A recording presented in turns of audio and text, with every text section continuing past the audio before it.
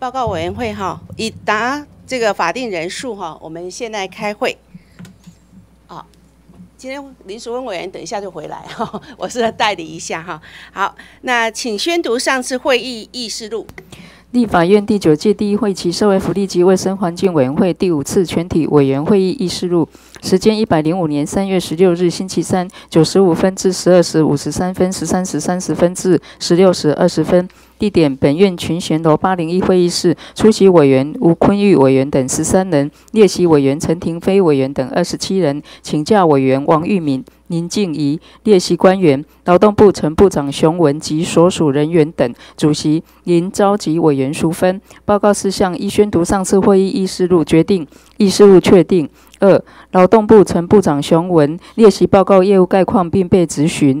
本次会议由劳动部陈部长熊文列席报告并被询，委员刘建国等十八人提出质询，均经劳动部陈部长熊文及各相关主管等及时答复，决定依本日会议报告及询答完毕。二、委员王玉敏、林静怡、李燕秀及林俊宪等四人所提书面质询列入记录刊登公报，并请相关机关书面答复。三委员口头质询未及答复或请补充资料者，请于二周内以书面答复。委员另要求期限者，从其所定。讨论事项：审查中华民国一百零五年度中央政府总预算案附属单位预算有关劳动部主管非营业基金预算询答。一、作业基金、劳工保险局作业基金；二、特别收入基金、就业安定基金；三、信托基金；一、劳工退休基金救治；二。劳工退休基金新制三积欠工资垫偿基金决议一审查中华民国一百零五年度中央政府总预算案附属单位预算有关劳动部主管非营业基金案说明及询答结束。二委员针对一百零五年度中央政府总预算案有关劳动部主管非营业基金之提案。请于一百零五年三月二十四日星期四下班前，以书面送交本委员会，通过临时提案十四案，请委员酌参。宣读完毕。好，请问呃，委员会对于上次的议事录有无修正或遗漏之处？如果没有意见，我们就确认通过。有吗？没有哈。好，是。好，那我们本日的会议议程是，呃，邀请我们行政院环保署，呃，魏魏署长哈，国宴列席报告这个整个业务概况，并被质询哈。那也审查中华民国一百零五年度呃中央政府总预算案附属单位预算有关行政院环保环境保护署主管非营业基金的环保。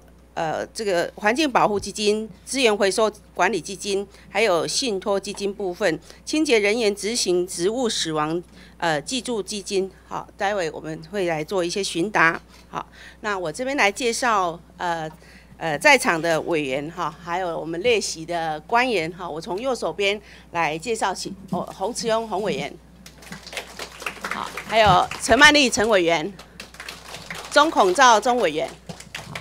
好，那在也让，因为我们都有很多新委员哈，所以还是再一次的介绍我们的官员哈。呃，由这个呃环保署的呃魏国燕魏署长，好，呃主秘呃谢燕如，好，那环境督督察总队的总队长肖清郎，好，呃综合计划处的处长刘忠勇。呃，空气品质环保及噪音管制处的陈贤和陈处长，水质部保护处的呃叶俊宏叶处长，呃废弃物管理处的呃吴胜忠吴处长，还有环境卫生及毒物管理处的袁少英袁处长。呃，管制考核及纠纷处理处的呃肖慧娟肖处长，呃，环境监测及资讯的资资讯处的蔡宏德蔡处长，资源回收管理基金管理委员会执行秘书许永新，海土壤及地下水污染整治基金管理会的呃赖莹莹执行秘书。气呃温室气体减量管理室的吴义林高级环境技术师哈。好，那再来是永续发展室的陈世伟呃技监。好，那方案整合办公室的呃马练和马参事。呃，还有环境检验所的严春兰所长，还有我们环境保护人员训练所的陈丽珍所长。我下面就不念了哈，各个这个行政事呃的处这个主任哈检任视察我就不念了啊。那再来就是我们行政院主计总处的基金预算处的黄秀荣黄专门委员也在场哈。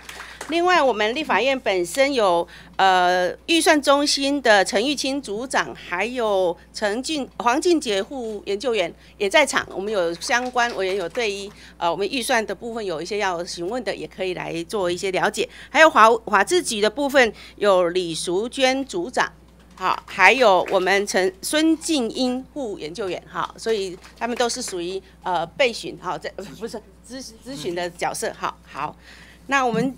呃，接下来就是呃，请我们今天是要请我们呃这个魏署长哈，就本日两个议程啊一并报告哈啊，报告完毕之后就进行综合的询答。我们按照往例是不是十分钟各十分钟到十到十五分钟哈，两个这个案子都一起报告好，是不是？我们现在请呃这个魏署长。业业务报告跟基金的一些询答，报告报告而已吗？报告两个都报告，两个都报告。哦，是，没有十到十五分钟综合合起来十到十五分钟。好。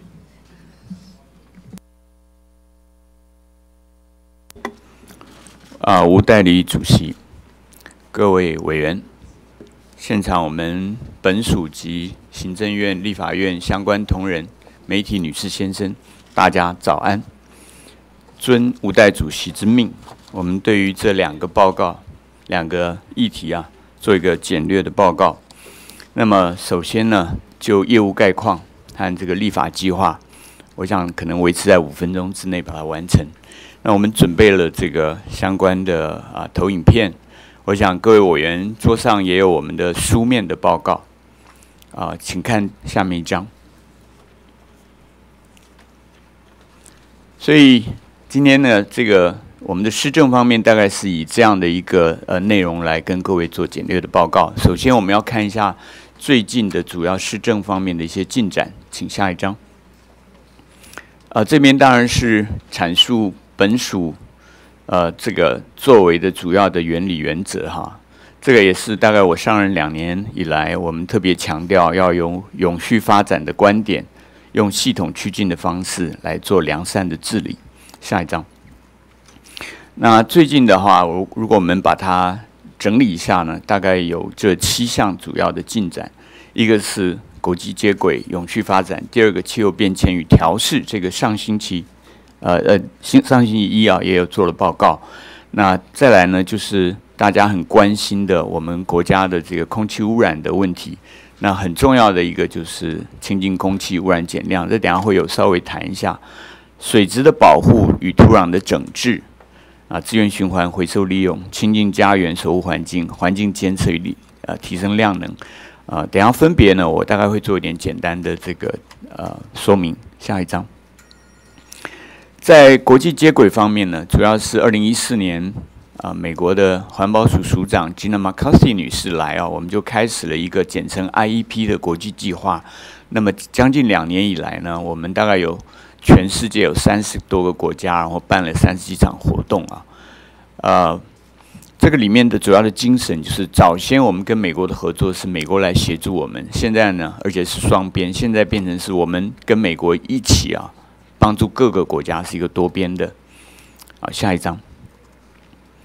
啊，这个是关于气候变迁。呃，上星期有很多呃陈述，我这里就略过不谈。下一章。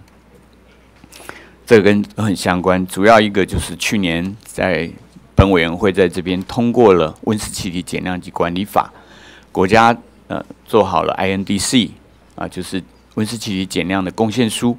然后呢，在年底也到了巴黎气候高峰会议等等啊，都讲过了。我们下一章。那这个是我们国人特别关心的，尤其在这个中国大陆的记者柴静啊，这个穹顶之下以后啊，我们国人特别关心 PM 二点五，就是非常这个细悬浮微粒，它可能对我们人体健康会有影响，心肺疾管呃血管疾病啊等等。所以这个事情在这两年呢，我们也特别努力。那值得跟大家说的就是，呃，空气污染防治法管制法。通过这么多年呢，是从去年呃八月开始，我们开始正式在高频地区，因为它是一个三级空瓶管制区啊，开始总量管制啊。那这是我想是在我们国家是一个新的状况。那么关于 PM 二点五方面呢，三年前开始监测啊，我们现在最后整理一些数据，这个细悬浮微粒的数据，在今年会进入我们的空气品质的相关的指标里面。那么我们现在正在做一个叫做 AQHI，就是 Air Quality Health Index，要把本国的在地的呃公共卫生的参数放进去，然后呢，来成为一个新的一个指标。那我们估计呢，这个指标在今年年底前应该可以完成，以后会发布。同时，啊，因为有 PM 二点五细悬浮微粒的这样的加入我们的空气品质的指标系统呢，呃，很可能啊。全国除了华东地区以外，都会成为三级空气品质管制区。那么进一步的问题就是，那我们就要来展开每一个地方都要做总量管制啊，这是讲空气污染方面。那当然，去年在毛院长的指挥之下，我们做了一个啊，就是短期务实、长期加严的这样的政策。现在有八项相关的氢气、清净空气的这个啊啊。主要的计划已经开始执行，到一百零九年结束啊。下一章，这个就是我刚刚谈的啊，有这么八项啊。对于尤其对于移动污染源，我们下比较大的功夫。当然，固定污染源也是我们关注的焦点。下一章，那水质保护呢？呃，在去年也是在贵院，尤其呃好几位委员的督督促之下，我们的水污费开始征收。所以现在呢，我们已经。有一个这个水污染防治基金开始运作，那这里面就展开了一些新的可能性。啊，初期的话，现在畜牧业先没有征收，但是未来会征收，所以我们在呃水处理，尤其畜牧业的这个所谓污染物的处理呢，最近有很多措施，等下有机会呢再跟各位说明。下一章，呃，所以在这个水体。的污染整治上面，我这边稍微想写了一下，就是有关于畜牧啊，这个粪尿厌氧发酵啊等等这样的活动，这样的努力啊正在进行中。那么另外呢，在三个县市呢，特别的流域也做这个总呃总量管制啊相关的作为，这些做了以后，对于那些河川的污泥就会有改善啊。下一章。呃，另外海洋污染呢，也是一个很重要的事情。这边分两方面来讲，第一个就是这几天的事情，大家可能很关心，在澎湖有一有一有一艘云海轮啊搁浅，在新北市这边石门外，石门就是岸边有一艘另外德祥台北货柜轮也搁浅。那么因为这两天气候转好啊，台北这边已经开始抽油了。抽里面的重油，还有这个柴油。那呃，澎湖，我们预计今天下午只要天气候海象许可啊，也会开始抽。呃，这些呢，就是平常都要准备好啊。那另外这个方面，大家比较关心的就是金门有海漂垃圾。那这个部分呢，必须跟中国大陆相关的单位做一些这个协商，做一些啊两方跨海峡的。啊，海污的合作，这个也正在进行之中。下一章，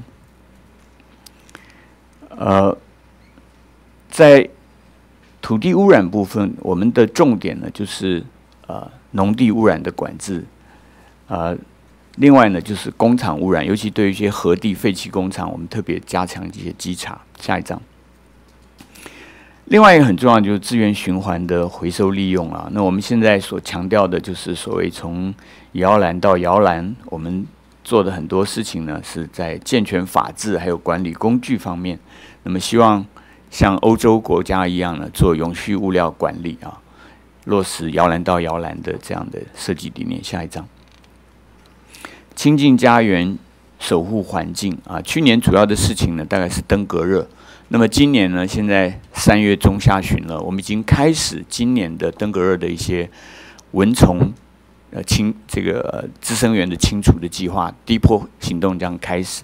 那去年我想有一个重要的事情可以跟各位委员大家分享的，就是去年在台南地区登革热疫情爆发之后呢，那本人根据我自己所学生物岛屿生物地理学的原理啊，推出一套这个叫做外圈围堵、内部切穿的这样的概念啊。那去年在台南。经过五期到六期的知青计划，用这个战略来实行啊，事实上就比较早提到得到控制，在十月下旬、十一月初已经完全这个病例数就下降。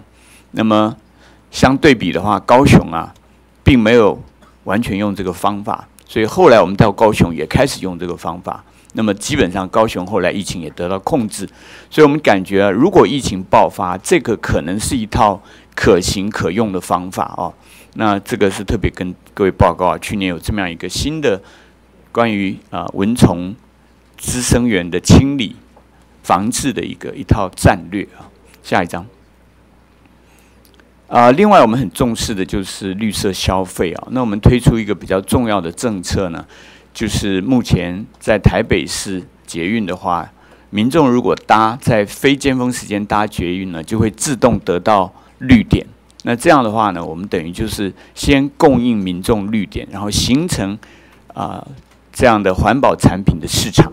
那我们这个还继续努力中啊，因为真正来换那个可以登记绿点的那个悠游卡的民众还不是很多。我想今年这个是我们的工作重点之一。下一章，那当然这个亲近家园还有很多呃重要的事情。非常重要也是委员关心的，就是如何严惩不法。那我们是结合环检警三方面，这两三年的数字显示啊，这个方式是有用的。我们真根据这个厂商的资讯流、金钱、金金钱流和物质流来稽查的话，往往能够找到一些蛛丝马迹，然后跟这个。呃，检察单位、警察单位就合作，我们破获了很多这样的不法啊。这两天的报纸又有陆续的一些新的发展，比如说这几天在彰化地区啊、苗栗地区等等，我们又找又有抓到很多这种不法厂商。下一章，呃，环境监测是一个很重要的事情，这里面大概有两个重点啦，就是除了我们原来的一些监测的能耐能力以外啊。我特别要求两件事，第一个就是利用大数据分析，同时我们的数据要公开给国人做价值的运用。第二点，我们从去年下半年开始呢，尤其在空气污染方面，我们强调这种微型可稀释的装置，也就是我们每个公民呢都可以来参与。那我们现在在全国有不同的社区学校已经展开这样的事情，随身你带着你的这个微型监测器，你就知道你所到之处。它这个 PM 二点五啊等等各种空污的指数，那这样我们就可以啊公民科学以及社区参与全面展开啊，这是今年我们的也算是重点工作之一。下一章，那我刚刚假叙假议呢，其实把未来的施政的重点呢也大概说进说了一些。那我们简单归纳一下呢，大概主要的重点是推进推动空气品质的净化，推动水体和农地污染的整治，啊，推动化学物质登录制度及相关措施，这是我们环管处的业务啊。这个我刚才没有讲。呃，另外呢，就是落实废弃物的处理再利用啊。这前前两天的这个炉茶的或炉渣的利用啊，也是属于这个范畴。那登革热的滋生的源的清除啊，会是今年非常重要的一部分。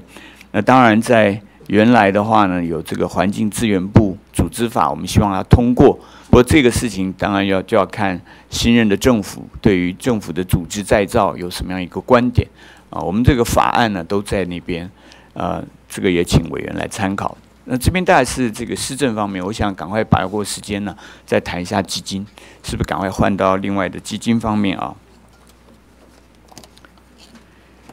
那今天我们第二个议题呢，就是要对一百零五年度本属主管附属单位以及信托基金预算呢做一个报告哈。那我们在环境保护署呢，我们有六个分基金呢。这个六个分基金，如果我们把它整个来整个呃收拢一起来看呢，我们今年的预算呢，基金来源呢，大概有六十八亿四千多万。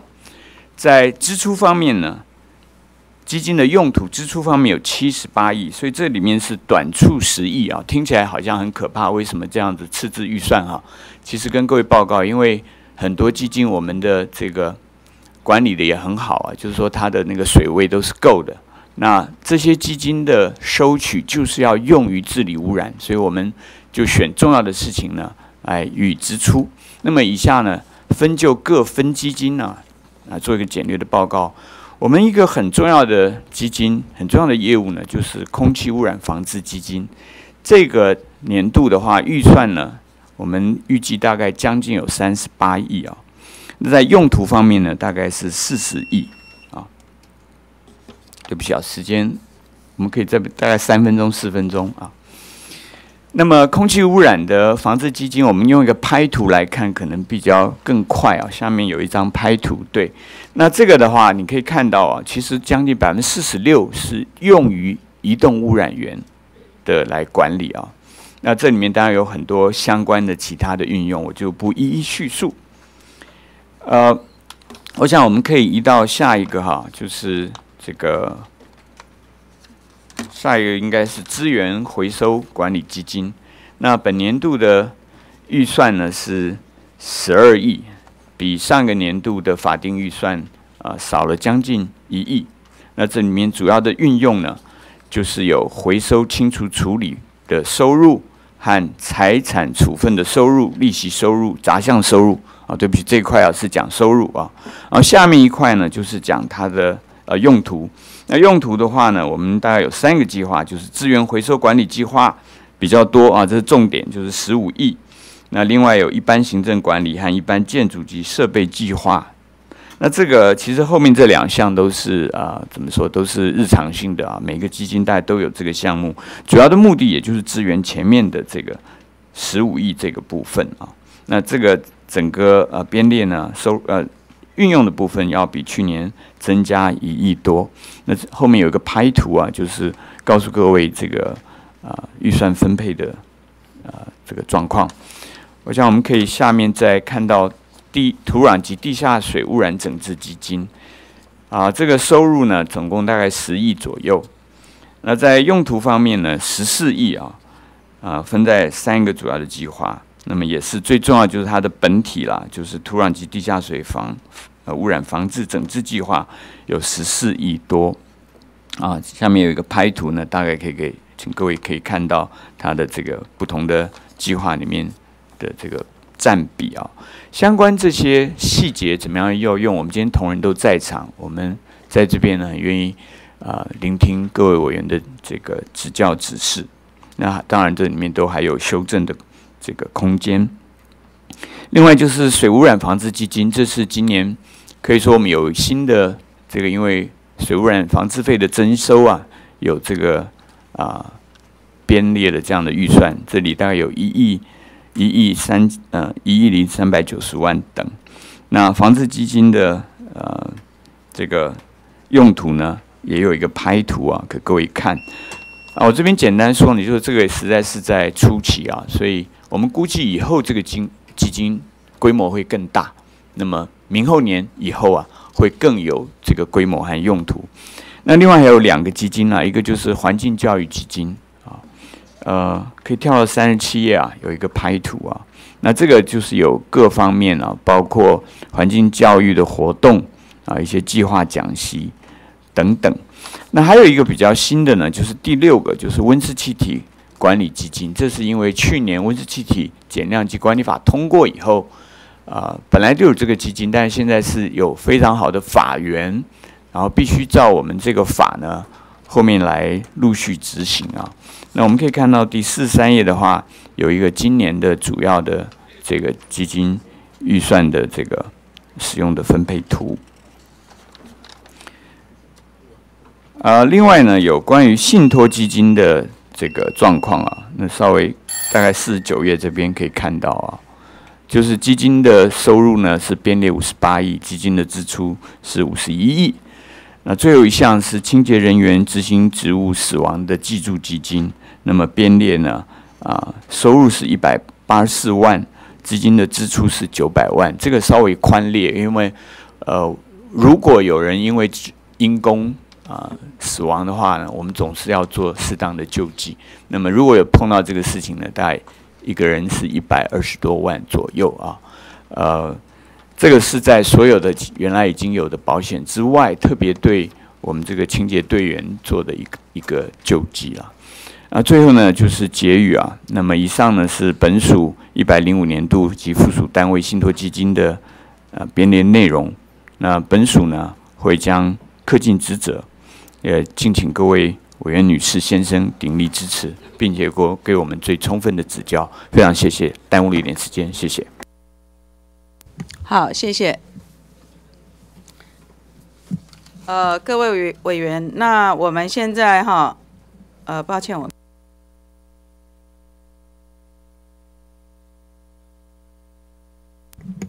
呃，现在我们进行询答。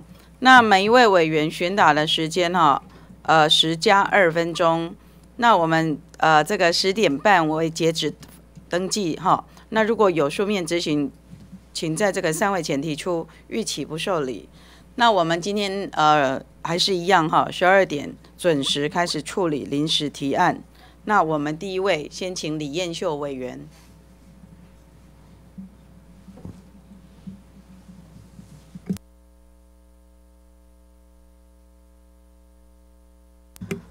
啊，请魏署长，谢谢。魏署长。李委员，早安。早安，署长。我今天刚才在呃听到你完整的整个施政报告跟施政方向哦。其实大致上我关注到过去这么多年来环保署的整个施政方向，整个大纲其实大同小异哦。但是我就要去具体针对于你的施政方向跟内容哦，其中几个细项，我们要来探讨一下它的成果跟。到底目标跟结果到底怎么样？那我今天要针对绿色载具的推动的汰换的速度来跟署长做一下探讨哦。我们看一下下一张。呃，署长，根据 OECD 的排名的指数哦，呃，从二零一四到二零一五，根据去年行政院主计处的统计出来，我们台湾的排名在 OECD 的国家当中哦，我们如果跟他们一起共同排的话，其实我们的呃。大致上，我们都在中段中段班，在整个国家比较当中，我们都是在中段班哦。呃，大概连续两年都是在中段班的数数据，二零一四到二零一五。但是再看下一张，但是如果呃我细看到它所有的综合指数。我细看到它的每一项当中哦，绿色代表说它大概就是在第一到第八名，黄色代表它在中中间，那红色代表它在落后的地方。所以无论从居住条件、所得、财富、就业、社会联系、呃健康状况。人体安全跟工作生活平衡当中，我们都可以看到我们的指数几乎都是在中段班，所以我们整个排名在 OECD 国家当中，其实在台湾我们几乎都是排中中段班。但是我特别关注到一个数据，它是呈现红色的状态。对不起，红色的状态就是在环境品质的部分。哦，好，我们再看下一张，在环境品质的部分，台湾是落。是是落后在在后段班，我们仅赢智利一个国家哦。那当中环境品质当然还有包括空气污染跟水池的满意度的部分，这个是造成我们在整个 O E C 的国家当中，为什么我们品质没有办法或我们的排名没有办法往前拉的最重要的因素哦。好，空污垫底哦，空污是在排名第三十六名。我们再看下一张。哦，呃。署长，我今天就是要针对于我们这个二行程机车汰换的状况来跟您做探讨。这个也是柯文哲市长他常在媒体上讲说，呃，机车代表一个落后国家，机车越多。虽然我不我 我认为个人的个人的判断，个人个个人对这件事情有不同的说法哦。但是回过头来，那我们就要讲说，机车其实是台湾代步非常方便的一种交通工具。那虽然每一个人搭乘交通运输工具的习惯不同，但是对于政府、对于环保署来说，各县市环保局来说，我觉得二行程机车这几年，我觉得是政府大力推动，我们希望至少降低我们移动式的污染源哦。我们从民国一百年到一百零四年，我们来去看这个看这个这个数据哦。民民国一百年，它的我们的二行程机车台湾数据从七万多辆，到一百零一年八万九，将近九万；一百零二年十四万，一百零三年十三万，到一百零四年啊、有十一万哦。但是署长，我们到一百零四年底，我们全台湾还有两百一十六万两段两行程机车还没有机会汰换到哦。我不知道，就是说署长在这个两行程机车汰换的速度跟决心，或许署长，我不知道您在这个位置上，您担任多久时间？在五二零之后，新政府新的整个环保署的政策，对于这项业务，你们的你们未来你们的态度到底怎么样？你们只是政府每一年一个政策不断的在讲，还是你们有更积极的做法？署长，你可不可以先回复我？真的非常谢谢。我想是两。两个方向啊，一个就是事实上这样的机车量还是很多，您这边有统计两百一十六万啊，所以我们是跟交通部还有全国监测监理单位啊，希望加强路检拦检，同时我们本来就有补助机车要去检查。这里面当然牵涉一个呃环境保护的信赖原则，呃不是对不起，消费者保护，就是人家买了他有保养，他没有坏，你除非他不合格。当然二行程它就是比较排污多，所以我们是希望把它汰换嘛。移动式污染源。对，就是要把它汰换。那我就说我们要补助跟鼓励它汰换啊。署长，你赞成？那，好，我们先回过头来探讨。其实我我们在我我虽然是在台北市选出来立法委员，但是我很少平常讲，我很少看到你说我们有在路边有监测，其实不多。次数不多，我天天在马路上跑，看到的次数不多。就我看到各县市政府他的态度，针对于你说，呃，抓也好，或监测也好，针对于二行程机车的取缔，我觉得是被动的心态。哦，那从补助的政策跟方向来看，我觉得我们的推广也好，宣导也好，好像也不是那么积极。所以，署长，你你你就你针对这个这个绿色载具的汰换的速度，我们有没有其他的方向可以更积极的去做一些处理，或者对县市政府，我现在给你奖励，你如果没达到这个数据，我要怎么样去做？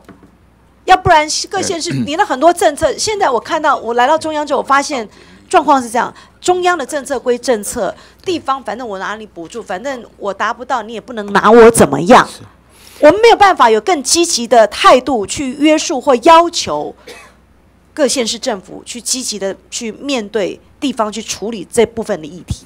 这个是两手啦，它这个到检率啊，我们每个县市都有评比，那么它的评比的好与坏啊，跟我们后面的补助啊等等都有关，就是说他不。在乎啊，反正大不了。第二哈你多给我钱，我还多一项业务，这个是现市政府现在是有评比啊，那像台北、新北、台北市最近就是很努力，可是到禁用啊，这个我们就觉得还是消费者保护的原因。署长，我我跟你我跟你探讨，因为哈各县市政府是这样，你补助我越多，我多一个业务要做。所以不，我的意思是说啊，有没有其他的方式？就是说，好，我这样补助肯定降低但是我其他大项来自中央的应该拨给的预算，我就删减，我连带的是删减。是我觉得你应该有一套方法去约束各县市政府，否则 我们天天在这边探讨 PM 二点五移动式，来有一个固定是一个移动式，但是我今天我跟你讨论移动式，各县市各县市政府他不积极的态度去执行，那你就没有方法嘛。我们你给我越多钱，你给我越多补助，都是增加我的业务，我才不爱做。这是环保局的心态。是谢李委员是这样子啦，我们这方面是这个作为啊，不过有的时候基于中央与地方的合作伙伴关系啊，我把这种东西叫做赛马，就是说我们都知道各县市的这个到检率啊，我们心里有数，我们不太拿出来公布啦。但是我们会去督导、督促。那讲讲到积极面，就是说地方和我们都有空屋基金，那我们现在希望它不只要倒减，要它汰换。那么去年以来呢，主要是希望他用电动机车，就是你买机车最好是是电动，所以这方面的补助金额我很。我我也有，呃，署长，我下一个阶段就要跟你讨论电电动机车，但是署长，我还是希望你刚才说你们有在做一些排名哦，依照依照各县市，我觉得针对 PM 制造 PM 二点五移动式或固定式的污染源，我觉得你们要去做一些排名，让大让全国的民众知道。大大部分的污染，每一个县市在这一块努力了多少？我觉得要做一些排名出来，各县市政府能够做努力努力了多少？这是第一个阶段，我我拜托署长。是不是加一句话就好？这个评比我们都有，那我们很多奖励哦，发奖章，什么是这方面比较负面的？我必须跟您报告，比较没有做。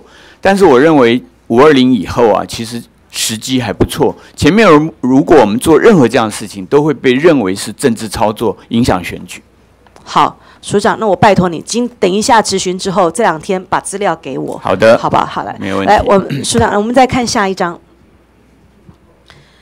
署长，刚才您提到这个，我们有补助电动机车的状况哦。署长，你看，我们从民国一百年将近三千辆，一百零一年三千一百九十四辆哦，到一百零四年，呃，你的网站上面你是说有七百四十六辆补助电动机车，但是你书面报告是一千五百二十五件哦。我想这个系这个不重要，时间差的关系。好，时时间差的关系，好，等这就两倍的差距了哦，这两倍的差距。那呃，署长，你对于电动机车补助的状况，呃，这个民众的意愿，这当然回过头来是民众的意愿问题，但是看来这个成效并不是那么好。没错，因为您刚刚说，譬如说二型成就还有二百一十多，两百一十六万两，百一十六万嘛。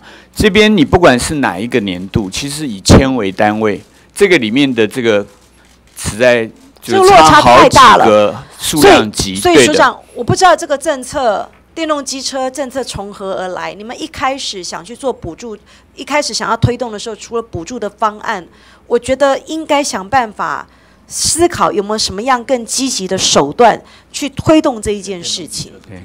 对，同仁可以协助，要不然回那个答吗？好，来，你好，我们空保。处长有一些补充。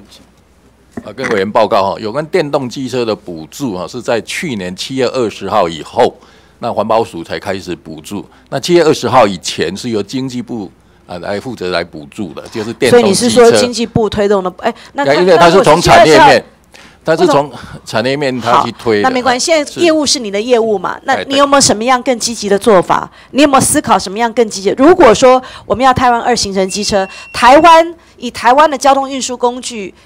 机车它还是最为便利的一种，那电动车是未来我们希望推动的很重要的目标。那你有没有什么样更积极的做法我？想现在业务在你身上，啊，最重要是，呃，因为我们的机车实在数量非常的庞大了哈。我们现在大概全全全国有一千三百多万辆的机车，但是这些机车也不可能就是一下子就就没有了，所以我们鼓励电动机车。所以从去年七月二十号开始，我们对于购买电动机车，你特别是淘汰淘汰的的时间呃。你告诉我你你你有没有目标？你逐年的目标是什么？你没有回答到我的问题嘛？哦我们在我刚刚问你说，你有没有更积极的做法？你除了补助，你来换我给你钱，你有没有什么更积极的做法？或者是你每包括你每一年应该达成的目标是什么？有有你这样才有办法去约去要求你的同仁想办法去推动有我们有逐年的目。标哈，我们有逐年的目标，希望在一百零九年以以前能够淘汰二行程机车一百万辆，也就是大概淘汰一半。方法是什么？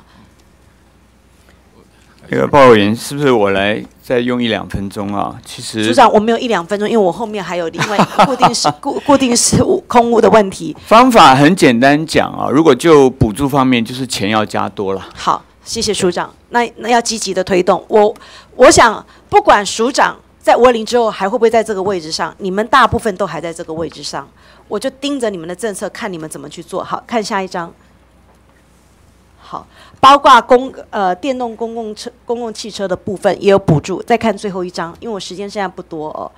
这个电动公车的部分，去年我有参加台北市他们的他们的启用典礼。但是原来我们希望达到的是，接下来十十年，从一百零四年开始，接下来十年每一年一千辆。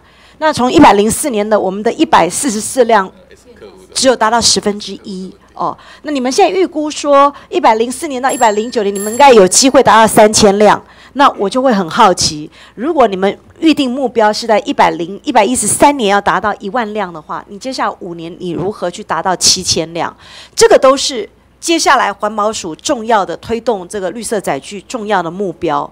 我就看你后续怎么去做。我现在告诉你，你那个落差实在是太大，我不知道你后续怎么达成哦。呃，署长，因为我今天时间有限，但是绿色载具，我只能说环保署的业务在这一项的推动。其实你们的态度是消极的。你除了补助，或者是你是你你你现在说你要把金额提高，你应该还有其他的配套措施哦，去要求各县市政府、还有业者、还有民间去使用这些交通运输工具的业者也好，机车驾驶族也好，应该有更积极的做法跟方法之外，回过头来，我们最近在探讨 PM 二点五，呃，除了移动式的污染源，这个是掌握在民间；固定式的污染源，局长，呃，署长，我觉得我们的态度太消极了。在台北市跟台北县的交界，常年你过去在台北市待过，我们每一年都在讲，细致有一大堆工厂，每一次一九九九都是夜间在排放沥青，它风一吹就吹到台北市来。哦，这是民我们那么多年那么多届在选区，无论细致或台北市的。立委两位立委过去，他们都常常会看，但都抓不到。虽然你回过头，你会跟我讲，这个是呃两个县市环保局应该联合稽查的问题，但是夜间沥青的排放，老师都不断在排放，那我们永远抓不到，永远抓不到。类似这样的状况，我相信在各县市都有。也就是我要讲的是。固定式的污染源在民间的部分，工厂的排放的部分，我觉得我们的执行各县市执行是有问题的，是有问题的。所以我非常希望署长，我们常在探讨 PM 二点五，除了我们自己公部门台电也好，如果民间的工厂，我们有没有方法成立一个专案？怎么样的积极的态度去处理这些议题？否则他夜间排放，白天才有公务人员去抓，抓又抓不到。他夜间排一下两个钟头，找不到人，打一九九九永远找不到人。刘员，这个部分我们的北区稽查大队，我们专案来处理。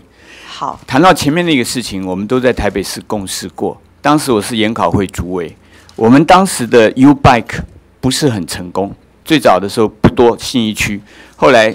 从到大安区学校等等，现在还蛮成功。它是一个 S curve，我们希望这个事情也是类似这样做法。一开始确实不如理想，但是当这 S curve 走到那个爬升阶段的时候，我们希望可以达成这个目标。那个主席再给我最后三十秒，署长，那个针对 PM 二点五这件事情，前一阵子去年我在台北市议会开过记者会，因为现在紫爆的状况很严重，空气污有时候很严重的时候，我们会各学校都会拉紫色的旗哦，那。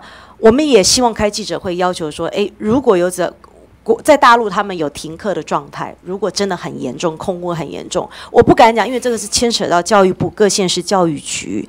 但是我觉得最起码我们要设立一个标准，如果 PM 二点五那一天的状况是很严重的，我们是不是可以要求，就是说停止孩子在户外的活动，譬如说体育课就不要到外面去？我觉得中央对于 PM 二点五在各县市的。特别是教育局，我觉得我们要做一些横向连续去做一些要求。现在我们有那个紧急的那个方法，目前正在听证阶段，这个意见都可以就是放进去，然后来定一个标准。好，谢谢署长，我期待身为妈妈，我希望这件事情可以赶快做，谢谢。好，谢谢。下一位，我们请洪慈庸委员。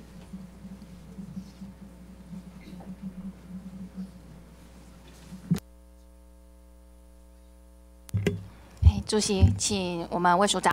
呃，署长，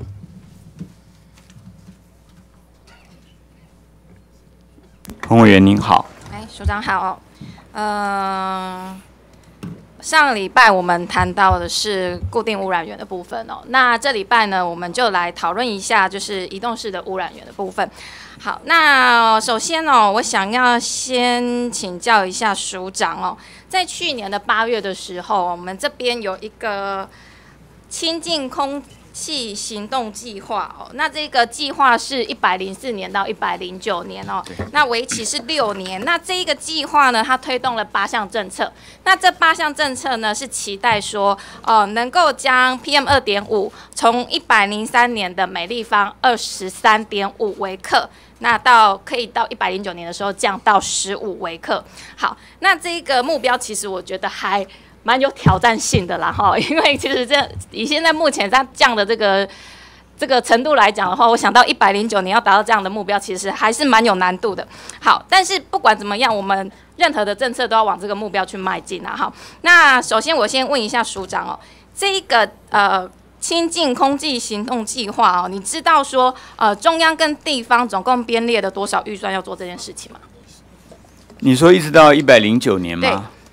三百多亿吧，是不是？好，来中央这边呢有编列了一百八十二亿，好，那地方有编列了两百一十亿。是，您看得很清楚，是。好，那在这个计划里面，一百八十二亿里面，请问，呃，署长，你知道说编列在交通工具改善上面编列了多少钱吗？这个要查一下了。好，来，我告诉署长哦，是一百六十七亿元，是它的这个比例呢，大概有九成以上。那这个里面呢，它其实包含了很多，像是刚刚讲的淘汰。二行程的机车，那还有就是新购的电动机车，那推动电动公车，好，还有推动电动蔬果运输，好，运输车，还有推动柴油车加装这个滤烟器，滤烟器这几项。好，那我想要请问署长哦，就我们刚刚讲的，在电动车、电动自行车跟电动机车、电动公车上面，我想要请问署长，你现在掌握哈台湾这一些电动车的一个比例有多高？你说占所有的车辆的比例吗？就是它其实是非常低了。我们现在知道，我们呃，如果把所有的机车跟四轮的合起来，我们有大概呃两千一百万辆左右吧。那现在我们看到有电动的，其实是非常少的比例。对，好，那就以我们现在呃数量最多的机车类来说哈，那我们就先就电动的机车来请教一下署长哦。其实，在一九九八年呢，其实就有开始推出了一连串的推动电动机车的计划。那到二零一四年，其实总共有三波啦。那第一波是一九九八年推出的发展电动汽车行动计划。那这个计划呢，其实四年内本来预计是要推动十八万辆，但是最后，署长你知道是就是的最后的成绩是几万辆吗？好，大概两三万嘛，大概是两万辆，两万辆。好，那到二零零九年，马政府呢？又推出了一个叫做电动汽车产业发展推动计划。好，那这个呢，这目标往下调，好是十六万。那署长，你知道说它最后的成果是多少辆吗？我想也是最多以万为单位吧。对，好，也只是三点二万辆。是，谢谢你。所以这两个这两个计划呢，在呃二零一三年，好这几个计划来讲的目标的达成率都非常的低。是。那二零一四年呢，马政府呢又开始了。好，又推动了一个叫做智慧电动车辆发展策略与行动方案。好，那这次呢？好，大家比较聪明了。好，这个目标定的比较低。来，我请问一下，定了多少目标？这是经济部啊，这是经济部主要在推动。对，好，那这个是三点七万辆，三万多哈。对，三万多辆。好，所以其实目标往下调了。好，那其实这个呃，这个计划。其实某一种部分，除除了经济部它的产业推动的政策之外，那环保署这边啊，我想要问一下，有没有提供什么样的补助，或是怎么样的一个配合措施？有，我们主要是空污费，包括中央的地方的，就是鼓鼓励啊，这个民众来采购，然后汰换原来比较呃这个空污标准、污染标准比较低的不好的车辆。好，那署长，你认为说？这样 为什么不成功？是不是这个问题？这样的成效你满意吗？呃，我个人上以来，我在一直在想这个问题啊。我想以前大家有几个问题啊，一个是就是还是消费者并不喜欢，他对这个电动的产品没有信心或不喜欢用。这里面就包括呃充电不方便，或者说它这个持续力不够，或它的瞬间的那个 peak power 不够等等啊。那这个我们就是希望在产业界它能够不断的进展，不过这里跟全国或者环保署的对于这个电池是不是要用共通的共用的标准，还是有不同的？我们不限制。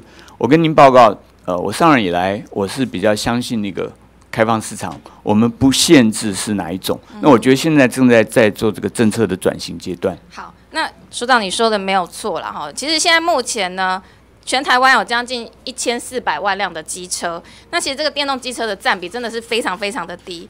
那其实最近这电动机车的价格已经下降了，那政府又提供了很多的补贴，其实那个价格已经跟一般的机车差不多，但是还是销售的效果还是非常非常的差。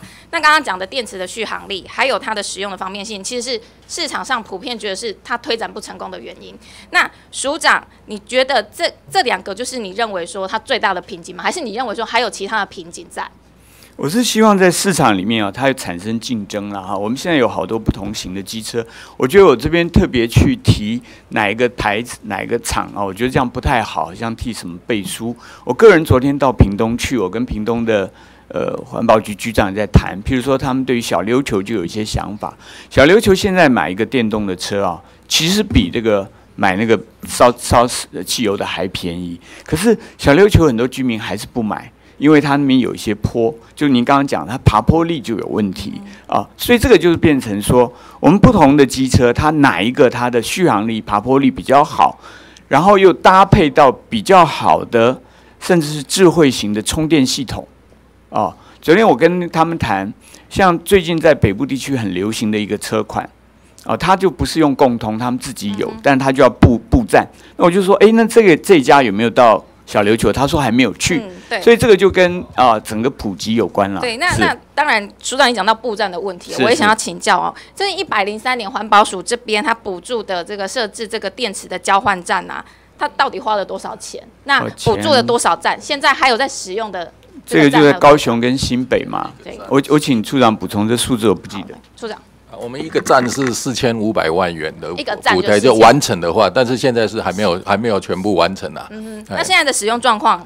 呃，使用状况，呃，高雄会比新北市好一点的，因为新新北市它出了一些问题，哈，不不管设站的速度等等，所以呃，普遍来讲是当然不是很好。所以处长这边有掌握说现在使用的状况比较好的站有哪些吗？呃，没有办法掌握嘛，吼。在高雄市，因为我们电脑上可以看得出来。好，那另外刚刚是讲的是电池交换站，那现在目前的电动车的充电站啊，我想请问一下处长，你知道现在的量有多少吗？充充电站？呃，整个全国的充电站大概是两千多多站，好，那分布在各个地方。比较比较精确一点的，如果说以大台北地区，如果要普及的话，大概要设多少的站才可以达到普及？那这个要看那个电动车的量了，嗯对不对？这个量，因为因为现在这个量跟那个设站的点的，就是两个要必须去搭配。对那蛋生鸡，鸡生蛋哦。那如果说我们不先从把这个站先想办法把它设起来，那永远都不会普及。那这也是为什么哦？为什么这几个这几个计划推了三个计划十几年的时间，它一直都不会成功的原因？因为不方便嘛。是。那不方便，民众就不可能去使用，那费用又高，那所以这个是。为什么这个计划不会成功？那我要说的是，如果已经推了十几年，那好几个计划都没有成功，那是不是应该去深刻的去检讨为什么这个计划不会成功？那要针对这个计划没有成功的部分去做改善。好，那这是呃我对这个电动机车的部分的问题哦。那接下来时间我想要问一下，跟关于空屋管制哦。呃，署长，我们去年六月三十号，哦高平地区它已经通过了整个它的这个总量管制的部分。那我们台中呢，呃，其实也送出来了哈，就是我们也希望说，呃，我们可以达到就是做我们中部的空污总量管制。那在这一份报告里面，其实我们也看得到哦，其实在整个中区来说，好，整个 PM 二点五的量，好，它是非常高的，表示说其实整个大台中它的空气品质是非常不好的。那我想要问说，呃，环保署对于我们台中市提出来的这个总量管制，有空污总量管制，现在的态度到底是什么？那署长，你支不支持就是我们的中区的这总量管制的这个政策？呃，洪伟，我刚刚稍微有提到，现在也许你也特别在说 PM 二点五，原来这个是不是三级空品区啊，并没有把 PM 二点五放进去。不过最近因为我们累积了三年多的这个数据以后。那我们现在就会评估各县市它是不是要变成三级空品区。那您觉得台中地区呢？其实蛮严重的。我觉得经过评估，台中市很有可能会是三平三级空品区。那所以什么时候才会评估结果才会出来？应该是年底吗？还是？那我请他说一下。啊，有关三级防治区的话，事实上我们昨天有跟各地方环保局开过会哈。那我们因为马上要公告做法制作业，那三级防治区完了以后才有总量管制啊，得实施总量管制这这这一个选项，所以所以预计的时程大概会是呃三级防治区，我们我们应该是今年就就就会公告，今今年就会公告。大家，因为现在已经在法制作业了。所以如果照这样推算的话，台中要呃要做这个空屋的总量管制的话，还要到明年之后。哎，因为总量管制是它它的一个选项，哦，那所以到底是台中市来做，还是整个中部空品区来做，大家目前是呃还有意见，所以这个必须要经过啊三个县市再再再来开会。这边我是要麻烦就是署长哦，尽快来做一个就是催促跟推动了哈，因为其实呃台中希望。呃，整个大台中需要去做这个总量管制，已经非常久的时间了，已经提了很久了。好，那再另外就是说，哎，去年环保署已经否决了云林的这个提的这个禁烧生煤、石油胶的自治条例。那台中呢，其实去年也提出了就是管制生煤的自治条例。那这个条例呢，也送到环保署了。那我想要问一下，就是呃，环保署对这个案子的一个态度是什么？呃，云林跟台中啊，其实他们提出的。那个自治条例内容不太一样。是台中这方面，我认为，呃，所谓呃这个跟别的法律汉格的情形，应该是比较少。是。那目前呢，是在会各部会啊提出他们的意见。那提出来以后，很可能台中这边，我只能说很可能，因为这个要尊重各部会的意见了，都是法治意见。那所以什么时候可以可以核定？啊，时时程上面怎么样？我们这礼拜会会诊啊，准备报新闻。本星期。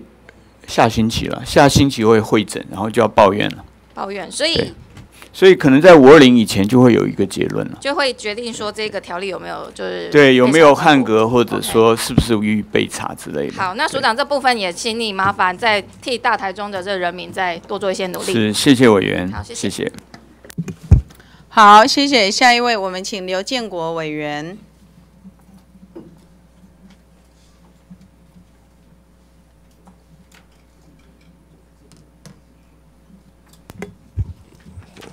谢谢主席，有请署长。请问署长。刘委员早安。署长早安。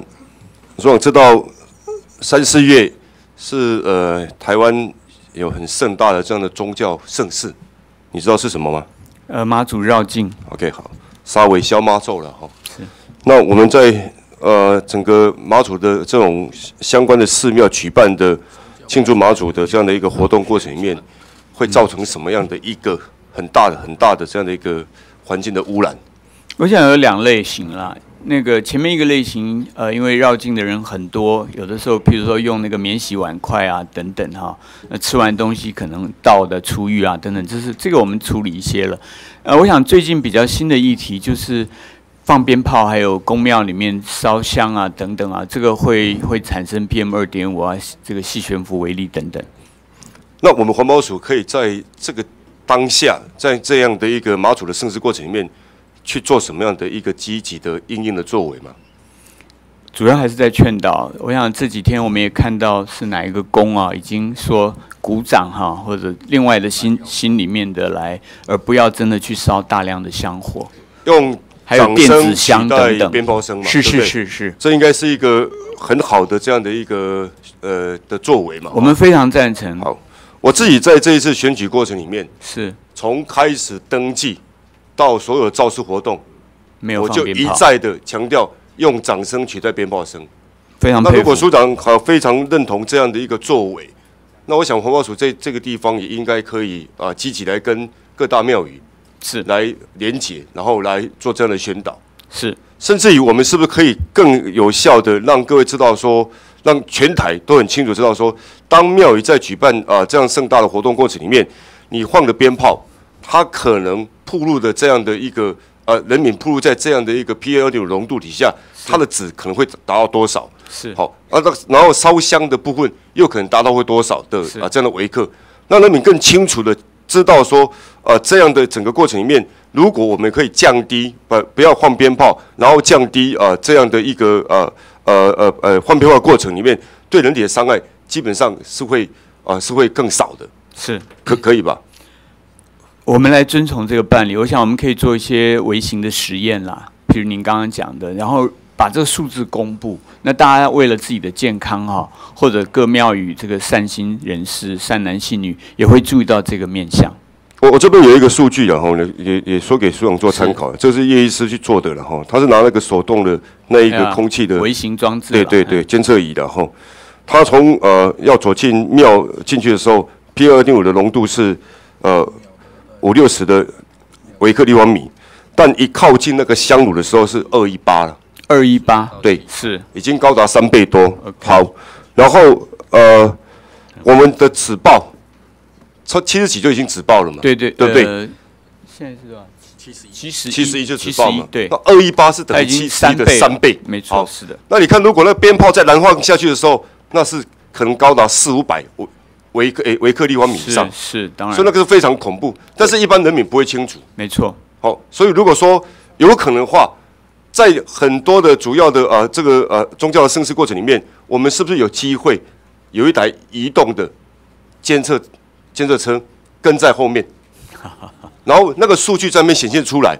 不，这个真的是一个很好的一个一个一个宣导的一个效果，让人民知道说，你起码放鞭炮，你起码你来看，好、P 二 D 的浓度是向你管，好、啊，你起码做三米，啊，这个浓度是向你管，好、啊，我大概做清楚诶。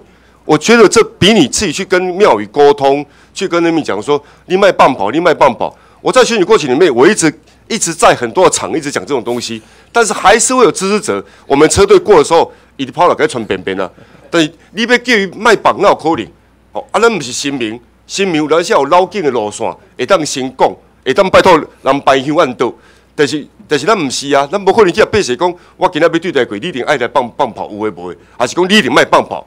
所以还是减低的的成效有限的。但是但是我们只要积极作为，让各位知道看到那些数据，我想那个效果绝对绝对会倍增的。是那个民众的热情啊，还有这是个民俗信仰啊。我们去泼冷水或什么，我也不太想做我知道是。，对，但是您说的监测啊，我想这次如我已经排定我会南下了，会参加一些活动，我可能身上就带这个行动装置，然后我们就马上有云端呐、就会我所到之处，可能就马上就知道了。那我觉得这个你把它当花絮来看也可以，我们并不是要谴责谁，对不对？署长参加这个活动，我们非常愿意一起祝福。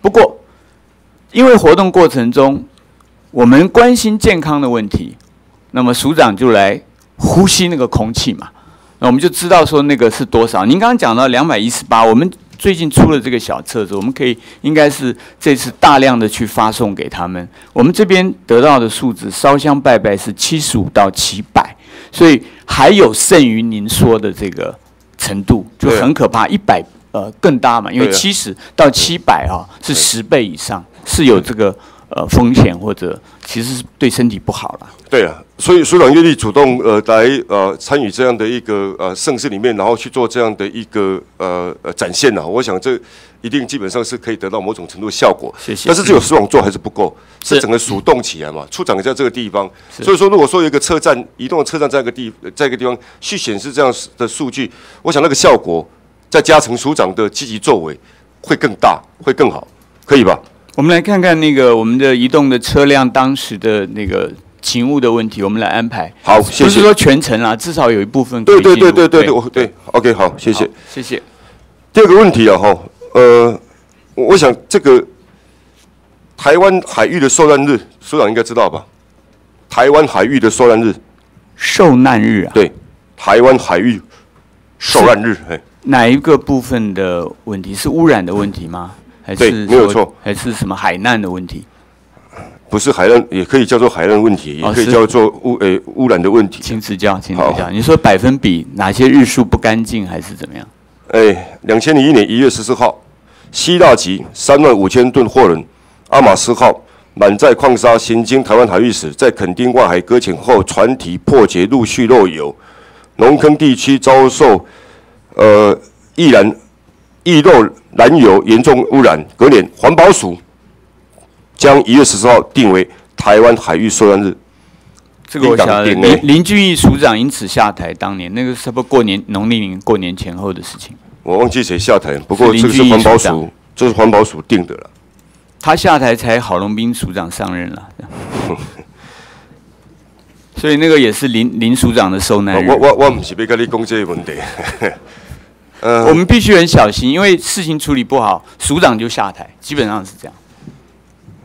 基本上我不希望署长呃署长呃去下台了哈，我的期待不是这样，也不希望这个样子哈。是，但是但是署长连这个日都不清楚，这是这是该被哎哦呃，日期真的不记得了。这个不过这个事情在环保署的历史上是一件很重要的事情。个处长要那个提醒提醒的那个东西在署长旁边哦，事实提醒，这个叫做台湾海域受难日，而且是环保署自己定的。这个这个这个事件会不会再重演？呃，现在因为那个事件以后，其实历年来还有很多这样类似的事件啊。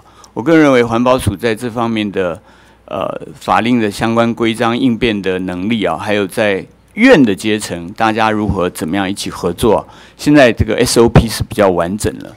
所以呃所以那我就简单请教你是，国家油品易漏灾害防救系统的运作为何？这个我要请我们处长来回答，我没好了有办法好。是是跟呃留言报告哈，简单就好哈，谢谢。我们呃一接到通报以后，会马上成立中央啊、应变中心。那这个会分三个层级，如果是在一百吨，残有在一百吨以下，是由地方来主政；一百到七百吨呢，就是由环保署；那七百吨以上呢，是由行政院。那海洋污染防治技术为何？海洋污染的防治技术，就是如果是漏油的话，那么呃一般如果那个船的油还没有漏出来，是在船上的话，会先抽它的船上的这个油，然后再由 交通部航港局这边呢，再来移除它的货跟船。油污的污染防治技术为何？啊、油的防治技术就要看它泄漏的地点哈，比如说如果在海面上，第一个它如果可以由这个海上型的燃油所就先为海上型，然后再来用集油器来集油。如果没办法有围的话，比如说海浪太大没办法围，它可能会陆续上岸，那就预我们用这个模拟的模式啊，在预估上岸的地点先备置那个燃油所哦等等的这些来做一些清除。那你可以再简单一下，就是海海难的油污了，究竟会对我们的生态造成什么影响？然后需要多久的时间可以恢复这样的生态？啊、以这个九十七年晨曦号来看哈，当时的它在北海岸这边露出大概是在两百吨的重油，那重油的影响最大，因为它会粘在这个岸壁上面，所以当时两百吨大概清了三个月，但是清完三个月以后呢，礁石上还会有残留，所以那些残留的没办法再清的话，就必须是靠它自然分解，所以那个恐怕要在一两年以后才有办法恢复。好，二月二十五号凌晨三点十一分，纽约籍的云海货轮是中国福州要返回印尼途中，因为机械故呃机件故障失去动力，搁浅在我们澎湖县小白沙屿北侧，然后在三月七号被发现，三月七号被发现船舶漏油污染海面，因当地岩礁林立，担忧油料外泄，有诶诶，对不起，油料已经外泄哈，影响到丰沛的海洋生态等等等。然后三月十号，德享台北轮在石门海岸触礁，十四公吨润滑油外泄，污染海岸，这是什么状况？是跟委员报告，柳埃及的这一艘船呢，云海级呢，它应该是压舱水有一些的油水漏出来，它并不是从油槽里面漏出来。云海轮呢，今天早上呢，已经啊、抽油船已经到现场，现在已经系好两个哦，大概等一下就可以开始来抽油，主要都是海象的问题，它根本出不去。那这个德祥轮的呢，也是今天早上天气好的时候呢，那么刚刚九点三十五分的德祥轮已经开始在抽油。所以你你可以视评一下我们环保署对这两件事情的应应态度。我想环保署在云海轮哈，它是礼拜四，我们马上礼拜四下午在澎湖就召开了应变会议哦。那么像德祥轮是三月十号，那我那一天下午马上在这个石门这边召开应变会议，所以像所有的这一些呢，机具通通准备好，最主要就是海海气象的关系。所有的机具像澎湖的呢，准备好了以后，它拖出去没办法靠，又拖回来。所以海气象如果没办法的话，它拖船上面要在这个油罐槽这些呢没办法固定。那如果没办法固定，你去抽油很危险。本来是在船上还没有漏，一抽的时候可能这个不稳的时候，反而是会会落到这个海洋上哦，所以它最大的困难就是受限于这个海气象、风浪、海浪的高度啦等等的这些因素。我我我的时间到了哈，我请署长、处长好不好？把你们整个处理的过程，是不是给委员会？好，那我让我们知道，我们事后再做一个追踪。但是我是要提醒了哈，我刚才问署长对台湾的海域酸度，署长这样不清楚，我有点有点感觉到纳闷了哈。那当然，嘛嘛嘛不叫重要了哈。但是这两件事件的处理过程里面，我觉得是有是有我们环保署有应变能力不及之处。那因为时间关系。等你们的整个呃处理过程里面送委会之后，我们再来讨论。好，谢谢。好，谢谢。那记得要把整个两个事件的那个调查报告哈送到委员会来。下一位，我们请这个钟孔照委员。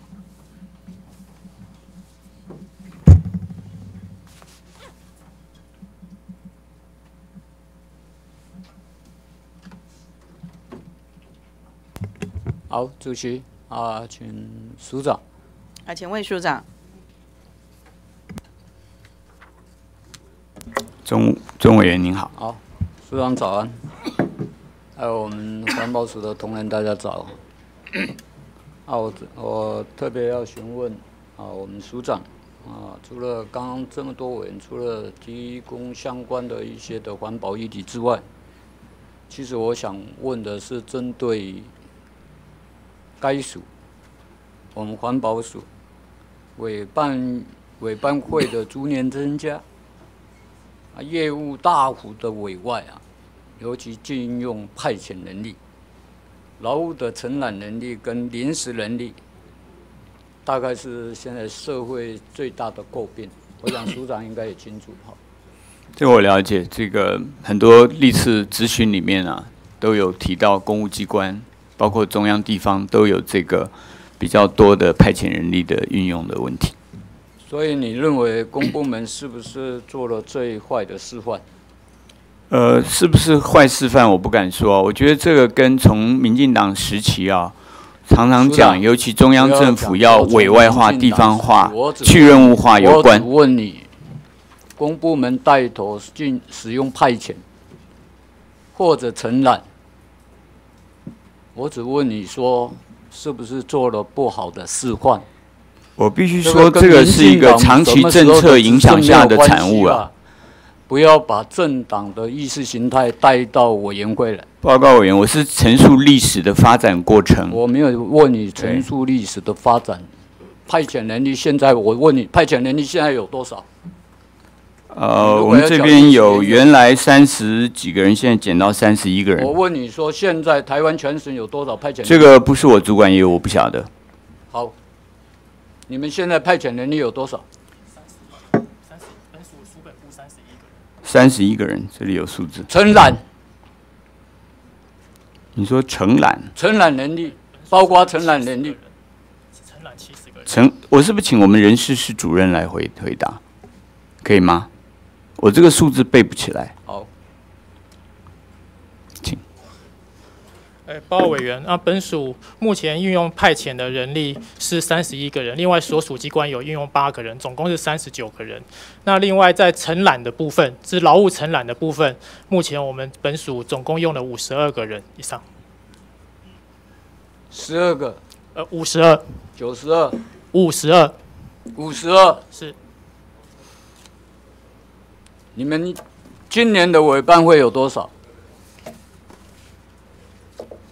你提供的数据要非常正确。等一下我抛波音秀出来，署长，是你人事单位帮你打脸了，是你自己难看。我没有什么难看啊，这个业务请人事室主任来报告没有问题啊。讲说人事如果报告啊，如果他的资料是不正确，是是会让署长难看。啊，那我督导不周。这些的细节部分，署长可能也不太清楚，因为你是管政策。是，这一部分我体谅你了。谢谢。我们一年的委办会有多少？我请会计师主任来回答您。我们在公务预算的部分，呃，五一百零五年度，我们一共编列五十九亿的委办费。好，下一张。环保型的运用能力啊高于平均五亿九千万，五亿九千万。高于平均值。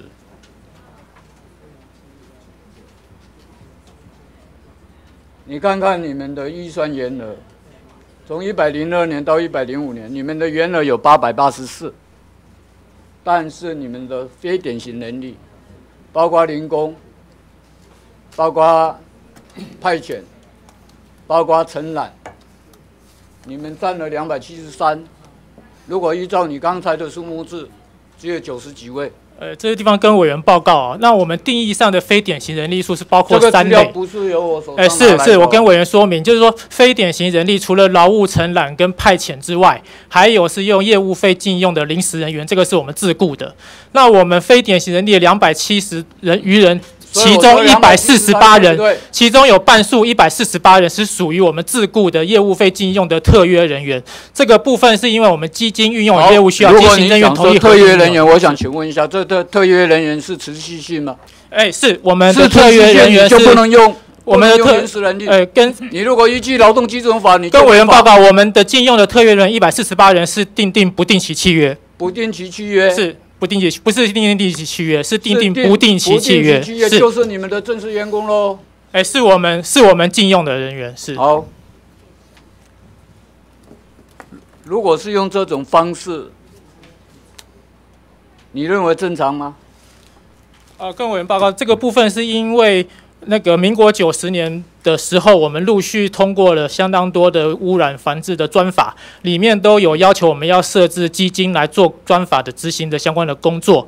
所以说这个部分，我们基金因为有业务需要推动的人力，那我们那个环保署的组织条例的禁用人员的人数是有它的限制，所以说当时行政院有核定，我们署里面可以用业务费禁用不定期契约的临时人员来担任。是。如果你们过度的仰赖这些的非典型能力，不管你这些的承揽，或者说你们签约的这些的不定期员、企业工，他如果办理常态性的工作，会不会影响你们长机关长期上的业务上的一个运作？会不会？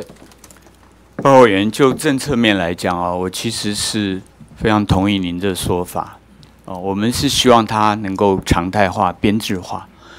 呃，就是刚刚已经说了，我也说到，大概在陈水扁总统任内啊，开始一个是业务量增加，第二个是整个中央政府他在组织精简的这个心态上或者政策面啊，我刚刚说的是说要地方化、这个去任务化等等，所以让这个像这样新增业务，我们只有才用刚才上述的方法来执行我啊。想说，这个原来的编制当然是受到全序部的整政府是的总员额的编制，但是如果说这种非典型的能力，如果超过的比例，你们从原来的二十四到现在的三十一趴，是逐年的上升，包括我们的委托委外的办理的相关经费，一年高达六亿多，是高达六亿。不是刚刚主计讲的五亿多，刚刚讲五亿八千多万是吧？啊，是指的公务预算，不管是哪一个部分啦，我们今天也谈基金预算啊。我我这个委员您说的，谢谢您这个预算的委外就是六亿，是这个里头确实讲你的公务预算，是这个。刚才我想我们人事室主任也回答了，这个当然有历史积累的原因，不过都是抱怨核定的，而这个所谓的抱怨呢、是从是的，当年啊我我我想问就开始，不是现在而已。是我想问你的是在于环保署的委外的业务的原因，包括他办理的成效。原因刚才我们人事室主任有稍微回答，是不是还有不足之处？我们本身人力不足嘛这些的委办，你发了六亿多的对经费委给外面的机构，是你这些委办的业务最主要的原因是什么？最主要原因就就是有也有去任务化的那样的想法，有就是说由民间的这个专业来承揽来执行，有这个成分在。个有没有会不会有问题？呃，就是看公权力的分际的问题啦你们。的委外政策包括政策的制定，所以嘛，包括法案的研议，包括查验的工作，包括检测的测验。这个如果这些检测的测验作为你们的依据，你们会相信民间机构做出来的给你们的作为你们未来的政策的一个执行？你把公权力交给外面的或者委外的机构，他还是被我们委托的，然后他的这个品质我们要有认证，署长你也知道，是查验的工作是受到公权力。是的，但是最后做行政的开发是我们做了，提供给环保署做参考，计划的执行又关系到你们日后的政策的一个凝定，是的，这些都环环相扣嘛。是的。那这样委外的办理，你认为有没有问题？呃，我是不是可以请我们环境检验所的所长来跟您说这方面我们的一些时间也不多。是我我只想问署长，你认为这样有没有我问题？个人认为是第一个是他的工作的品质，第二我们的监督，第三真正的公权力的执行的时候，其实还是要靠我们呃行政处分由我们来但是做了。你们的委外已经把公权力委外，呃，这个我不认如为了，果是这样这种，如果连公权力都可以委外，我想不是这样子。这个我们整个呃机关机构委外委外，它都有我现在不讲说委外的机关，你们从九十八年到一百零五年都是固定的机关在承包，所以委员在执行我我或不是在者咨询这些是的机关担忧的。好或者不好，就是这些机关如果长期都是同一个机关在承包，这个每年都有招标啊它不是保证的就是它。会容易可以招标，招标内容的契约可以这相给可以给他一个啊法令上的一个约束跟约定。是我想这个在采购来对我们大家都很清楚。如果采购法就不会产生其他这么多的弊端出来啊。委员您在所以我我要跟跟署长提到的，如果连公权力都委外，我我觉得这是署长你应该回去做一个深刻的一个检讨。像呃，我相信历任署长都要做这样的，我想不这个戒慎不会恐惧啦来接任的对都一样。对了，哦因为公权力必须放在有公权力的呃权力的这个，否则就不适格嘛。我们不可能让民间的一个呃顾问单位帮我们做这个公权力的执行托。单位哦，其实他要留住人才的几率是很少，因为流动率很高。是因为流动率很高，那如果这些的委外的计划，是不是未来可以做你们的评鉴的一个项目之一？如果你委外这个机构，你长期给他，但是他的人力流动很快，流动率很高，哦，这个有在有在考量里面，有在考量里面。这个这个就是它的人员的流动率，如这个有在考量里面透。透过啊现有的科技上的一个运用，不然对于那些的自动检测或者委外的业务的监测，也可以强化你这些未来的一个检测的一个复检机制嘛，对不对？是这个方向非常，我们应该是这样来遵循的。是所以署长刚刚特别也提到啊，环境的稽查常受限于人力的不足，但是业务的委外却无法系统性的解决问题，应该有通盘性的检讨的一个稽查机制。这是的，呃，包括地方的环境的稽查委外的业务，包括环境稽查的委外导入经济的诱因，最起码可以让稽查的工作不只是最低量的一个标准。是，所以未雨绸缪或者自动的一个检测的一个污染的问题，其实是环保局应该可以做得到的。是的，所以对于有较高的公权力，最后我还是要提到，对于较高的公权力的一个介入的污染的零检业务外，在法制上应该更有明确的明定了。是 这样可以避免公权力在执行上啊所行使上引发出来的一个争议。是的，部长同不同意？非常同意。我想这部分我也会要求同仁，包括我本人，我会跟新任的署长特别做这个深度交接。不只是新任的署长，其实政策在座的都很多，各位都是事务官，有些的有些的业务单位，你们都会比署长来的熟。其实署长对于政策上的一个监执行，或者议议题的定定，由下面在做执行嘛。没有错，是的。所所以这一部分啊，特别拜托我们在座的各位的事务官，试射到公权力的执行的时候，特别谨慎，千万不能委外啊。那另外一最后我一个我想想，主席是不是再给我一分钟就好？我想针对。呃，南区的南部的一个登革热的议题是啊，不知道署长有没有相关对于南部登革热的滋生或者消毒能力，能不能纳入环保署？我想这个现在就很困难。第一个，我们在行政院最近也在讨论这些事情了。那第二，我们现在我昨天到南区，我跟南区的大队讲，就是说登革热的事情要开始啊。那跟您这个问题也很像，我现在光南区就是又退了好几个人，然后现在补也没办法补，这个都是人力上配置上的问题，所以我们要跟地方要就是要很好的沟通，人力虽然不够，还是要开始工作。所以我想针对登革热的疫情，马上因为天气开始会是，那尤其是南部这边登革热的疫情，那另外我也拜托署长，是不是最近就可以成立？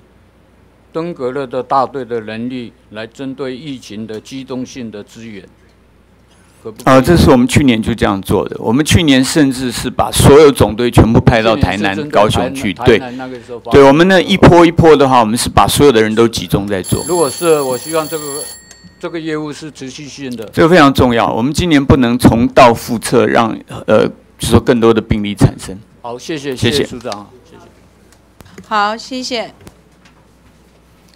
呃，下一位，我们请蒋万安委员。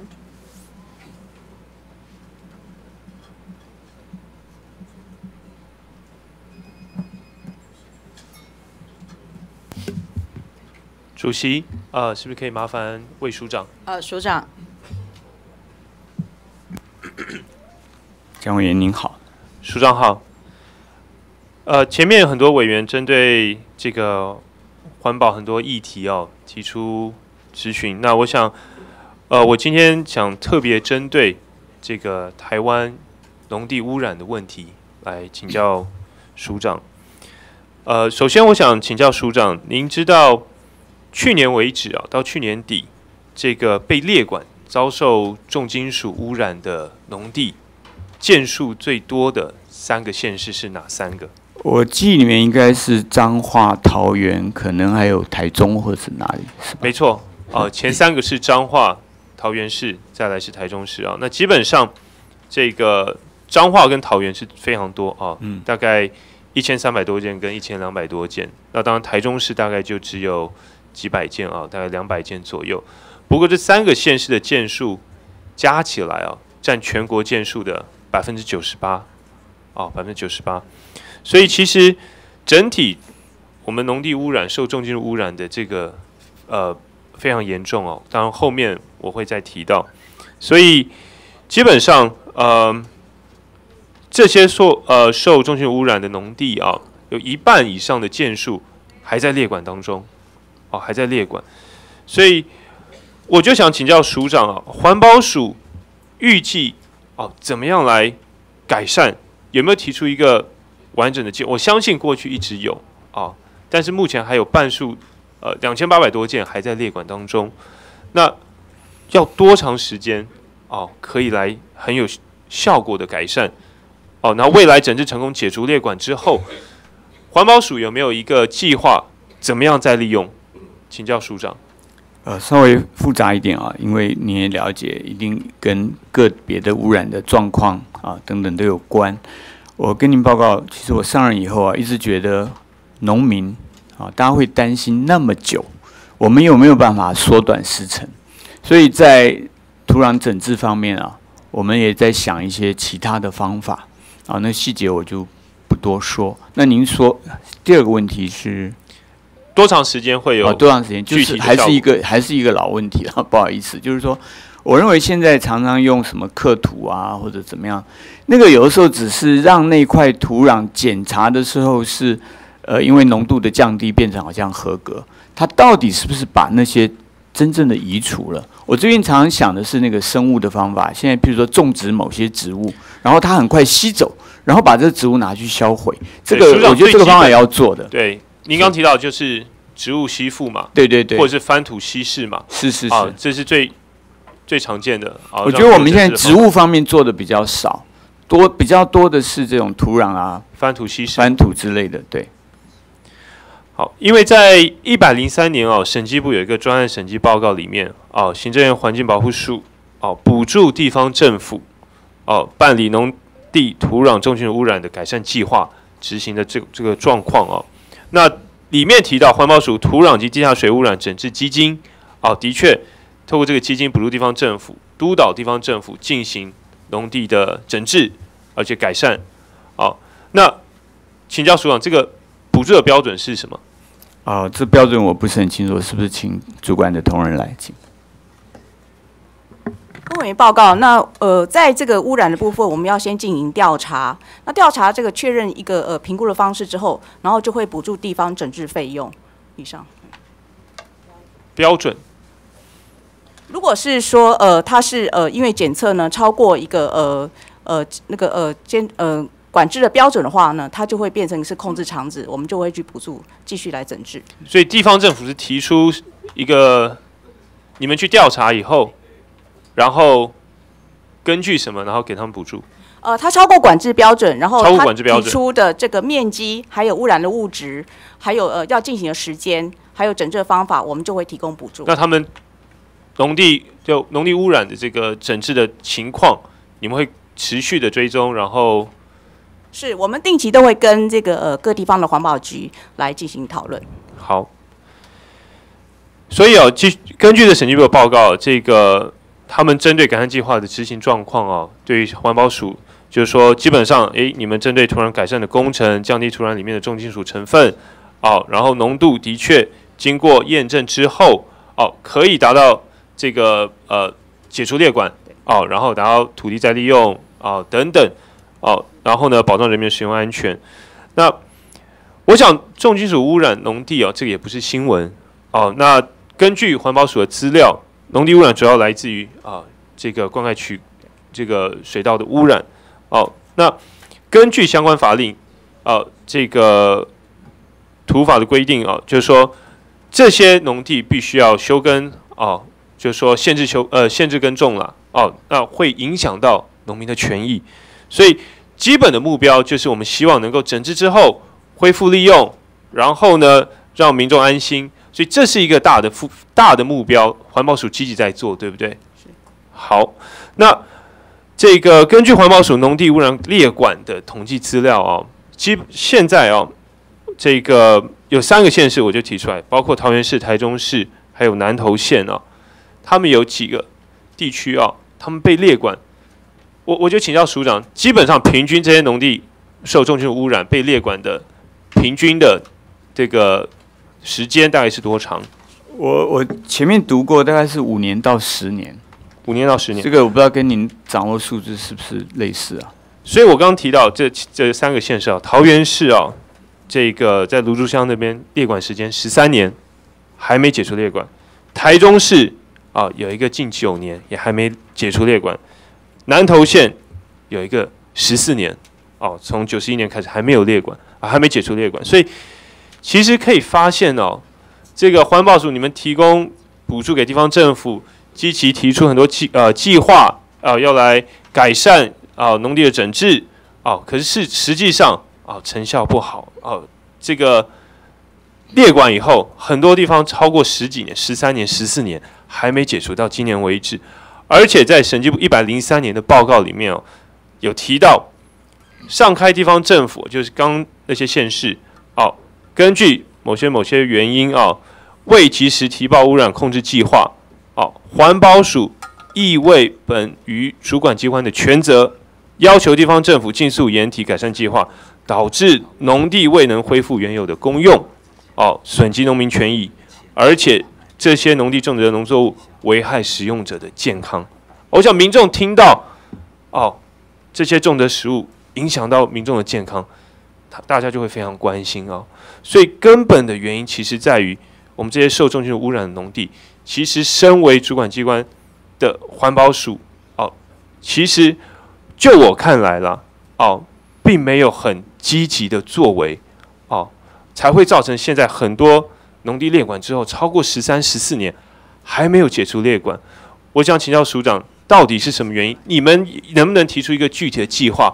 是，我想这两方面要，您也都稍微指出。第一个就是我们地方的单位有没有很落实？那我们是不是要比较明确的监督、追踪、催促？这是一个。对，所以刚刚也提到，你们定期会跟地方政府来这个查核嘛，然后你们也提出一开始有补助计划嘛，补助地方政府，要求他们农地要整治嘛，对不对？很显然，其实这个效果不好嘛，没有很积极的来作为嘛。是的，像您刚刚提到有几个案例啊，它基本上超出我刚刚说的我们五年到十年的平均值啊，这个统计上就 outliers 等等，其实这些啊反而是更重要的，因为去算平均有时候不具意义，特别是这种很难整治的、整治的不好的或者地方松懈的，我觉得我们我回去啊我会很快交代啊，我们把要把这些案例挑出来，我们对这些案例呢做细部的理解，它是基于哪一个原因？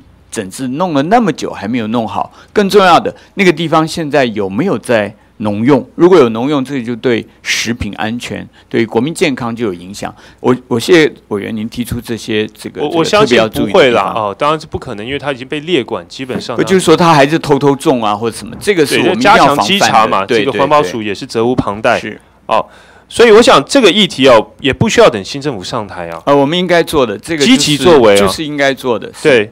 哦，尤其可以针对，比如说我一开始提到的这个建数最高的三个县市啊，彰化、桃园、台中，来加强管理。署长，您刚刚也提到，这个超出平均值以外这些县市是必须要积极来管理，不能超过十四、十五年之后放在那边放任它，哦，影响农民权以外，民众也不安心。对，哦，那当然需要相关法令配合地方署长，哦，环保署也赶快提出来。我们立法院才好配合嘛，来赶快解决这我一直觉得方法上其实真的很值得研究啊！我去年或者前年我到美国参访的时候啊，特别就到他们的一些实验室。现在在美国环保署呢，特别强调生物防治，还有微生物防治。现在我刚刚谈到的是植物，其实在微生物方面，这方面的科学也很进步。我跟中心大学的一些教授也在谈这个事情。好，所以接下来。外界其实有些人提出啊，针对这些哦受污染农地，他们休耕或是一些呃呃废耕地，哦提出为了要推广绿能产业，将太阳能电力系统放在这些废耕地上面或休耕地上面。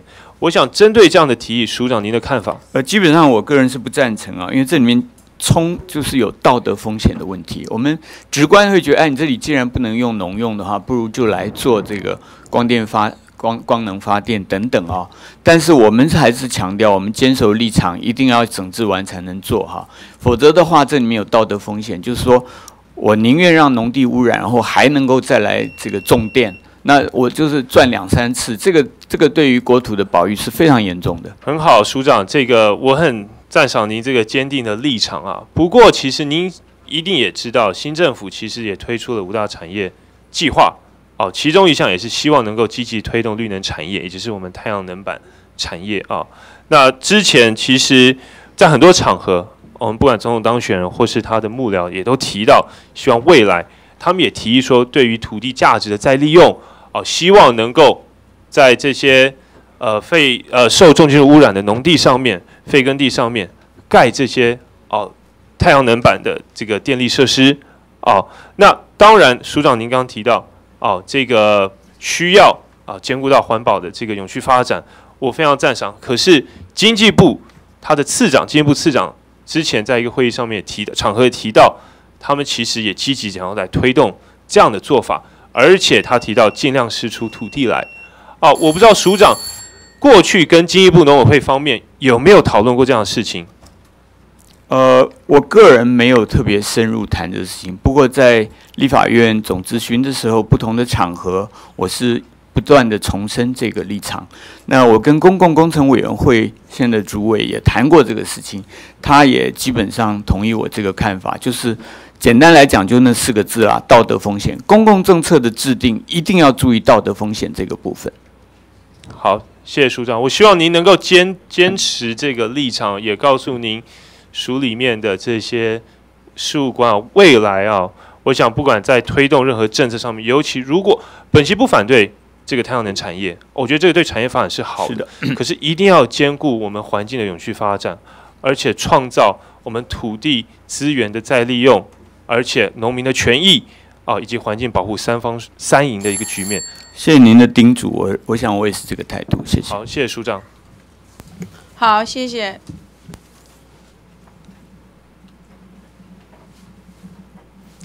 啊，下一位，我们请陈曼丽委员质询。那陈曼丽委员质询结束，我们休息五分钟，上个洗手间。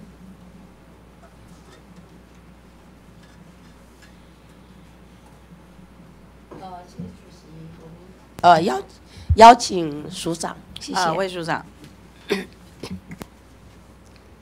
陈委员您好。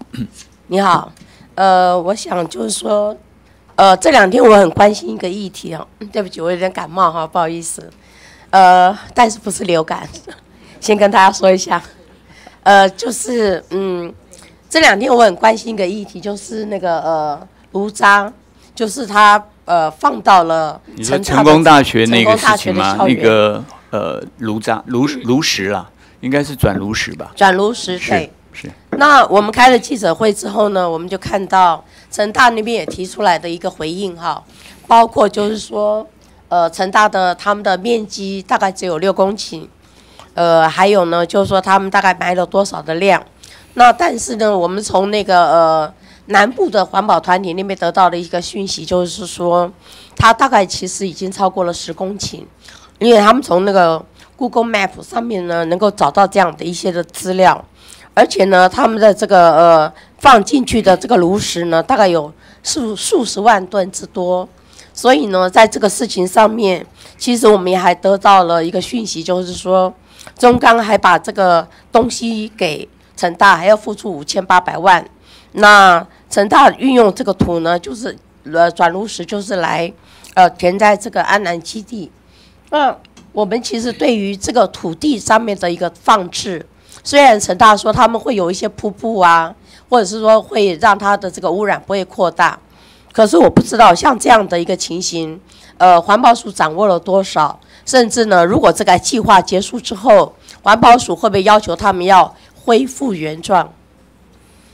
呃，谢委员，您还有另外几位委员开这记者会啊，我们也充分在掌握现在看到的一些资讯啊。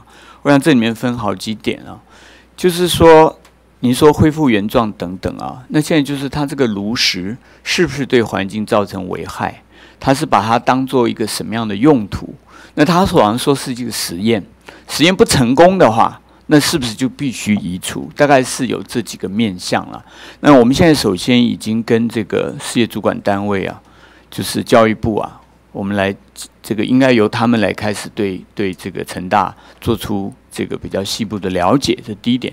第二，我想地方环保机关也要注意这个事情，譬如说要不要环评啦，这算不算这个开发案啦，等等，这个我们都在进一步厘清之中。好，那大概多久我可以得到这一方面的结果？呃，首先我想我们会尽量赶快跟教育部也请他们加速。啊，那另外我们跟这个台呃台南地区的这个好，我希望两个礼拜内可以给我一个初步的一个。我想我们随时可以跟您讲。那您说两个礼拜，我们就这两个礼拜这最新的发展就赶快跟委员报告。好，谢谢。接下来呢，我想大家都很关心这个呃 PM 二点五哈。是 PM 二点五呢，基本上呢，除了就是大范围的空气的一个品质的问一个问题之外，事实上我们也看到了室内空气品质。就是说，现在台湾人呢很喜欢吃烧烤，那他很喜欢吃烧烤的时候呢，他把这个油呢滴到他这个木炭上面，它也会产生了一些的致癌物，呃，PM 二点五，那这或者是 PM ten，那这个的的量呢就会增加大概十到一百倍。那这些东西呢，不管是甲醛还是乙醛还是苯，它本身也是排放量会增高，甚至会呃。有肺癌的这样子的一个可能的风险，那我们现在是看到，就是说环保署在做这个室内空气品质的时候呢，其实并没有掌握到这一块，然后卫生福利部，当然昨天哈，我们也问了一下卫生福利部，他对这一方面的一个一个呃掌握。但是呢，好像在这个空气管理的这个部分呢，呃，大家其实是有点呃互踢皮球这样的一个状况。那我们看到环保署呢也有讲到了，就是说我们的这个呃空气的一些的这个呃敏感哈、会造成一些的敏感族群，包括一些老人呐、学生呐、或者小孩子哈、他们这个大量聚集进出的一些的地方，所以呢，我们对这个部分也是有一些的考量。可是呢，我们这个里面是有考量到这个呃污染物它的一个危险的程度，我想这个也是我们的环保法规里面有规范的。那如果是说按照这个呃我卫生福利部的这个食品安全卫生管理法呢，它可能要求的只是它的干净、它的通风、它的采光，可是呢，对于它的空气污染的这个品质的这个部分呢，他们就没有去做控管，所以这个部分呢，反而会造成我们台湾人他去餐厅的时候，他可能也是暴露在一个比较污染的一个状况。那接下来呢，我想看一下哈，就是说有关于我们的这个呃空气污染的这个状况哈。呃，因为呢，我看到那个呃严宗海教授呢，他有提出来，就是说他的这个呃污染的状况呢，可能有呃 PM 二点五大有七十一倍之多哈，PM ten 呢有四十八倍之多，然后呢像苯有十七倍，像甲苯的话呢有八倍。那像这些东西呢，其实它都是一些的呃离癌的一些的物质，所以我想是说，我们可不可以在这个呃空气污染的这个室内空气品质的管理法里面，对于这些的事情呢，它应该要有它的危险的一个程度的一个呃需求的一个检测。然后呢，对于我们大家会进出的这样子的空气品质呢，可能也是要加强。我不知道署里面对这件事情有没有一些的管理。呃，我们室内空品当然是我们的业务之一。我们刚公布了第二批的这个场所啊，现在委员提到的大概是跟餐厅等等有关哦。呃，健康风险的评估，事实上，我想在座这边还有几位委员都是非常专家。那我觉得再来的话，就是对于这样的，譬如说餐厅的呃顾客，还有他的员工。他的健康风险，我觉得我们应该是进入进入去研研究啊。那它这个铺路跟吸收啊，我反而是认为可能是跟他的员工更有影响，因为我们去用餐呐，也很可能就是两个钟头啊，它不是永远铺路在那一边。那这个部分，我觉得我们大家都很关心嘛，健康很重要，我们后续会来做了。对，所以呢，我们就看到哈，就是环保署我们的法规可能是按照室内空气品质的一个标准，是劳动部呢，它可能是呃空气中的有害物质的浓度哈。那刚刚署长也提到了，就是说我们民众可能我们去消费，可能两三个钟头就出来了，可是对于长期在那边工作的劳工朋友来说呢，它的影响就会非常的大。那就说同样的一个空间的一个品质。哦，同样的场所，但是呢，我们如果说说两个单位它的这个标准它是不一样的，其实也会造成一个管理上面的一个困扰，尤其是对一个店主来说的话，他可能他就是要知道是说他的一个管理到底是应该要遵从环保署的还是劳动部的哦，甚至呃卫生福利部，说不定未来也会有这样的一个标准，所以我可不可以要求，就是说我们这几个单位能够互相的讨论出来。呃，对于国人经常进出的这样子的一个地方，它的空气室内空气品质标准是，我想行政院已经开始行动了。那个三月十六号，我们消保会做这个事，因为这个跟消费者保护有关。食安办现在也有一些行动要开会啊。那我觉得回归还是刚才那句话，就是对不同的人他的健康风险呢不一样，那么各主管机关呢，他该做什么事也就不太一样。我觉得大概是这样来做。好，接下来我想要针对那个呃水务基金啊，因为现在我们有看到一些的这个就是说猪粪尿的这个部分的一个呃后续处理的一些的问题。那因为呢猪粪尿其实它是也可以做这个沼气的发电。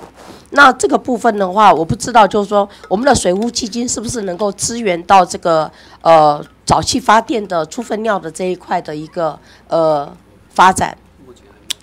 目前还没有啊，今天我们也有预算啊，来看啊，就是我们目前刚开始征收，钱不是很多，但是我想这个在大方向上是这样，尤其未来畜牧业也会被列入水污染这个防治基金的征收对象，所以在这个过渡期间或还没有开始征收之前，我觉得畜牧业也很关心这个事情。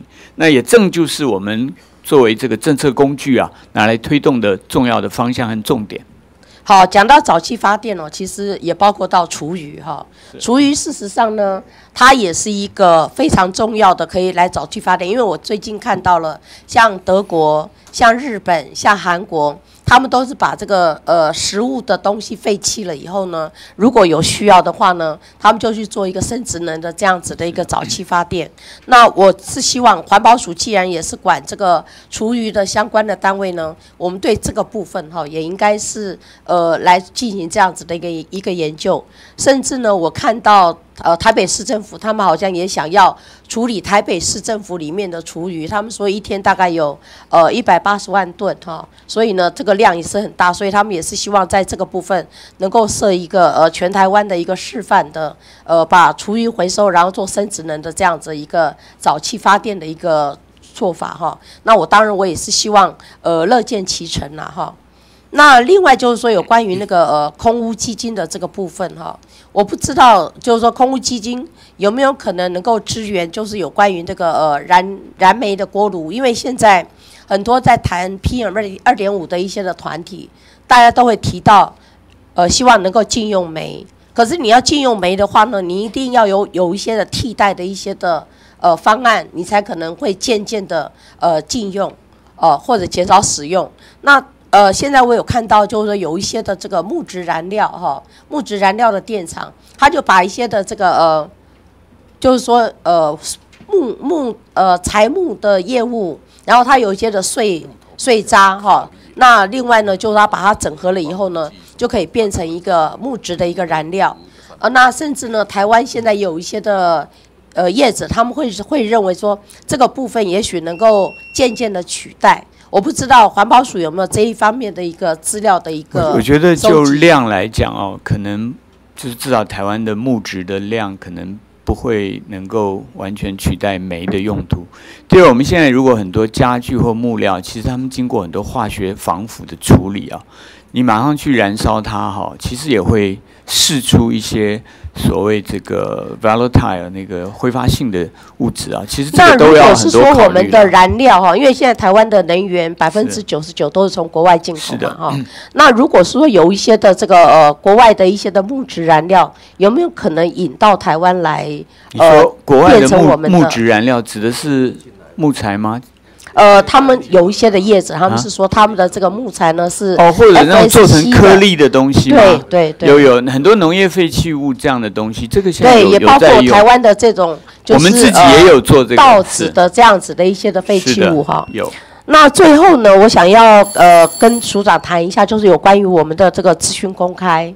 资讯公开呢，当然署长刚刚在做简报的时候有提到，呃，就尽量把一些资讯能够公开。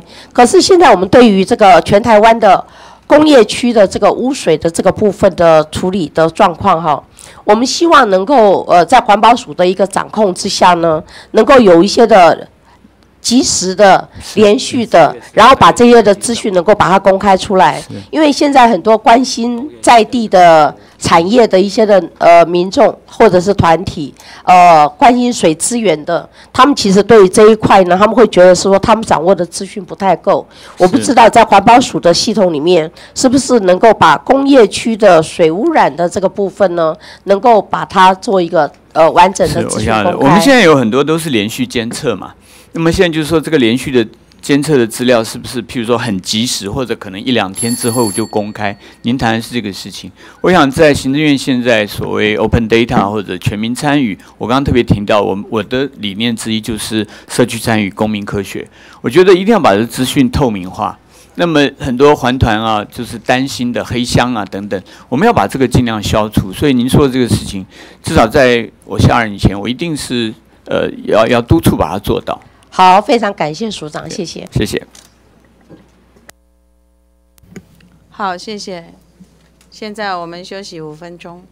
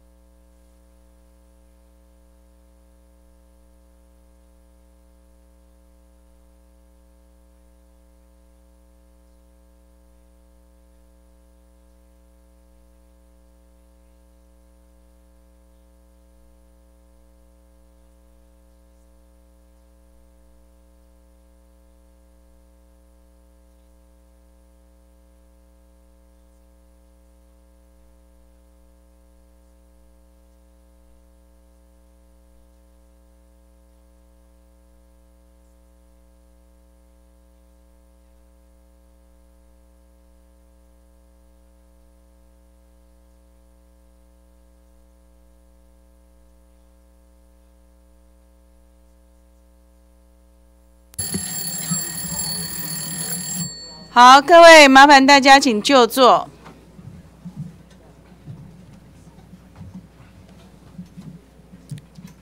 呃，下一位我们请吴玉琴委员。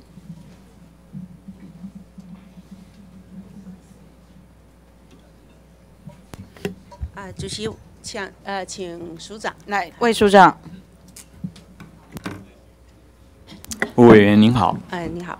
呃，我想呃，刚刚的呃相关的咨询，大家都指出我们 PM 二点五的一个问题哈。那相关的民民间团体也在看这几年来我们的这个肺癌的哦初发生率哦，都大概每五年来计算来看的时候，我们增加了快五倍的一个数字哈。这个实在是呃在健康上面是非常大的一个危害哈。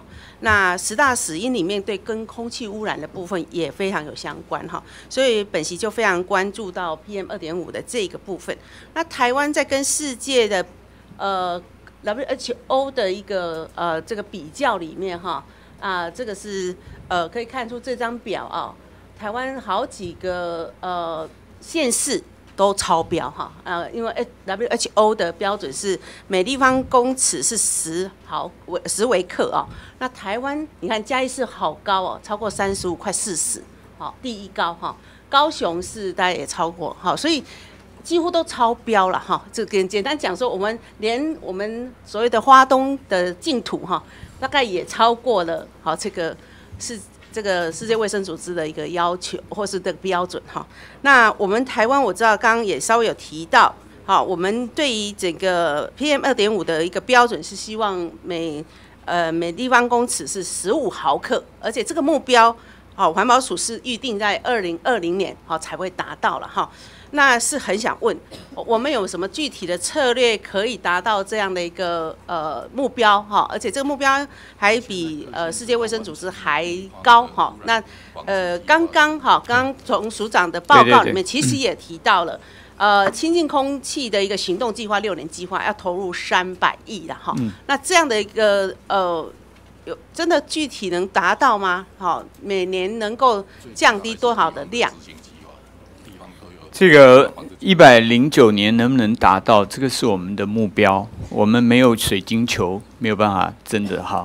当然这里面就是中央跟地方的合作，其实是非常重要的。那我们现在也要求啊，各县市他要提出他的计划书，所以我们的计划书堆起来也非常高。以后我们就根据这个计划书啊去要求，然后看哪一个县市如果还是有不足呢，我们就帮忙。那刚刚我也提到。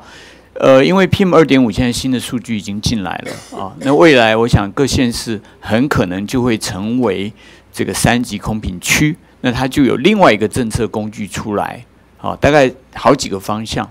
那刚才您提到的那个啊，就是八大措施嘛，用呃毛前院长的讲法呢，就是我们。短期务实啊，长期加严，这个越来越严呢。那到了一百零九年，看能不能达到我们省前署长提出的这个目标，就是十五微毫克每立方米。看起来整个有几个策略确实要呃要来好好的解释哈，待会也会提到。待会我对二行程汽车呃机车的问题也想要一并再询问哦，因为你这边是呃比较从推动啊这个电动车的一个策略来介入了哈。可是刚刚前面的委员也在咨询了，这电动车的效率好效果是不是真的是能如像这个呃您说的可以往上提升？我们都打很大。一句话讲，就是说现在其实台湾有很多，而且我们的产业链很完整啊。那我采的是 open 的态度，我今天不宜提个别的厂牌。那么现在有的厂牌呢，确实已经可以解除原来大家的疑虑，譬如说它的续航力，譬如讲它的所谓 peak power，就是短时间它可以加速或爬坡。现在有的机车的种类已经可以做到这一点，这个要拜啊，可以说电池科技的进步。好，所以我认为这个是机会在的，而台湾产业链是在的。那呃，我比较关心的是有关呃，我们在行动呃移动式的这个污染里面哈，呃，在你委呃我们环保署自己也委托哈，这个陈大教授吴义仁呃教授所做的研究哈，PM 二点五里面呃来源物里面哈，柴油哈，柴油大货车是占第一名的。哈，所以大概这个九点五三哈。那从这张图里面，其实我们很关注的是，那这个柴油的这个检检放检查，哈，因为从呃前阵子去年呃基隆环保局哈在基隆港去拦检，大概两百二十辆的柴油车，其中就有一百三十辆的柴油车不符合所谓的排放标准，哈，那不合不符合率百分之六十了哈，那是不是台全台湾的这个柴油车的检验哈，到底有没有确实哈？我不知道我们环保署对呃柴油车的这个大货车哈废气的排放是否有强制的检验？那一年检几次？到检率多少？因为我知道机车都有哈，机车有要求，呃都会到呃是各个机车厂行去做一些检验。那这个大货车在车路上啪啪照哈，尤其污染源又是非常的多。其实这边都有数字哦，可以把数字呃送到委员这边啊。就是说这样的呃检测，其实各县市我们都有统计。我刚刚回答前面的委员哈，我通常或我们通常不愿意去把它当做一个赛马，哈，就是说哪一个县市做怎么样。不过这个在我们内部的督导和补助啊，这都是我们的依据。那您点出非常重要的，就是其实柴油为引擎的这个这个大货车是重要污染源，虽然它的量数不是很多，不过这边算起来有很多。像二行程的话，你看它，你照你这个表也是我们统计的、啊，就少，可是它量大。在在那个大货车等等，这个游览车等等，我们是做那个就是补助做那个呃呃就是叫什么那个滤烟器的滤烟器方面的，就是它也有好几期的车。越早期的话，老旧的，我们现在就是做那个补助。对是，那当然就跟您您关心的道检有关了。对。对。所以到检力到我我现在不是在问地方政府啦哈，因为我知道那是你对地方政府的个管控的一个机制，但我们关心的是说他们真的有来到检，然后有朝着空这个呃所谓符合标准的这个来努力，因为我们关心的是真的标准达到了，然后大家都不污染，是。还是乌贼车一堆？我了解啊，这边我给您一个数字啊，我们在一百零四年全国路在道路上拦检有一万多辆，将近一万一千辆，在场内站内，在那个站内有八万三千辆左右，这个是八比一，所以大概现在是状态是这个样子。哦，可是我们全国的柴油车的数量这样的到十几万、二十万辆，所以你就是说，我们如果真的要很明显的说，几乎还有一半的话没有捡到嘛，是这个意思，对对要加强的意思。对，我们是希望是，当然希望的是说，柴油车是真的能够，尤其它的呃，你们的也有研究数据在支持你们，这个是一个非常大的 PM 二点五的来源哈。那又是容易造成我们环境的污染哈，还有空气的污染，我们更应该现在啊，因为我们有补助加燃烟那个那个滤烟器啊，有诱因吗？有诱诱因了，就是有诱因了。因为别人如果一直觉得我我被检查会怎么样，其实现在你没有到检，可能要罚你。但另外一方面，我们知道你没有改善，我们其实是有补助的。我们希望它倒减，我们希望我们来补助。那空屋基金呢，就是来做这些事情。是，所以这目前的推动是一百零四年开始推动，这个这个比例高吗？来换这个呃，或是装这个呃滤烟器的部分。这样哈，我们先把我们公权力比较能掌握的，就是垃圾车。我们垃圾车你不能就是说自己反而是一个污染源，这个部分我们先先优先做这一块。那同时就展开刚刚是您说的那些，那这边当然就是能量的问题了。那到检率还有路路上的拦检很重要。那我们也希望地方也比较加码一点，把这个，因为未来哈，其实这个各县市它等于是它的政绩，那么它的老百姓会感觉得到。第二，您刚刚谈到基隆啊，我们跟高雄也是这样，尤其港区进出的非常多，所以那是一个非常好的点，是热点。应该在那个地方呢，就是做最少的行政成本，会做到最大的效果。是。那还有一些游览的地方，比如说南投啊、日月潭等等，这个他们也会有时候划定所谓的所以空空也就是说空空僻禁区呃，我们环保署是不是会加请地方政府加强这些定点式的，或者是说，尤其你刚刚提到的几个定点式的，像南投就做这个事情，我们建议像日月潭，因为很多游览车进去，花莲也可以做这个事。我把它当做叫做空空气品质净干净的禁禁区，那你车辆我不是不让你进来，进来之前我在一个地方就拦下来检查。上次我到南头跟南头的县长啊，还有这个日月潭的管理局，我们都谈到这些事情，就是您说的这个我们可以做。当他载着大量的游客他进不去的时候，他自己一定会去改的。所以呃，署长感觉好像有在谈，但是是。距离落实行动，哎，对，行动到底能够达到什么样的行动？好像要很多地方配合，或是很多的单位一起配合。那我们环保署有什么样的萝卜跟棍棍子呢？哎，是刚才讲到的那个所谓萝卜，就是这个空空气的呃空污基金哦。棍子我一直觉得，像我们上次去谈南投，我们是就是媒体都有到场，呃，尤其地方的，我们不一定要在全国做广告啊，但是地方他们就很关心，所以像那个案例哈，南投就变成大家很重视。我觉得我们可以复制这样的，就是要很多人知道，然后呢，公民会产生压力。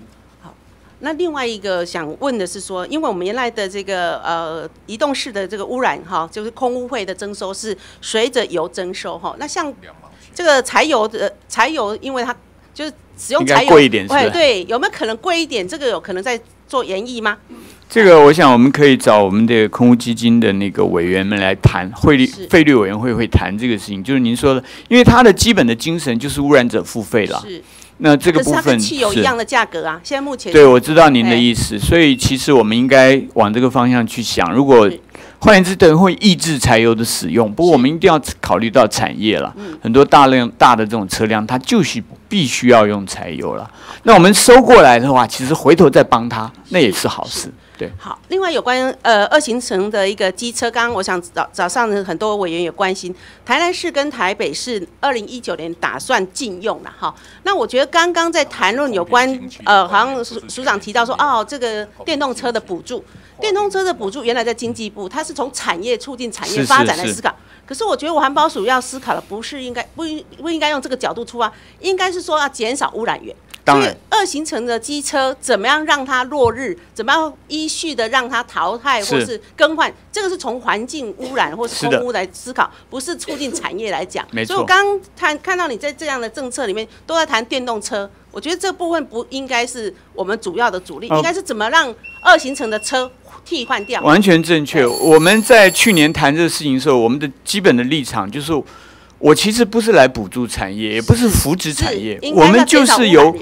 外部的这个空气污染的环境成本，把它算完以后，因为你不用那个汽油车，你用电动的，我我知道你这边减少排放多少污染物，我是从这个角度来做补助，就那个钱不是随便开口价一个价格，是从这个环境成本来算的，是应该要很有计划的，怎么样让二行程的旧车它汰换掉，对的，呃，增加这个比较少污染，应该是。就是我们空污费不能乱用，我们一定。秉持刚才呃委员您说的这个原则，它是从环境成本的角度去看的。主席再给我一分钟哈，就是有关资源回收的这个问题哈，因为我最近呃这个资源回收的价格跌得很很凶哈。事实上，我们很多弱势的长呃弱势者哈，包括长者都在做资源回收了哈。那这样的一个低价格的情况下，当然也产生有些。呃，这个资源回收就堆积出来了，所以之前有云林的这个啊占用篮球场的这个事件。那对于这样的一个价格呃变低的情况下，我们的这个所谓的基金这边有可能来挹助来协助这些比较弱势者这个回收的部分嘛？呃，我们大概一个是希望很多本来可能都定了约了啊，所以那个价格让它浮动，因为要反映现在经济比较不景气，降的太低了。对它这个就是呃资财方面的需求降低了。第二个，其实您谈到是特别有一些呃个体户，我们叫个体户，拾荒老人啊，有些家庭他已经在贫穷边缘了，这部分我们是尽量去。呃，发送就是他送来，我们就发送他一些其他的东西，让他在生活上都可以使用。这个部分我们现在已经在做。是，所以会对于这个呃环呃这个我们的资源回收基金可以做一些一合理的一个补贴。呃，我不知道能不能叫补贴，可能不是用这个名词的。哎，我们或是用什么方式来做协助？一分钟，请我们的子密讲一下。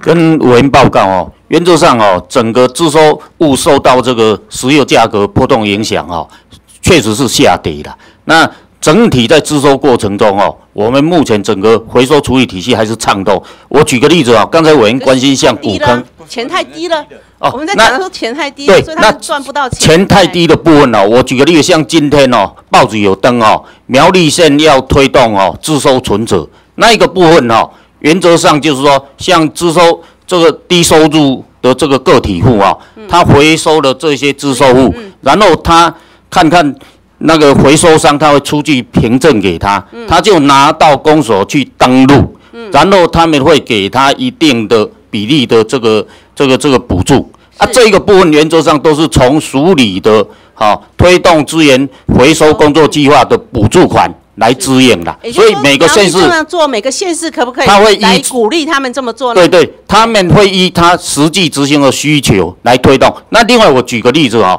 台北市跟新北市，他们是把这一些个体户尽量纳到社区。还有学校来配合来做自收工作，让他能够永生活上得到永续。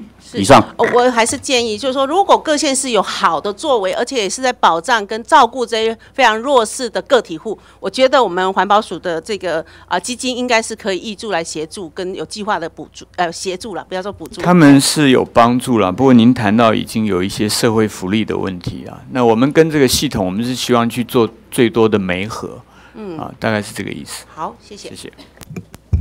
好，谢谢。下一位，我们请陈一鸣委员。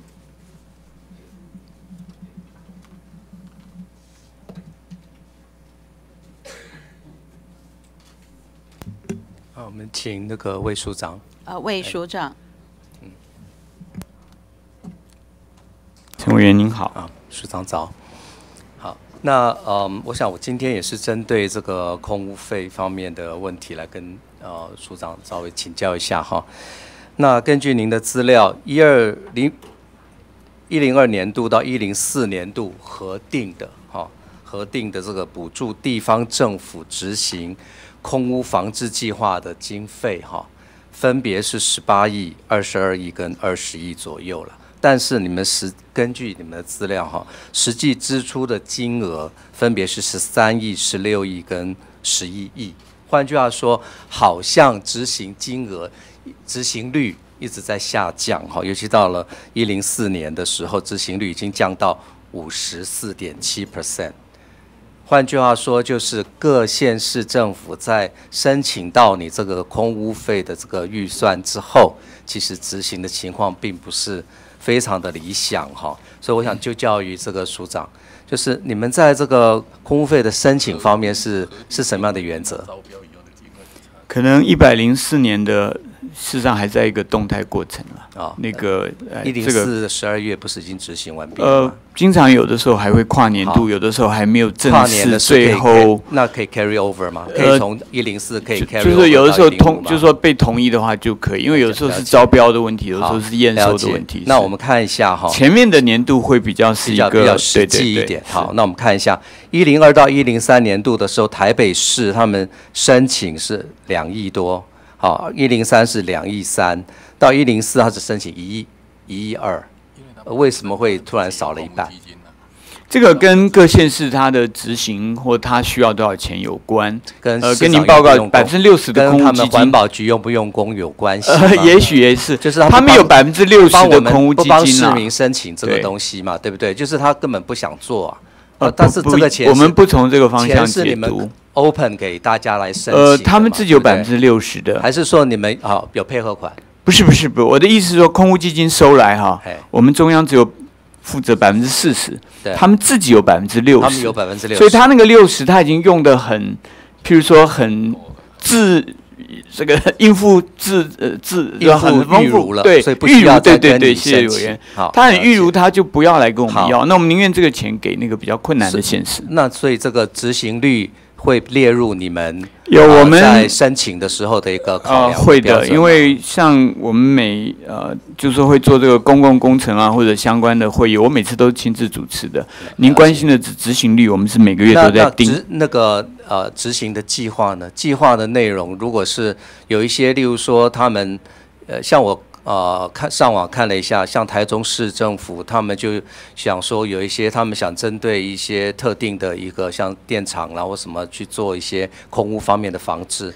那像呃有时候经费他他想要挪来挪去，这也可以吗？这个应该是地方议会在监督，我们地方自治法应该是这样。所以你是钱拨了之后，然后接下来使用。但我们会看到他计划好不好。如果是我们有补助的话，我们都要呃会会，就是我们透过补助来遂行中央的啊我们希望的政策方向。那我看到你的你说这个基金的预算的分配嘛，哈，那大部分是在做移动污染。源的管制，好，但是在做到什么空气品质管制啦，啊，这方面其实经费相对来讲是比较少的，哈。呃，因为固定的话，它就在它那个县市；移动的话，它这个比较全国流通，所以我们的比较就是说配置上面，我们对移动污染源会比较更多一点。好，那在这个跟卫生署。卫生福利部哈之间的这个互动上面呢，意思就是说，你们是不是有一起共同在执行什么？有有一些这个，尤其是 PM 二点五等等，我们目前大概，我想执行中的总共合起来在五千万方五吧。然后新的计划也正在土期，从空屋费的这里面空基金里面来申请嘛？空屋基金那边是公务预算，那个事情是公务预算，这是跟科技部申请。那另外我们一起来。跟那个科发基金来申请。好，那其实 PM 二点五对人体的影响，其实前面几位委员都有提到了哈。但是我要强调的是，其实不是只有针对慢性病。我们知道说，PM 的二点五一旦吸入身体里面去之后，沉降在肺部，有时候没有办法排除，所以造成的伤害主要是慢性病。好，不管是慢性的这个支气管的这个呃阻塞，或者是肺癌哈的严重受肺癌，甚至对 asthma 气喘方面都有很严重的影响，心血管疾病好，甚至中风都会有很大影响。但是呢，其实另外一个在传染病方面，其实对啊肺结核也有很大的影响。啊，肺结核，所以像 CDC 哈郭署长也曾经讲过了，就是 PM 二点五如果能够每降十个。啊，microgram per 就是我们说啊，microgram per 立方米的话呢，每降十个 microgram per 立方米，其实就可以减低两千到三千个人得到这个肺结核。好，其实所以其实对于传染病啊也是有很重要的 impact 的。那我们现在好像国内的这个啊不同的地区 PM 二点五状况是不太一样嘛哈，最严重的是在哪里？呃，刚才有是在有提出那个数字嘛？好像是嘉义吗？嘉义是最呀，嘉义市现在如果算平均啦，不过这个里头一定有好像也蛮严重呀，它这一定有所谓 seasonality 啦。那有的时候我们您学生物的，其实有的时候不是看平均怎么样，反而是对，所以居住在这些地方的民众，当然对身体。就会有很多的有的时候非常集中的话，那气喘就很可怕。其实我要讲的是说，其实对人体的伤害，其实 PM 二点五对小孩子的伤害比大人还应该是最大的，还更严重。是的，因为小孩子还在发育嘛，他的支气管还在发育。是。还有呢，其实他平均每相较于成年人来讲，小朋友他其实每公斤的体重，它的呼吸的，就是以每公斤体重来算的话，呼吸的空气的。呼吸量其实是比较高的，所以像刚才那个烧烤店的问题啊，我们是希望不要带小朋友去，至少从卫生福利的观点是这样来看，是很重要，对，没错。但但是另外一个，其实还有小朋友，其实也比较多，有人是有小朋友有气喘方面的问题。你当然空气品质不良对他们严重，你所以对家长来讲，当然也会担忧这个问题。那刚刚其实那个李延学委员也问到。在学校，尤其是中啊，我们现在说空污法里面，其实是有针对这个高中以下的各级学校，包括幼儿园，在空气恶劣的呃状况、品质恶劣的情况下，可以有些紧急的应变措施嘛，对不对？比如说像体育活动啊，或户外活动，尽量减少。对，那但是在这里面好像都是比较。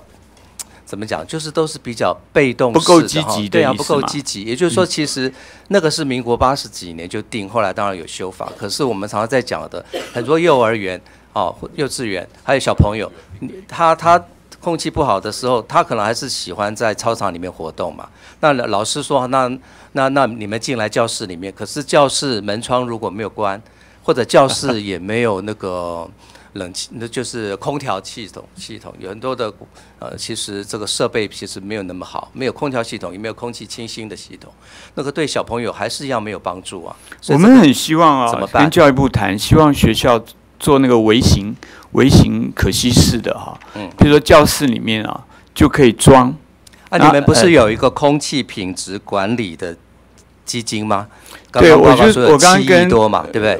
报告就说，我个人至少我是很希望往这个方向走。你这个有七亿多，可是我看你主要在做的东西，那必须说，现在在教育现场，我们这个做的不够。对，跟您报告。对因为我觉得我们现在不够，是非根本没有计划，呃是针对现在有个别的学校已经在实验了。对幼儿园、对幼稚园，那还有很多其实室内空品的不好或恶劣啊，有胜于室外。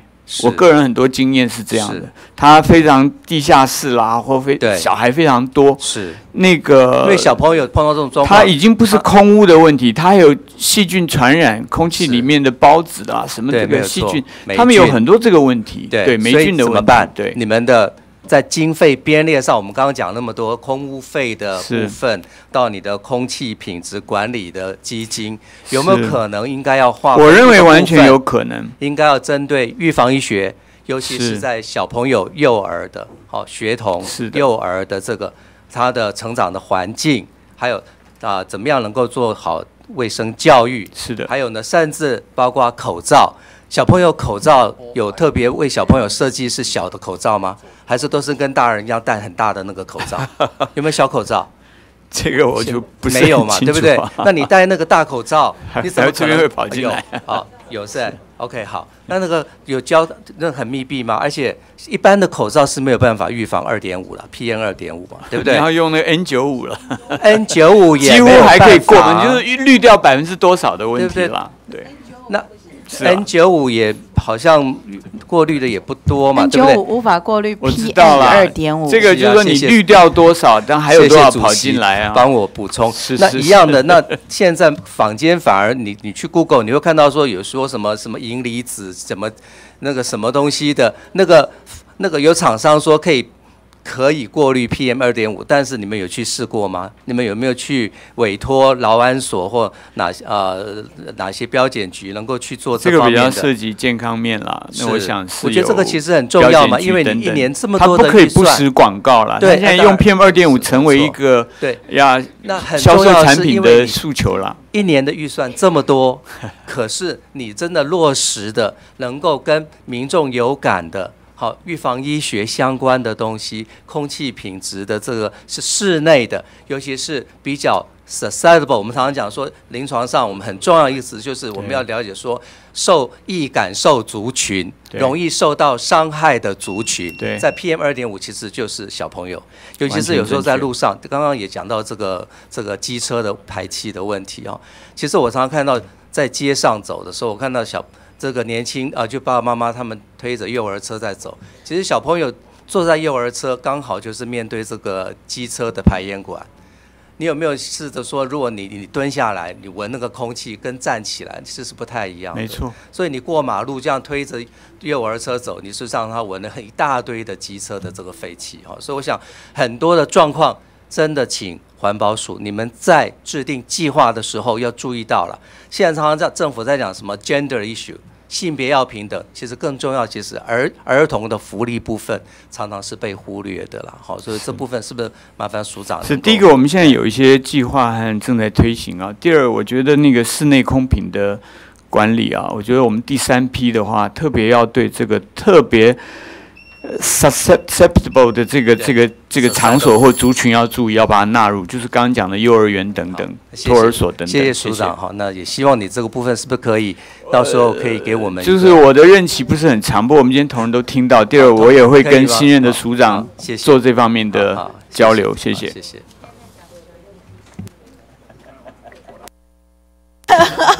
好，谢谢。下一位，我们请吴坤玉委员。先呈现一下 PM 二点五的迷失啦。其实哈、口罩不一定要戴 N 九五 n 九五是隔绝效率非常好，但是一般效率是可以，一般的口罩是可隔绝许多的。好、所以其实平常戴一般口罩就可以了。N 九 N 9 5太辛苦了啦，那个很难过，哈、很难过。好，那我们就麻烦请署长魏署长，我知道署长站了一个早上哈，呃但是还是要麻烦署长。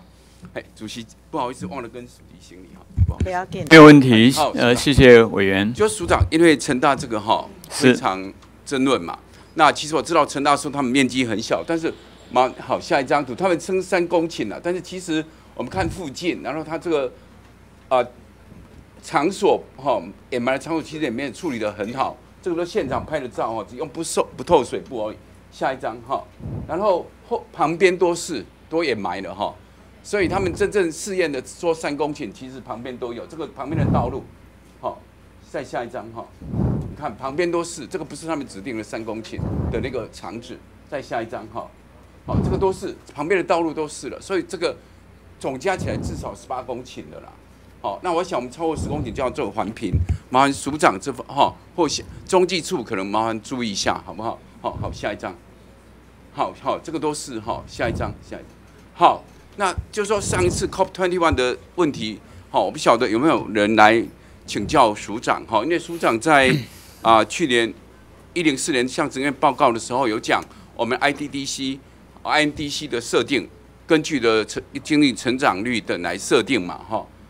好，当时是有这样的成果哈，那但是呢，最后说跟经济成长脱钩嘛哈，但是我们的根据 BAU 哈设定的这个减量成效，事实上是根据经济成长率三点一三哈 percent 来制定的。那我不晓得在这种情况下，我们需要重新再修改我们的 INDC 吗？加上最近我们啊、因为经济不景气，好，那制造业可能整个啊、比较缩减或者工厂外移，那是不是我们可以考虑 INDC 的调整呢？好，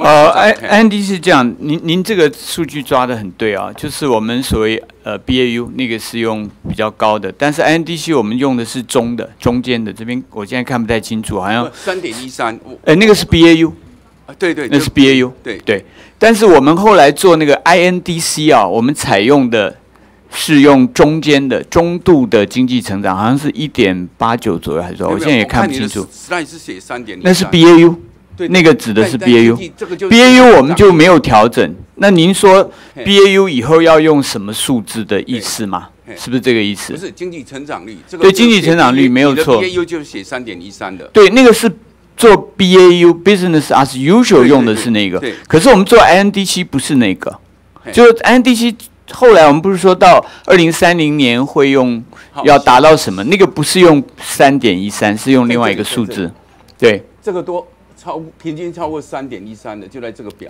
没有错。GDP，也就是说，这个所谓的 BAU 是一个比较以现状，假如假设说我们以后的经济成长还是这个样子的一个数字对啊，就 business as usual 啊，就对对 BAU 的对简写对对，就是这个啊。没错没错。好，那不过这就符合它的规定嘛。对，但是就台湾的现状来讲，或是未来一起经济的成长，是不是要调整这样子？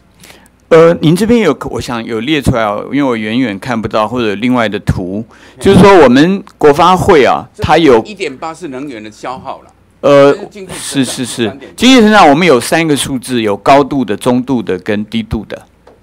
那我们做那个 INDC 的时候是用中度的数字来做。好，跟您报告是这样希望再检讨了。好好下好下面好，好下面好，现在哈，就是刚刚大家在讨论 PM 二点五了哈。那目前我们排的监会着重在侦测件的监测嘛哈。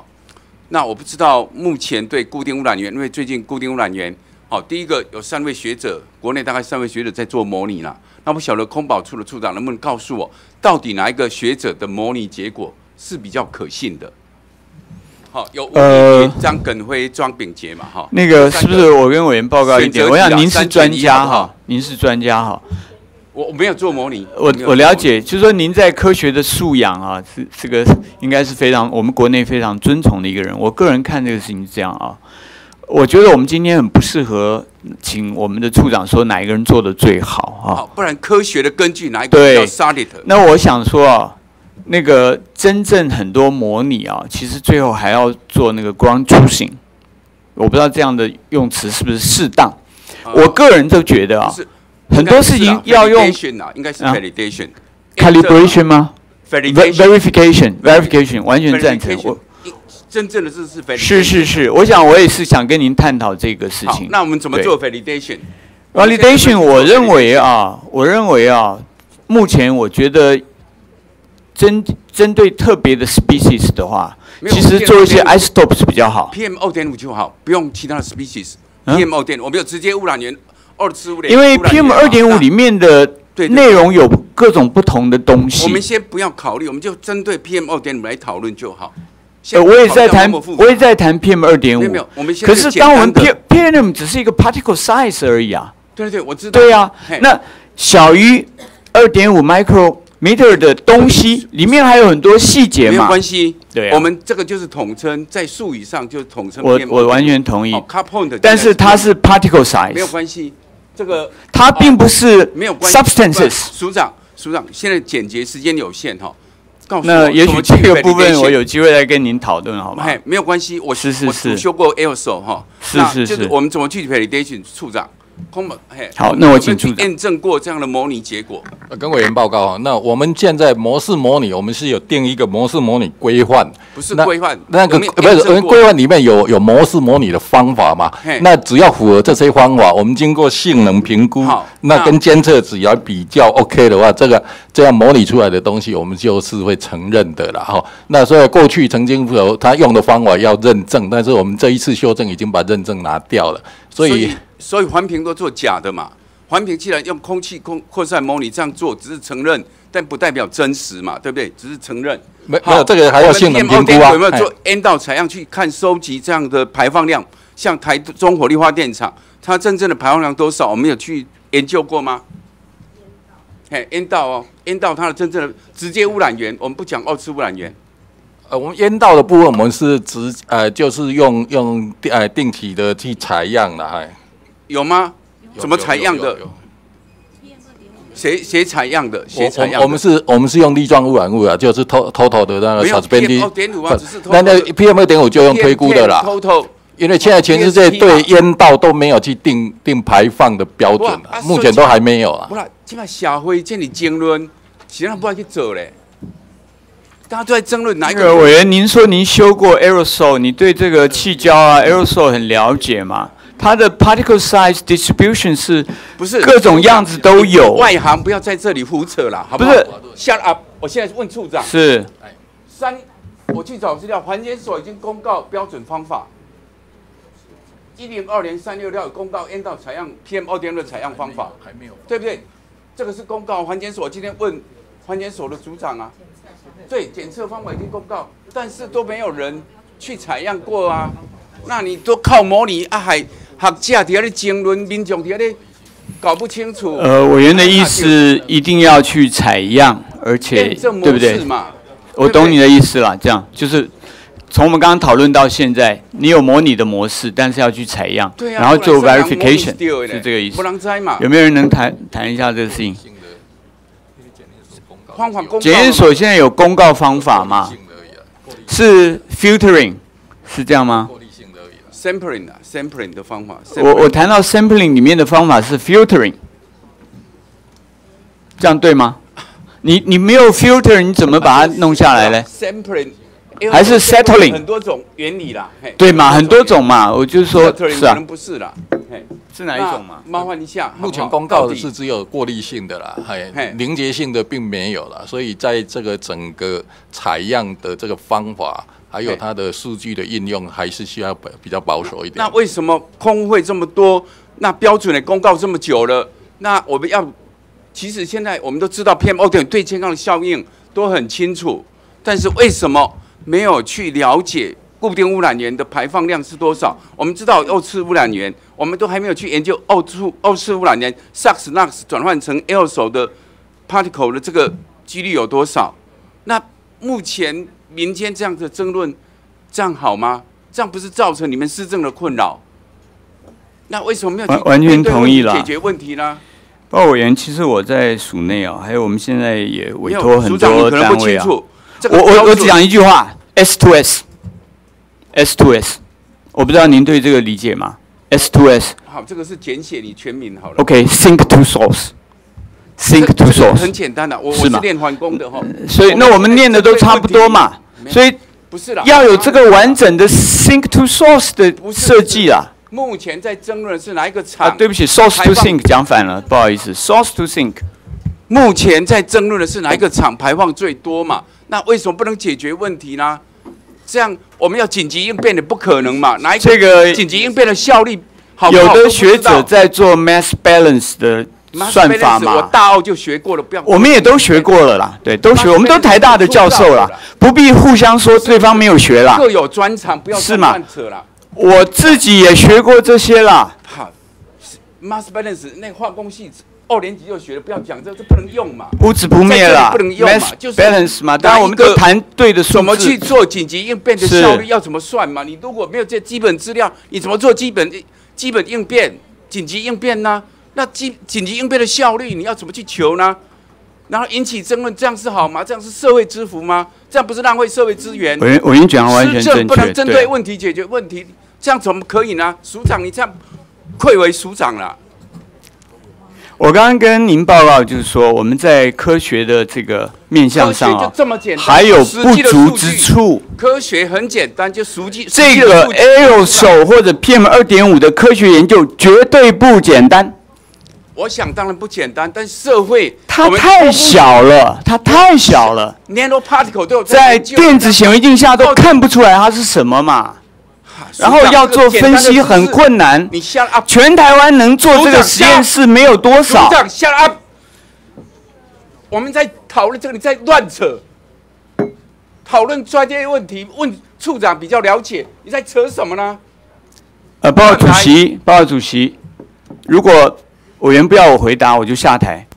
呃，署长，他并不是你不要回，不是要你不回答，他是说他问你的专业，他希望处长来回答。回答那因为处长比较专业嘛。他所学你的专业不一样，所以请你不要动怒啊！你就听他讲完，他问你什么，你再回答什么，你也不要意气之争，说我没有意气是不之是要争啦下台？科学就是数据，来请处长。当然请处长如。果委员说要处长，我当然请处长嘛。我只要刚刚跟您讲讲好几次请处长讲 mass 那你讲 balance 的事情，然后您就很不开心。不是这个不能用嘛？就处长来回答，实际的数据在哪里？mass balance 绝对可以用。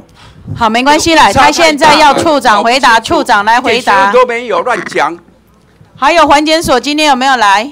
啊，也一并回答。实际的数据在哪里？引起社会的争论这么大。哦，跟委员报告啊，事实上，呃，大家所关心的，比如说某呃台呃呃台中火力发电厂啊，那事实上我们都有去测 TSP，那因为它 TSP 不对嘛？PM 对二，点五数据多？也也有 PM 二点五的数据，也有 PM 二点五的数据你，PM 那二也去点五是根据标准化做的吗？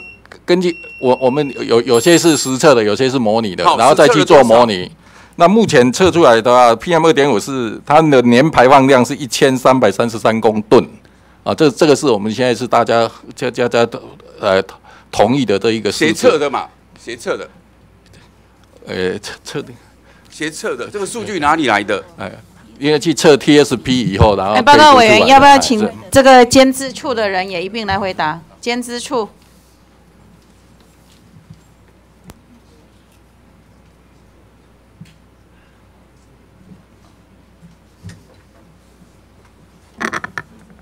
呃，是跟委员报告哈，大概是 PM 二点五现在在烟道的部分哈，现在是都是用推估的啦，对嘛？哎，都是用推估。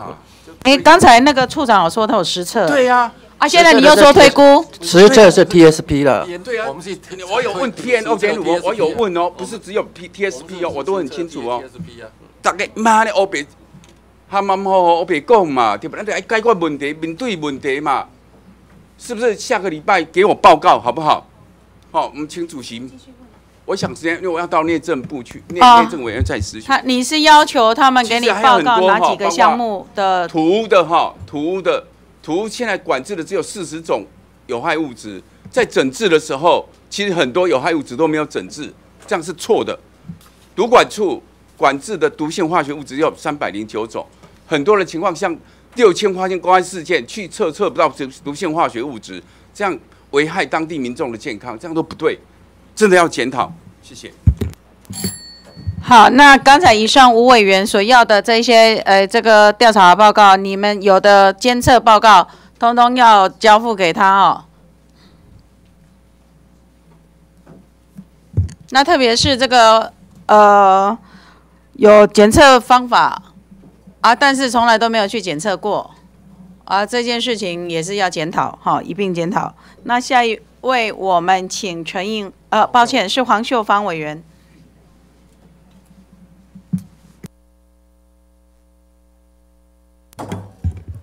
呃，我们请署长。啊，请问署长。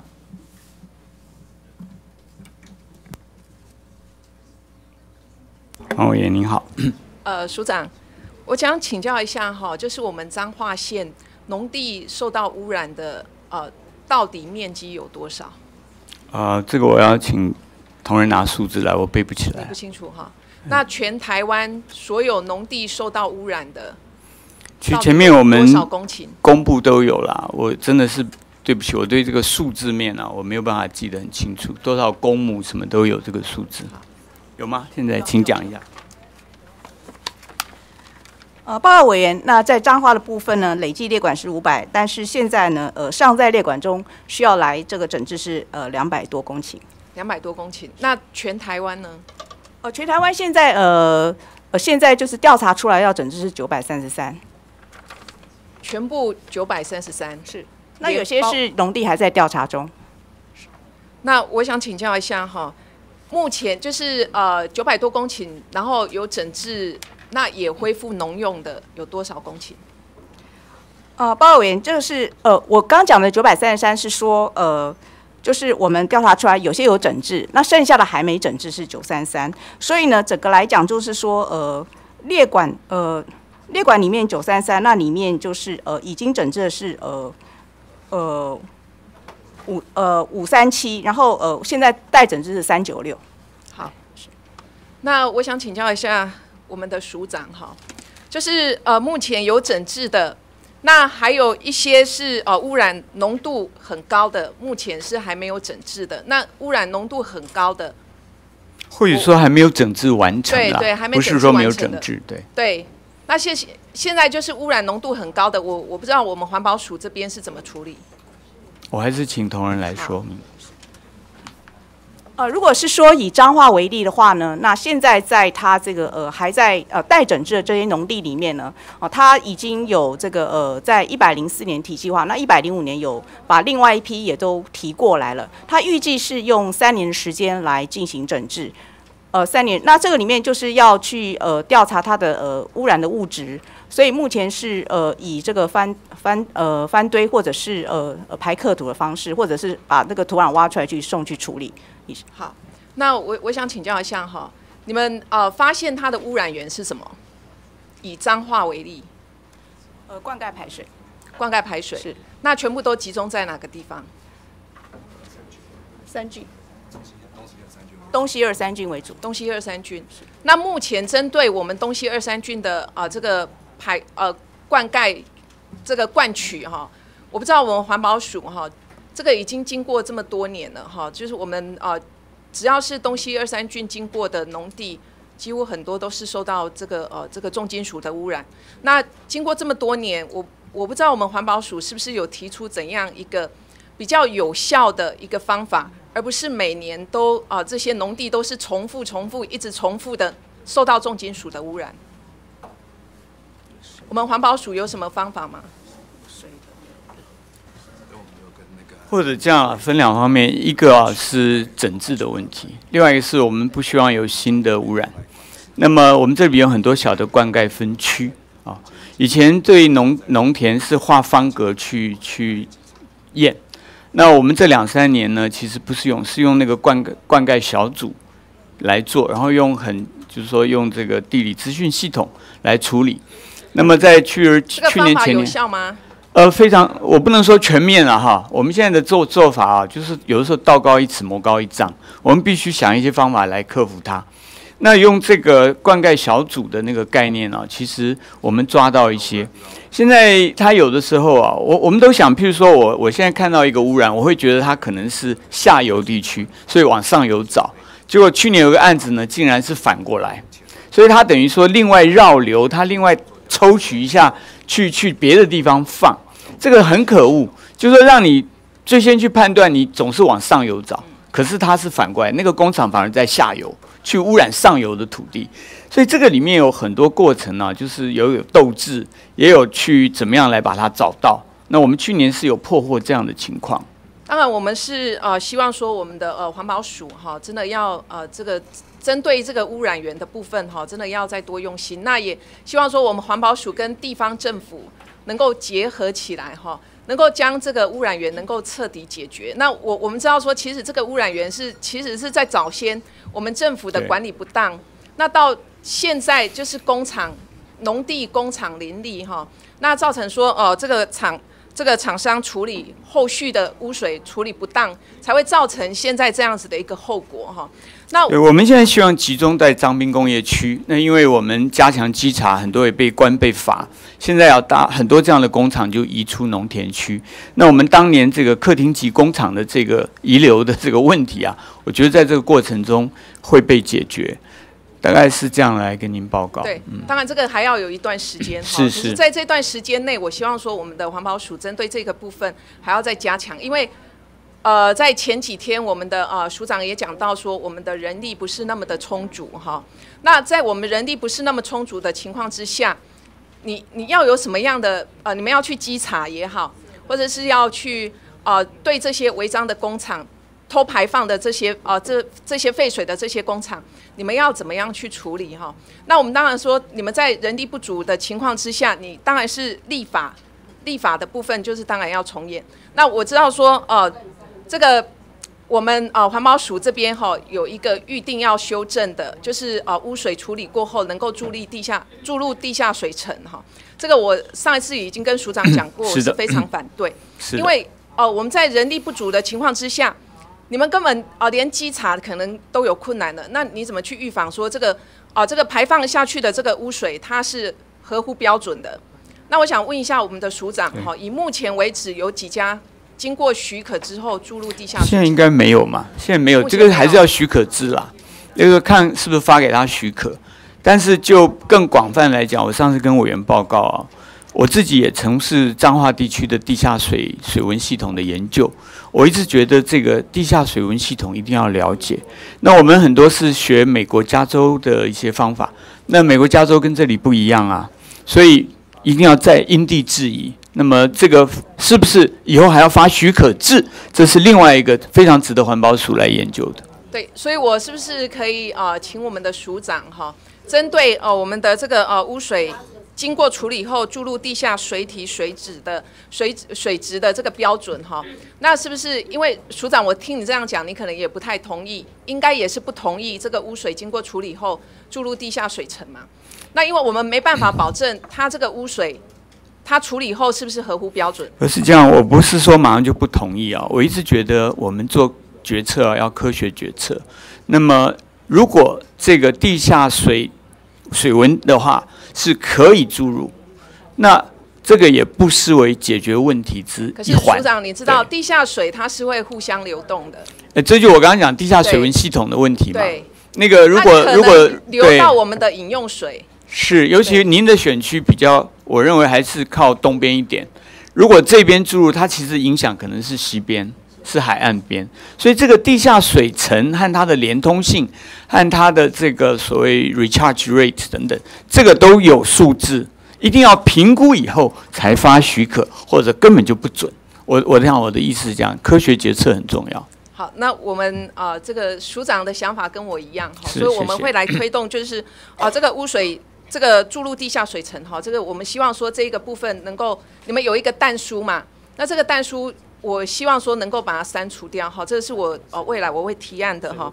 另外就是说我们哦环保署这边有没有针对就是有有毒啊、有毒的啊、这个有毒害的一些呃化学工厂。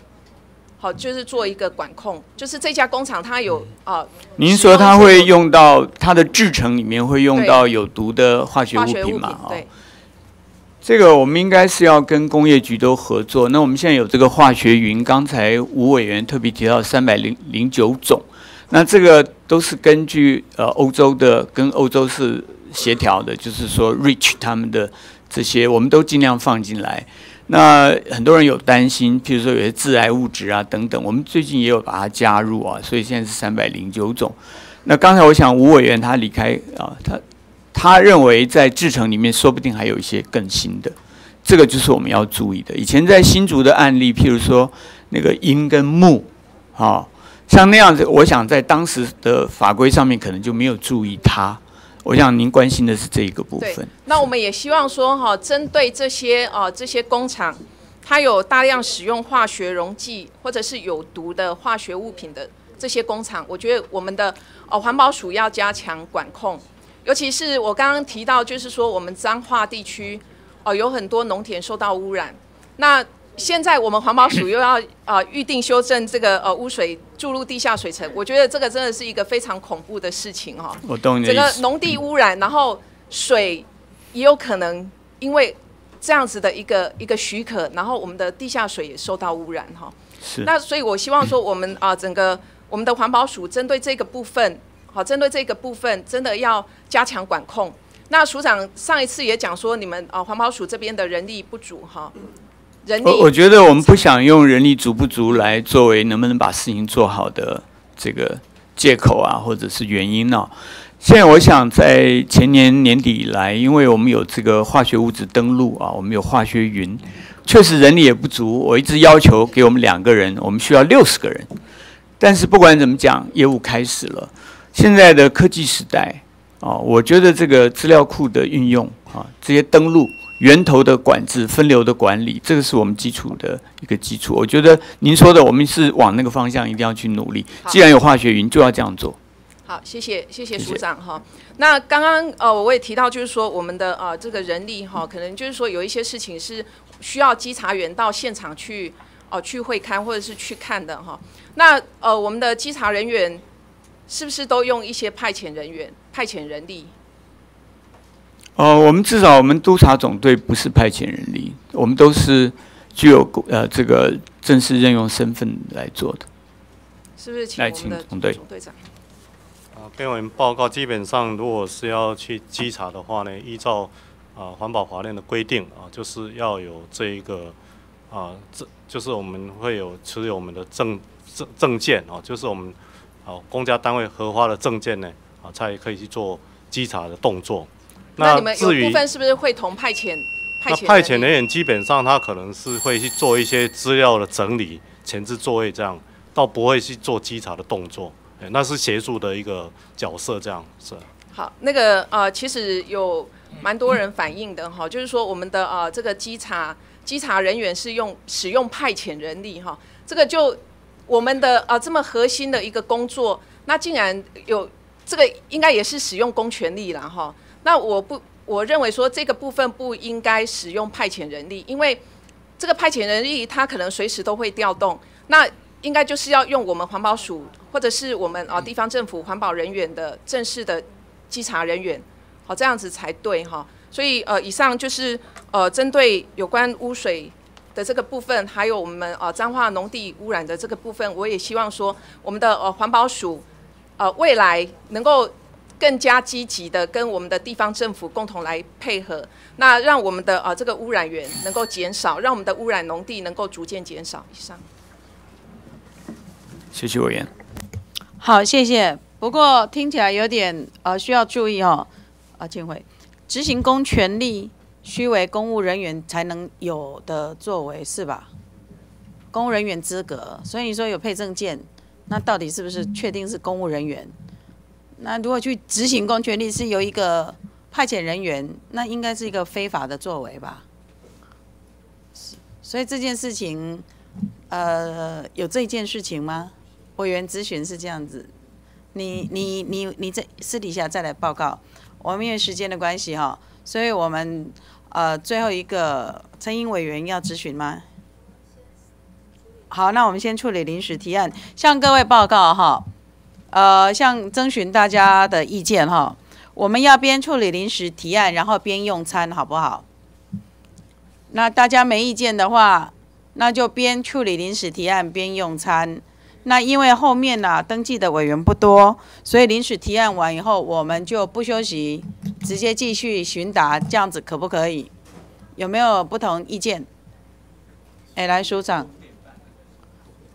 呃，我就说了，我们今天只有询答，询答结束了就没了。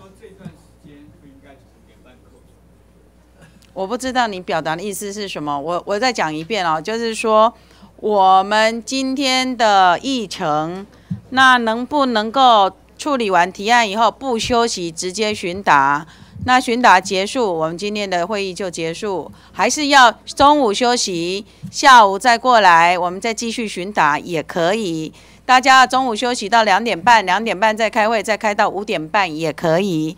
那我征询大家意见是不要休息，直接继续询答，继续开会，还是要中午休息，然后我们两点半再开始开会？我尊重大家的意见，请各位表示意见。那署长，你觉得是要休息还是不休息？我觉得是尊重委员。好。问题只是说，因为我们是连着嘛，那如果你一直到下午五点半，那个比较长啊，不会。对，那因为今天登记发言的人数哈、比较略少一点，所以我想才会建议说，我们就不休息。那现在处理临时实提案的时候，便当都给大家发下去，边处理临时提案边用餐。用餐结束以后，我们就直接进行询答。当然比较辛苦的是台上的议事人员和我们署长了哈。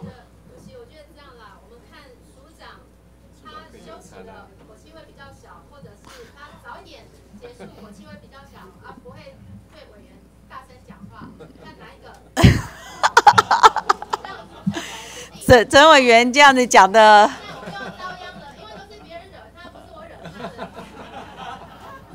那我们就叫署长，你是怎么样？是休息比较不会火气大，还是不休息比比较不会火气大？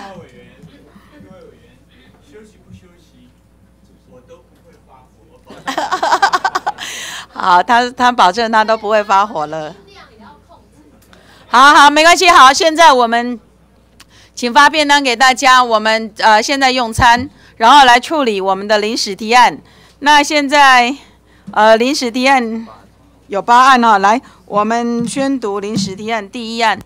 第一案为避免环评法施行或开发行为因实施环境影响评估细目及范围认定标准修正后，仍有开发行为之审查未提示开发单位确认是否因环评导致因环评而未环评之情事发生，原提案要求环境保护署应立即会商其他主管机关，立即清查相关。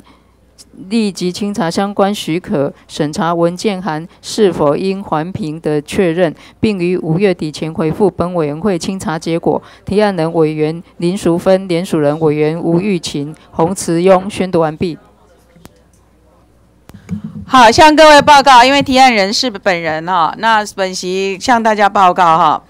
呃，我们真的是难以想象有开发案是因环评而未环评，怎么会有这种事情呢？向大家报告很多。那后来在这个垦丁的优活案以后，全全部都有一个清查，但清查之后呢，仍然还有因环评而未环评的事情。哈，他可能跑完交通部观光局的旅馆开发的申请，但是就规避了这个环评。那这个是行政部门之间和法律部门之间横向的这个作业，居然可以呃呃这个作业疏失疏漏到把法律法律踩在脚底下，这是非常严重的事情。所以我们绝对不容许有因环评而未环评的情势再发生。所以我们要求这个环保署应该会商其他主管机关，立即要清查所有的这个开发审查许可是否都有包含到这个因环评啊的这个事项哈。呃，所以呃，是不是各位委员有没有不同的意见？没有，那行政部门有没有要补充说明？好。呃，主席、各位委员，我想这个部分是不是稍微建议一下，做一个局部的修改？就是呃，第三行、呃，第四行，呃，就是我从第三行后段开始念。原提案要求环境保护署应请呃目的事业主管机关清查确认许可申请流程是否环呃是否符合环评规定，并于五月底回复本委员清查结果。呃，是是否符合呃环评规定之方式啊，并五月底回复本委员清查结果啊，是这样的建议。好，你的意思是说，环保署要请目的事业主管机关清查确认清查确认流程相关许可许可的申请流程是否嘿符合环评规定之方式？是否符合环评规定之方式？是。那谁要在五月底以前回复我们？啊，我。那那请这个环保署应于五月五月底呃前呐会诊各部会的呃这个清查报告，回复本委员会清查结果。是。好。好。照照修正。呃，通过，请文字呃跟这个议事人员再确认一下。好，我们现在处理临时提案第二案。第二案，鉴于国人饮食习惯选择丰富及多元，国内各大餐厅林立，且往往于假日时节宾客络绎不绝，为其中有以烧烤类型营业项目之经营环境管理引发国人健康疑虑与堪忧，国人于烧烤店消费时多采自助型烧肉。日前，经台湾大学环境工程学研究所教授李惠梅研究发现，燃烧中的碳加上油脂排放的 PM 二点五，从每公斤十四点二七至四百五十四点一五毫克，提高到每公斤一千零二十九点三八至四千零六十五点一四毫克；PM 十从每公斤三十二点八二至五百六十二点五四毫克，提高到每公斤一千六百一十一点三三至四千八百点五零毫克，无疑将国人健康安全直接暴露在浮游层的。高危险之中，目前环保署依《室内空气品质管理法》之第一阶段实施管制对象中，餐厅非首坡适用对象，严议将餐厅纳管制《室内空气品质管理法》适用对象中，以保障国人健康安全之权益。提案人委员黄秀芳、陈曼丽，联署人委员钟孔照、吴玉琴，宣读完毕。呃，请问各位委员有没有不同意见？没有，那请问行政部门有没有意意见说明？没有，好，那言议而已，我们照案通过。现在处理临时提案第三案。第三案，柴油车为高污染排放车种，于高平等三级三级空品区，尤其是重工业区，每日柴油车落遇落溢于途，排放高污染有机非化物及 TSP 等 PM 二点五，具有高致癌性。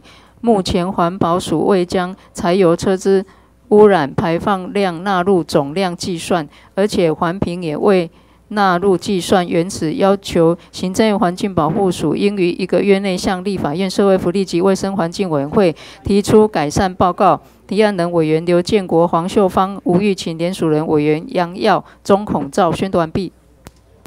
好，各位委员有没有不同意见？没有。那我们行政部门有意见要说明。好，来。啊，主席、各位委员哦，我们做个文字修正哈。那第一行、第二行都没有意见哈，叫具有高致癌性，后面修正为原此要求行政院环保署应于一个月内将柴油车之污染排放量管制情形向立法院社会福利及卫生环境委员会提出报告。他讲的是。排放量纳入总量计算，那你讲是说排放情形向立法院报告？因为现在排放量在总量管制里面，事实上已经纳进去了。OK，这个有跟他沟通过。哦，所以当事人同意。是。好，那我们就照修正通，照修正意见通过。那文字请给议事人员参考哈。现在处理临时提案第四案。第三，根据世界卫生组织公布，PM 十级、PM 二点五都属一级致癌物，在上下班间。风交通时间，许多一交及交警为维持交通顺畅，在 PM 十及、PM 二点五最严重的时候，时常暴露在十字路口。原此要求行政院环境保护署于两周内向立法院社会福利及卫生环境委员会提出改善报告，包括一交及交警的保护措施等。提案人委员刘建国、黄秀芳、吴玉琴，联署人委员杨耀、钟孔照，宣读完毕。呃，请问各位委员有不同意见？没有，那请问行政部门有什么样的意见要修正？好，来有，好，没关系，署长您用餐让你的那个处长来说明就可以了。啊，主席各位委员哦，那我们做文字修正是第二，原此要求行政院环保署于一个月内，啊，会同内政部研商，并向立法院社会福利及卫生委员会提出改善报告。哦，呃，呃，不是，呃，他在这样盐商这个义交及交警的保护措施，并向社呃立法院社会福利委员会、呃环境委员会提出改善报告。呃，是当然，那这个当事人同意，有提案人提案人有有。OK，好，我们照修正意见通过。我们现在处理临时提案第五案。第五案，随着国人环保意识抬头，已认知到空气污染将对身体带来严重的危害，台湾大型的宗教活动由三月风马祖揭开序幕。原始，行政院环境保护署应针对宗教活动所造成的空污进行监控及背景资料的收集，并于活动结束向立法院社会福利及卫生环境委员会提出报告。提案人委员刘建国、黄秀芳、吴玉琴，联署人委员杨耀、钟孔照。宣读完毕。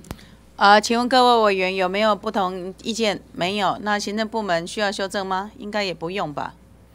好，那我们想做一个文字修正啊，三尾消妈咒那个妈祖哈是民俗信仰的妈祖哈，修正一下就可以了。我们错字更正以后就照案通过。我们现在处理临时提案第六案。第六案，云嘉南已是三级空品区，常年 PM 二点五超过年平均二倍，为保障此区国人之身体健康，原此要求行政院环境保护署尽早实施此区域之空污总量管制。提案人委员刘建国、黄秀芳、吴玉琴、杨耀、钟孔照。宣读完毕。好，各位委员，呃，应该没有不同意的吧？哈，那我想行政部门应该也同意了哈，尽早嘛。那我们就照案通过。现在处理临时提案第七案。第七案，近日学术机构研究显示，当下流行之烧烤店室内空气品质堪忧，民众出入此类场所将提高致癌风险。一、环保署室内空气品质管理法第六条规定，中央主管机关应依室内空气污染物危害风险程度及场所之特殊需求等，予以综合考量后，逐批公告其室内场所为室内空气品质管理法之公告场所。经查，目前烧烤店尚未被公告为管制对象，恐成为室内空气品质管理漏洞，增加民众罹癌风险。原提案建请环保署于两个月内，依烧烤店室内空气污染物危害风险程度，严拟评估，将其纳入应符合室内空气品质管理法之公告场所。提案人委员陈曼丽、钟孔照，联署人委员陈怡民、洪慈庸。宣读完毕。啊，好，没。哦，建请案哦。好，那各位呃，请问有没有不同意见？没有。建请案还要还要修正吗？好，你说明。啊，主席各位委员，有关这个时间哦，因为要直批到现场去量测哈，那这个两个月是不是能够修正为三个月？好我们提三个月吧。照修正意见通过。现在我们处理临时提案第八案。第八案，建请环保署针对南港内湖交界近来出现不定期排放空污。情势日趋严重，造成民众不适与环境渐进恶化，应协同地方政府与稽查单位于两个月内进行彻底清查与查核，以为提供环境优质环境与民众。说明请参阅书面资料。提案人委员李彦秀，联署人委员陈怡明、蒋万安。宣读完毕。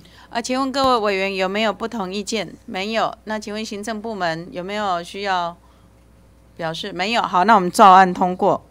那哦，第一案，那我们再把第一案再练一遍哈。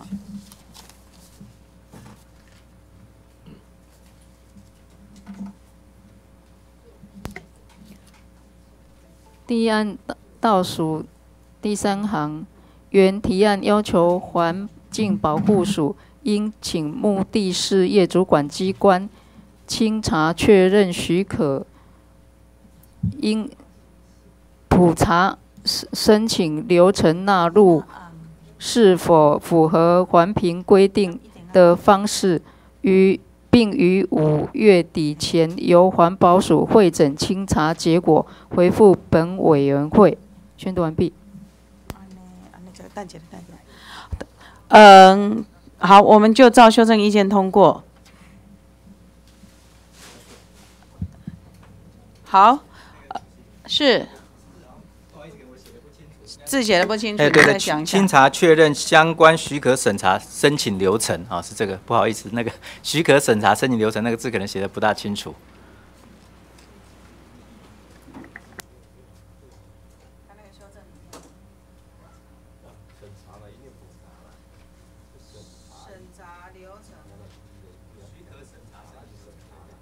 哦，是他写呃念错了哈。呃，请目的事业主管机关清查确认许可审查申请流程纳入是否符合环评规定的方式，好，并于五月底前由环保署厘清清查结果，回复本委员会。OK。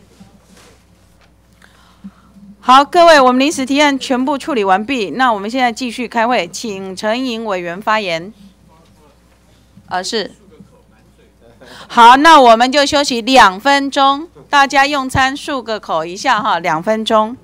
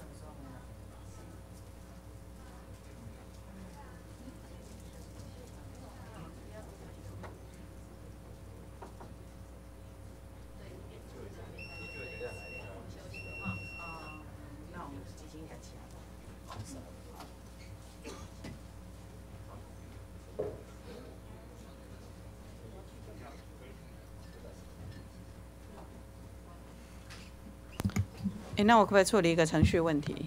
先来处理一个，不是程序问题啊。呃，向各位报告哈，呃，署长，您说您三月二十八号要出国，这是您的部署刚才告诉我的，你不知道？啊，抱歉，抱歉，不是你们啊，抱歉。啊，抱歉。好好好好好，OK。哎，那等一下。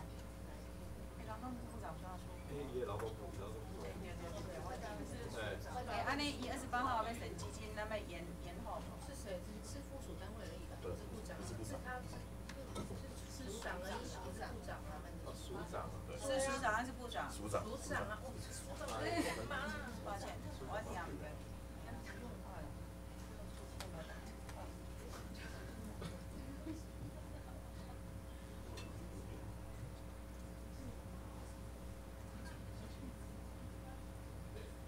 没事，其实我也很想吃饭。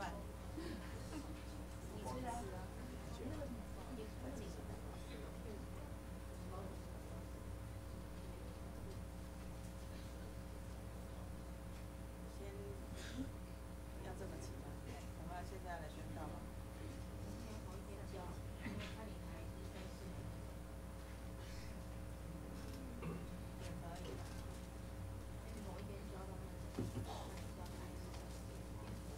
好啊，或是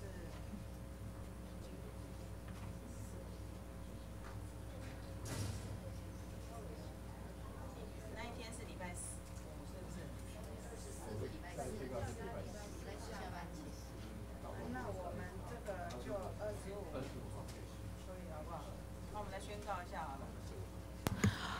好，那各位，因为陈委员还没进来以前哦，我们是不是来先啊？没关系，我们是不是先来处理这个刚才哦呃没有处理的，就是说呃我们针对中华民国一百零五年度行政院环保署主管非营业基金的预算案哈，那我们是不是呃所有的提案希望在这个三月二十五日下班以前以书面送交本委员会好？那这样子以利预算案的处理，是不是先处理这个？好，各位有没有不同意？好，大家没有意见，那我们就照这样子，环保署的提案，请在三月二十五下班以前哦，以书面送交委员会。好，那我们现在继续询答，我们请陈颖委员。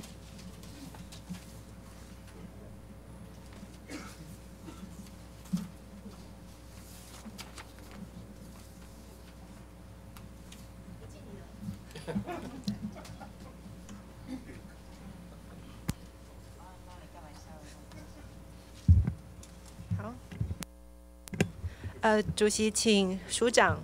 呃，请署长。陈委员午安，午安。哎，署长现在有笑容了哈。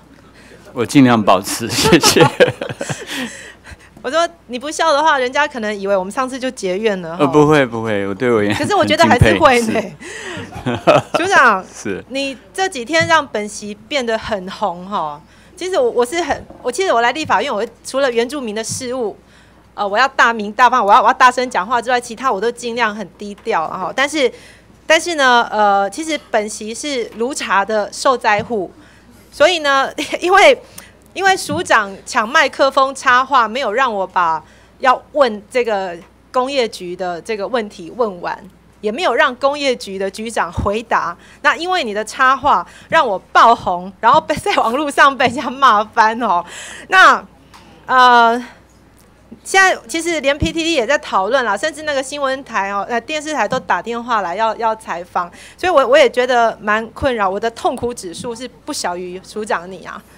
好，那那天星期一的时候，哈，署长你说你们也很痛苦，说没有办法。量炉茶这个东西，好，那固体怎么量 pH 值？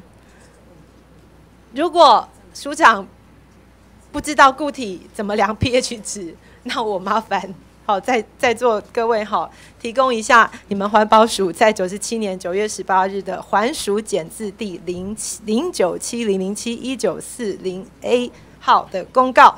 废弃物之离呃氢离子浓度指数 pH 值测呃测定方法电极法，好，里面有提到，好，所以我想呃我我我刚刚这样讲应该很清楚，其实大家都很清楚那一天我们是在讨论什么东西，但是忽然署长要很坚持要把所有的这个测量的方式 讲得这么清楚，好，那我觉得呃不是我来乱吼，署长你那天插话真的是有搞乱大家。那我想今天也借这个机会哈，把那天没有咨询完的这个没有大家没有讲清楚的事情，我们再把它讲清楚一点哈。呃，先前哦，本席有提到，就是说，其实我是看资料，然后因为我质疑在经济部事业废弃物再利用管理办法的第四项运用管理其中的第五点哦，这个电弧炉茶呃。等一下，这里电电弧炉茶氢离子浓度的这个检测值，那有一个标准，好，他说，呃，他定了这个十二十二点五，好，那所以所以呃，我才会特别说，呃，在请教署长说，那铺在土地上或混在土壤里的这个炉茶，经过雨水的冲刷，会不会造成污染？那署长当天回应本席是说，那个影响真的很小，好，那。呃，我我想就是说，请署长告诉我，那如果影响很小，照片，嘿，如果影响很小的话，为什么有上述这一些这一些事件跑出来？哈，有这个炉茶污染，呃，这些炉茶污染的投影片，哈，大家看一下，有余温被污染的，还有这个中钢炉茶回填。倒采砂石后挖出的这个坑洞，再铺上去土壤，又发现这个土壤酸碱值就高达高达十二 p 呃十二以上。好，那如果真的影响很小，那为什么为什么这个经济部的事业废弃物再利用管理办法编号十四编号十四的这个电弧炉炼钢炉茶再利用管理方式里面要规定？电葫芦炼钢炉茶再利用用途之产品，属铺面工程之基层或底呃或底层级的这个呃配利料者，应符合一与饮用水源及依水利法规定取得水权之水井距离须在二十公尺以上。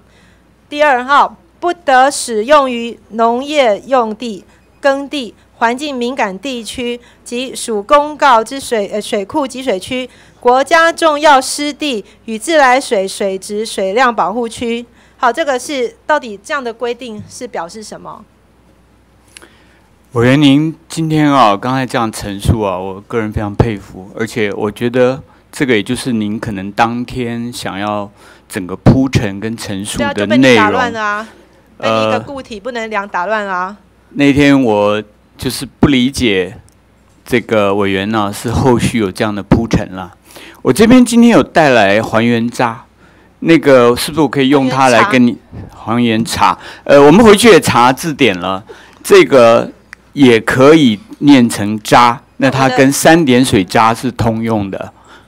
呃，所以我跟很多同仁去探讨，我就说茶，他们就说你在说什么。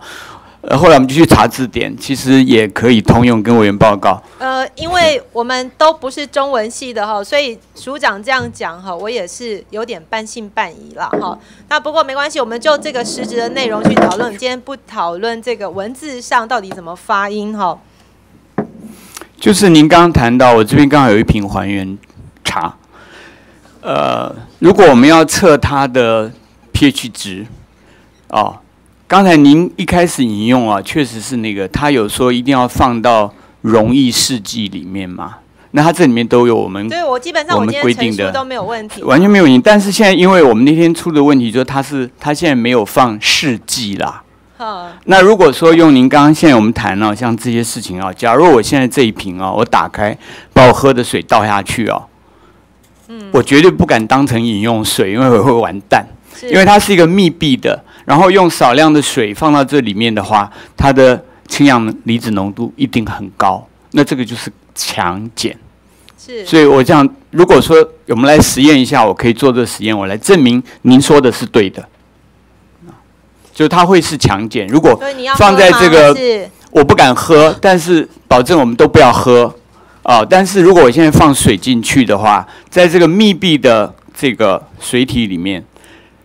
当然，就详细的标准做法，一定要看是多少水量啊，它有个标准化的过程来测这个物质。如果溶于那个试剂以后，它的 pH 值是多少？这一点，我想委员刚刚您前面的都有出来，这是完全正确的。所以你现在是要做实验吗？还是我委员如果需要我做实验，我就来做。我们也带了，我们带了试纸，不过今天现场很难做电极实验。我们可以做试纸的实验。请教一下主席，我们这样子是时间上是怎么算？时间上算你的 quota。记录记录上要怎么记录？因为这个是影音记录影音记录哈。好，那所以等一下署长你你要证明的一个结论，你要不要讲一下？直接用讲的。所以直接讲，我想我们当天可能有个沟通上的呃盲点啦，不是您的问题，我认为也可能就是是盲工业点局。局长的问题。也不是这样说，就是说我那天一直说固体没有办法量，你刚刚有看出来啊，它要放溶液，一定要有溶液才能够量嘛。那现在我可以给你试给你看，我这边有酸碱试纸，我放下去绝对没有表没有表现，署长，其实这个基本上大家都其实都很清楚哈。是固，但是 pH pH 它本身我们在讲中文翻译的时候，它就是一个氢离子的浓度嘛。酸碱值啦，酸碱值，然后但是因为因为已经大家很清楚，是是在讲 pH 值的时候，它就是已经在讲它的氢离子的浓度，或者是你你讲好酸碱值，那这个就是已经测量完的一个结果。我们在质询的时候，不会把每一样固体都这么详细的把那个测量方法都要全部讲一次。其实那个问题就在这边而已啊。是，我想我们今天有这个时间把这事情澄清，谢谢委员。对啊，所以所以我是说，在在嗯，我说其实其实如果说专业上没有问题，但是问题是就是说，那是不是整个这个管理管理上面出了问题？好，不然怎么会到处都有这个污染的事件，一直不断的不断的在回报哈？那我想，呃，其实那天署长也很担心，说我们一面倒在反对这个炉茶，说它是没有用的，好，没有用的废弃物。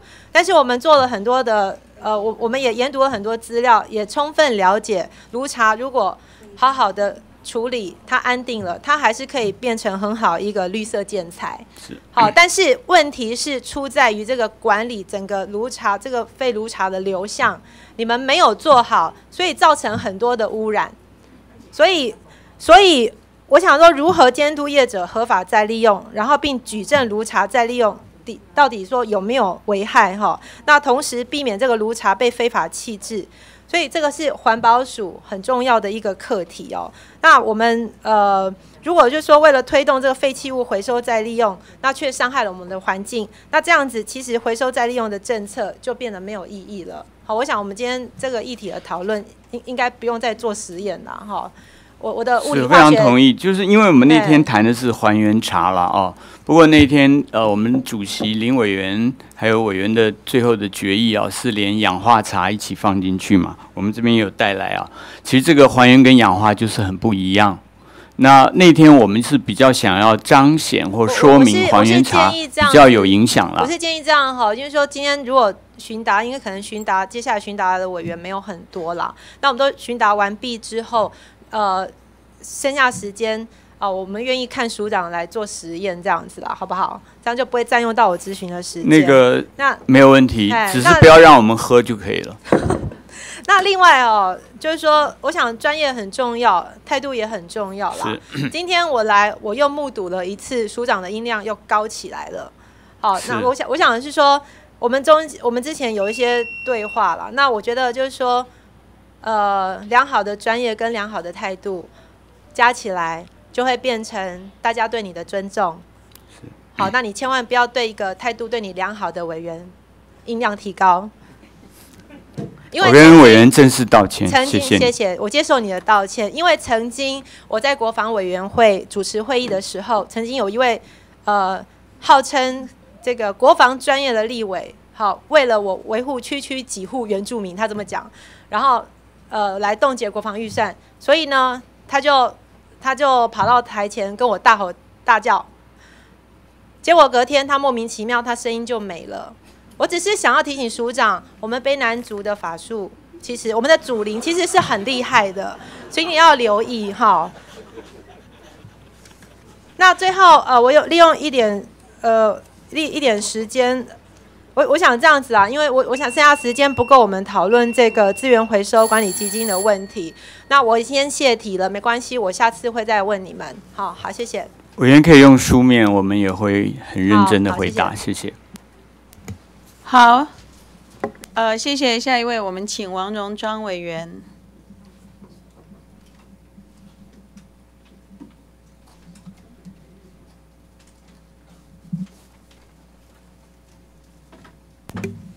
好，呃，谢谢主席愿意跟我呃换时间呢、让我能够提早。啊，这是我的荣幸。谢谢主席。呃，主席是不是麻烦请署长？啊，请问署长。是。好，署长，黄委员呃，午安呢、大概想必你的便当还没有吃完呢，但是、呃没有问题已经不饿了但是我想，谢谢鉴于呃刚刚陈云委员之前的遭遇啊，是不是我们等一下的呃询答的这一个部分的的话，呃，署长可以让呃听清楚我的问题之后，好，我们再来进行讨论，好不好？就是说避免再有误会的产生了，好不好？好，OK。好，我想就是说，呃，我们今天才开始做基金预算的审查，我想请问署长，哈、就是说我们目前一百零五年度的呃基金的预算的动支有没有违反？好，有没有违反预算法第五十四条跟八十八条的规定的情况？已经问完了吗？对，请你回答。这个我这个法条方面啊，我我也问过我们的同仁啦，因为常常这个预算的这个基金的呃基金的预算审查往往有一所拖延，那么我们到底可不可以开始动支？我的同仁跟我说，根据预算法是，因为以前有有有一些长以前的数字嘛，那么不超过它的范围啊是可以动支的，这是我被告知的。那我也可以，我想请我们的预算呃呃会计室主任来快回答。呃，报告委员，我们一定是依照预算法来执行我们相关的。所以我们认为，就是说，在这个部分的执行，我们事实上没有违反预算法第五十四条跟第八十八条的规定。好，就是说，那我想请问的话，下下面请听清楚。好，就是说，我也知道你们大概现在没有办法马上回答。好，我下面就是说指称的，就是说这些计划动资的依据。好，就是说动资的依据，请在一个礼拜里面回复我本席的办公室，好不好？第一个就是说，在新兴计划，我们现在已经公告绝标的，好，在你们计划编号一五零五呃 A 零六四废铅蓄电池回收处理系体系调查分析及回及费率检讨的这一个部分，这个新兴计划已经公告绝标了，好，再来是。呃，下面两岸是非例行性呃延续性计划，但是已经公告绝标的。第一个是包括本土物种应用于底泥生态风险评估这一个计划，以及一零五年度环保极点制度监督查核这一个部分的的话，哈，就是说它非不是例行的延续性计划。再来就是说，下面两岸是非例行。非经常例行延续性计划招标已经过了开标时间的，以下两案是推动水资源巡守队培力及增能教育呃训练。好，再来是第五案是一零五年度土壤及地下水健康风险评估制度管理。这两案就是说我们已经过了开标时间了。最后第六案的的话，非经常例行延续性计划。招标，然后以公告可以领投标。好，以及我们呃，我办公室里面查的结果，这一个案子叫做碳管理国际联结机制建立与推动策略先期评估。好，以上这六案，好，我们动资的依据，好，这里面包括我想特别是预算法第八十八条里面的，就是说规定要有行政院相关的，就是说核准等等，就是说或者是立法院的同意。好，等等的这一些动资的呃呃要求跟标准是什么？好，部长可以，这个因为已经就是说在进行，已经进行当中，或者是已经都公告绝标了，所以一个礼拜里面，好，把这样子的结果给本席的办公室可以吗？可以，可以，好，应该要做到的是。好，谢谢。那再下来的的话，我要请问，就是说我们的空屋基金的这个部分了。好，从收入面。看我们在第一页到第九页的这个部分，我们的空污、空气污染防治基金的基金来源、用途和余处表。好，我们在今年度的收入预计是三十七亿八千多呃万元。好，跟上一个年度也是三十七亿八千嗯多万元，差别上面就是说不大。好，那在这里面的的话，呃，就是说大概是相当，我们今年的这个部分大概是相当的，似乎也不是一开始就拨用到温室气呃气体管理基金了。那从支出面来看，好，从第一页到第十页的说明，好，我们的空气污染防治计划支出三十九亿五千五百五十呃八万，好，这里面并不包含温室气体减量策略服务，因为我们在一百零五年度的这个部分是零啊，好，本期想要请教的就是说，那么我们从一百零五年度起拨入温室气体管理基金的两亿八千一百一十六万。是从哪里来的？好，就是说我们空污基金拨出的款项，我们呈现在哪一个，就是说相关的会计报表里面？应该是在空气品质管理那一块吧。这个因为以前啊，跟委员报告下的这个部分查不到。跟跟委员报告，在我们温管法过以前啊，是这个二氧化碳哦等温室气体是被列为空气污染物质，所以是根据那个来编，然后这个预算。编的大概在去年四月就开始编了，那这个也合乎法法律规定。您现在问的可能是放在哪一块嘛？对对，就是说我跟您报告是空气品质管理这一块里面，它的呃，就是说播出的款项，好，就是说这一笔钱我们空污基金播出的这一个部分的话，是呈现在哪一个会计报表当中？空气品质管理，现在是捐助补助好住了。哦，还是我请处长讲一下，这里面有一个变动。那你讲我想，因为过去那个呃那个温管法还没有通过以前，那我们有成立温室气体减量办公室，那是事实上是呃一起由这个空污基金来使用的。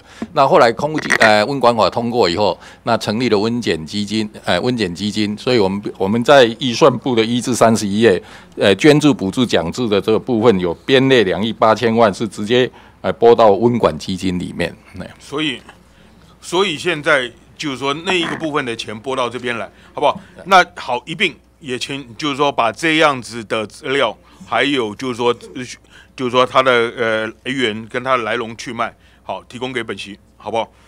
那同样的这个问题，我想请教呃署长的是哈，我们除了就是说温室气体减量的这个部分，好，就是说预计说两亿八千多万，好，那另外我们在低碳永续家园里面的的话，我们另外再投入了两亿。九千多万，所以总计空屋基金的支出，我们在就是说支出了五亿八千三百四十二万，在低碳温检相关的业务里面，嗯嗯嗯，好，这个应该没有错嘛，哈，没错没错。好，那但是就是说我们从就是说说在环保署在二零一二年，我们把二氧化碳列为空气污染物，是，其实很，但是呢，我们的空污费。的费率到目前为止还是零嘛？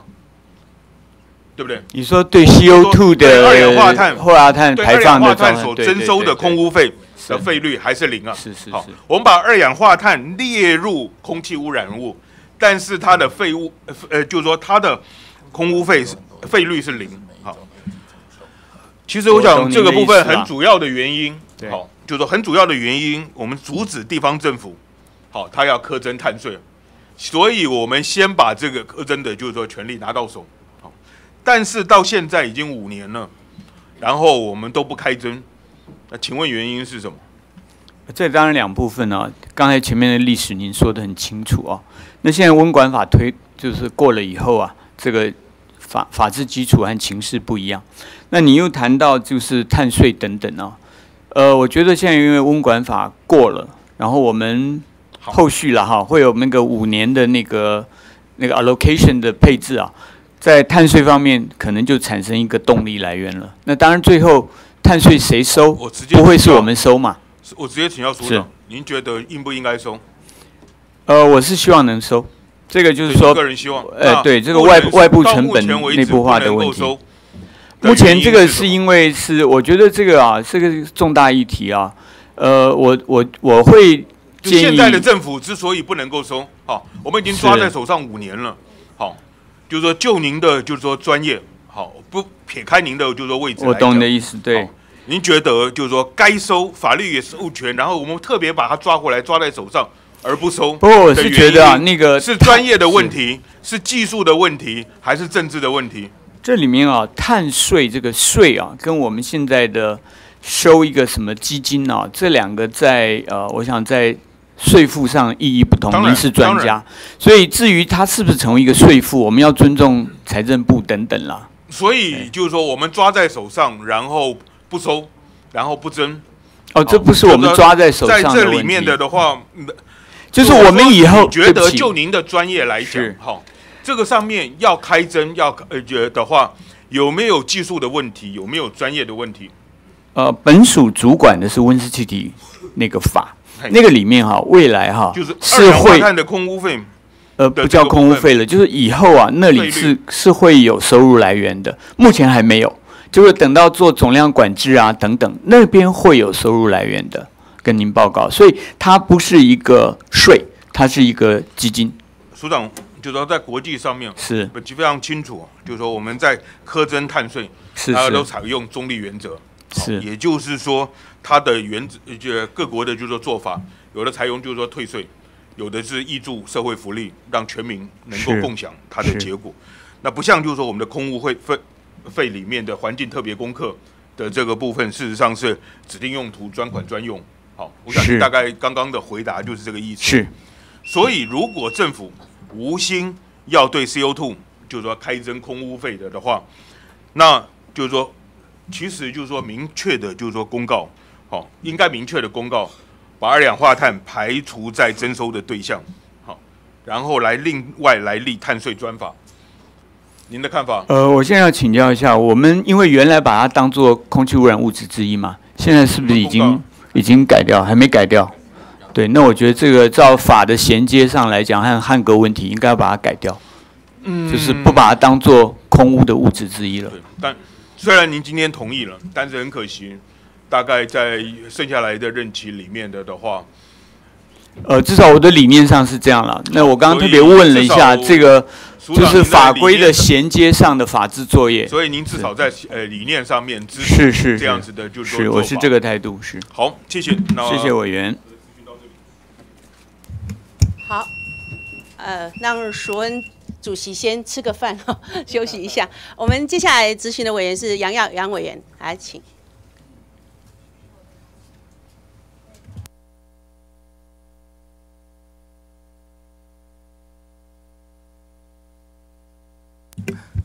谢谢主席，主席，我请一下魏署长。好，魏署长。杨委员您好，署长好。署长，我还是一样先就基金的部分哈，提出一些问题跟署长做个探讨哈。啊，我们环境教育基金跟空屋基金连续两年大概都有都有一起推了一个一个环保几点的的的制度活动，你知道？环保几点？几点？对，是是是，所以我们是管制考核处在负责。哦，是。好，那那。啊，大概我看了一下，今年一百零五年哈，大概大概环境教育基金跟空屋基金分别编列了九百万跟一千万，来来做这个这个活动哈。那那你们大概规划了了三个阶段，第一个阶段是离峰时段搭乘捷运，然后来集绿点，然后第二个阶段就是绿点兑换绿消费，好这样子的的构想。本席非常的的赞同，可是空有构想是不够的，还是要有执行面来落实你的制度。这个就土法不足以自行啊，对不对？那能不能跟我们讲一下，现在现在你们推推这个活动，目前到目前为止的的成？我先请呃处长给您简略说明。好。呃，委员您好，我是管考处处长肖慧娟。嗯，对于委员刚刚所提到说，我们到底会怎么做？当然，第一，呃，我们要先把这个通路的系统先做修正。可是，通路的系统，他们呃要花比较长的时间。你们这个，你们这个这个计划其实是从去年就有了，去年去年有两千万，对，可是去年的经费后来是没有用到，因为一百零三年就已经编编列出来。好，那通路他们修那个系统，没有没有，我现在问的就是说，为什么你们一个计划，然后预算也编列那么早，然后到现在到现在好像都没有执行？为什么？呃，跟委员说明一下，一百零一百零四年做了什么？呃，一百零四年，当然我们就请大润发啦、爱买啦，哈，还有一些通路的业者来赶快去把它系统改好。那可是呃来不及。我们虽然编了预算，我们必须要等它系统改好、验收以后，我们才会补助它经费。好，你们连第一阶段啊，就是离峰时段搭乘捷运的极地点，都是从去年十二月一对那个部，分是有做，对不对？对。所以有的时候我们在审预算也审得很奇怪啊，就是你们你们就编，然后编了也不做，很早就编了，对不对？像极率点这个部分呢、我们确实花了比较长的时间。这个跟那个票证啊，最后能不能跟我们的电子发票系统啊等等，这个还有总归户啊都有关系。那我特别本来他们已经提出来了，不是啊我特别找律师、会计师再从头看，因为这里面有危险。署长。前置哎当然有一些工作要做，对对对，您体谅。现在只是说你们你们预算既然编了通过了，你们就要赶快应该尽早，好。然后不对是媒媒体在在在猜是觉得你们申办的步骤太繁复，有没有这个问题？呃，您说哪一块？就是就是通路的部分还是离离峰时段搭？对，就是说，像我手上是有这张卡片哦，那这个卡片我们希望更多人来使用。那如果这些人他现在我们在譬如说在台北市已经开始嘛，很多人还是用原来的卡片，他没有去申办有这个晶片卡，那这个是现在的一个瓶颈。那我们是希望尽快啊，这个基金预算很多通过的话，我们来在这个方面来让更多人来申请。好，第一个阶段就是就是会有申申请对申请用卡的问题，对不对？对。第二个阶段，你们还必须要去找去找去找绿能的的的商店，是对不对？现在找的怎么样？呃，我刚刚跟我因为你第一阶段已经已经已经迟缓了，所以你第二阶段要同时去去做处理啊。是的，呃，要不然他到时候几点，然后他又不能去消费对点，那整个整个整个整个计划就会就会无疾而终。几几家商店参与你们的？呃，目前呃系统完成的哈，像台糖它的整个系统是完成的，呃，大润发差不多了，爱买会比较慢哈，然后有呃网络的购物，像东森购物或者是新竹物流，另外已经完成的是莱尔富，所以五六家了，对对？那我们是希望能够更多的，可是大家在观望。便利性不足，没错整个制制度。我们也一直在说服对不对？对，可是大家都还在想，我不要走在最前面，我等到你们开始做了，大家都有一些呃，我想可能讲赚头吧，哈，他们才会参加赶。赶快去去去克服所有的困难哈，因为我这个们知道这个这个这个概念，本席还还还觉得算很好，好不好？好哦谢谢要不然要不然有的时候预算通过那么久了，然后然后执行执行力是这样子，嗯确实确实我们有的时候看起来也觉得支持你们的预算好像是支持错了，对不对？对，好，来，请回署长，我们继续探讨下一个基金哈。是 土屋基金啊，土屋基金哈，署长，土屋基金设置的的目的，其中有一个重心，应该就是就是对于必须采取采取必要应变措施，或者是应该要由政府待处理的紧急危害污染场址，先行垫付清理费，或者是代执行，是对不对？在在球场，当然是的。好，那既然这样子，就会有会有带电、带资嗯经费的问题。是，你知道到一百零四年底，你们这个这个图屋基金总共垫资了多少钱吗？这个我要请请呃处长来谈。好，执秘来谈。呃，我们这个呃支应十五亿，那里面呢就是呃有呃球场，有部分球场，有些还在球场，部分球场球场了多少？呃求偿了呃两亿，两亿。对，十五亿两亿是是是几趴？14呃大概是将近十五二十四点多三趴哦，十十四点多，对。这样子会不会太低？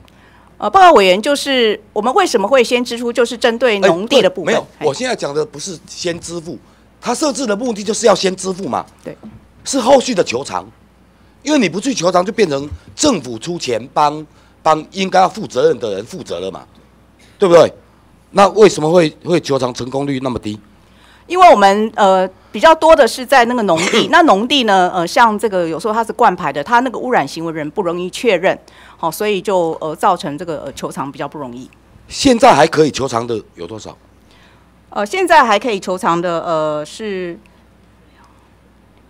大概是呃八八亿七八亿左右。所以其中有将近五亿已经离于失效。是为什么会放任离于失效？离于失效就请求权消灭了啊！纵使找到行为人，你也你也你也没有办法求偿啊！为什么你们会放任时效消灭？这个部分我们呃在呃基金成立，那就有呃呃一部分的这个工作，还有那个建立系统去做这个求偿。但是因为有些厂址真的是污染行为人不容易找到，所以他就是只要躲，只要在在消灭失效的期间内，他他逃过了你们的的追缉，就就国家代代代代支付了这一笔钱。报告委员就是在刚刚那个呃呃，就是过时效的那个四亿里面呢，其中之一农地污染呢占的比例是九十二 percent，所以呃是真的不容易。但是我们为了要呃农地整治为优先，还是要要，因为你们也有环保警察嘛，对不对？对不对？所以还是要要认真去去去去追查哈。就长远来讲啊，还是环境见识，就是那个见识啊，因为法呃律师、法官他们就在这上面攻防。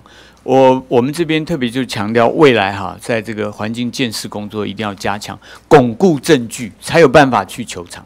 好是，好，那接下来一方面要你们去求偿哈，另外一方面哈，还是要探讨一个一个到底谁应该负责。是当然，这个谁应该负责？大概大概有关《废青法》第七十一条哈，好，大概就是规定行为人要负责，或者是或者是，呃，土地所有人、管理人、使用人有故意或者是重大过失的时候，土地被被堆堆放的废弃物，也必须要负责，是对不对？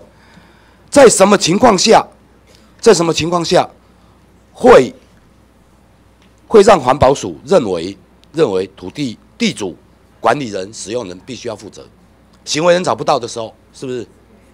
呃，也不完全是这样，有的时候就是那个土地哦，他只要管理人。故意，他只要故意，当对，或者他有有善尽那个善良管理人的责任啊，也有这样的一个的他的注意注意义务没有那么高，欠缺一般人注意，按照法条就可以就可以罚了。哎，我是不是可以请我们法规会的呃好。那个执秘来好。这个问题这个问题哈这个有法的对，好来，请。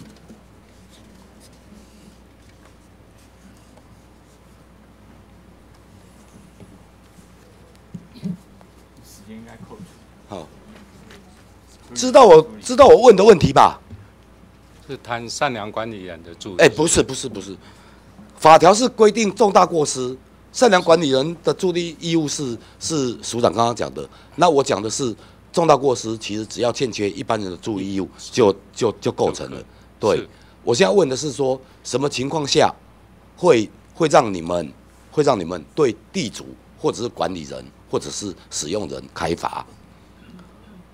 也就是说，重大过失虽然我们在法律的概念上，我们一般用它欠缺一般人的注意义务，可是这个还是很模糊、很笼统、很不确定的法律概念，对不对？那你们具体的判断，你们你们通常，我举一个例子好了，我直接用用例子来问。使用人跟管理人，因为他跟他跟土地、他跟场所的连结度比较高，所以他通常他通常我们我们要判断他他欠缺一般人的注意义务比较容易。地主，假如说单纯他个人他个人的的的管理范围，他就等同于他就等同于管理人跟使用人，对不对？对。万一他是出租了，那地主的的的责任你们怎么判断？我已经把地租出去了，就是说土地同时有所有人也有使用人的时候，你们在什么情况下会对土地所有人开罚？因为法条要件上面来讲，还是对于重大过失要负对对对，我知道，我现在不是，我现在是在问你怎么判断来来我举个案例。那个跟 跟委员报告，我举个实际案例嘛。最近就是那个监委到那个台南永康工业区了哦，同样两块地都被被放东西嘛。那为什么一个被起诉，一个没有被起诉？因为没有被起诉那个人是因为他看到他那个都一样，说地都租人家哦，因为他看到里面有被人家丢的时候，他马上去跟环保局说有人在丢我的东西。那他讲对啊，另外另外一个就是没有这样做。假如两个都没有看到呢？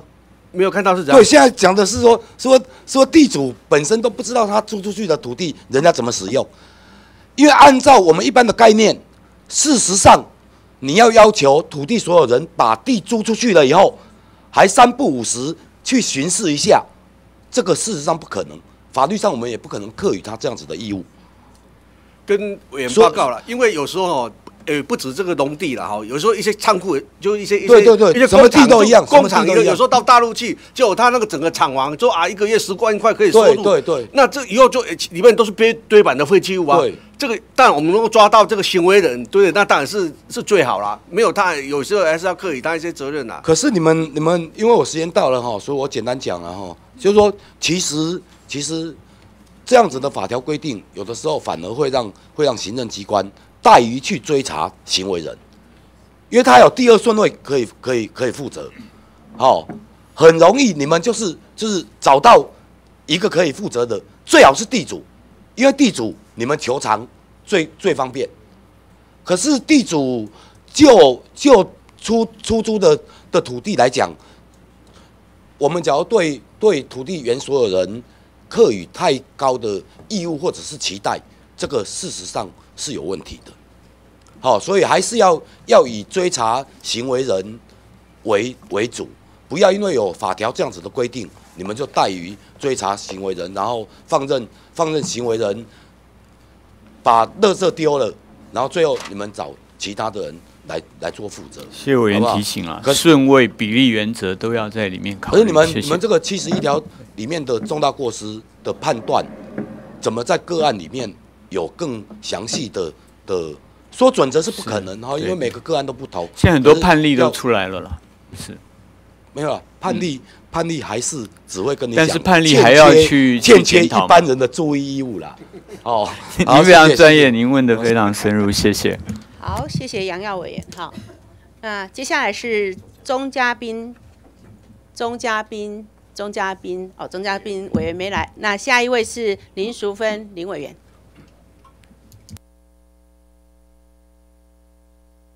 嗯，谢谢主席哦，是不是我们也请魏署长？好，请魏署长。林委员你好。呃，署长午安了。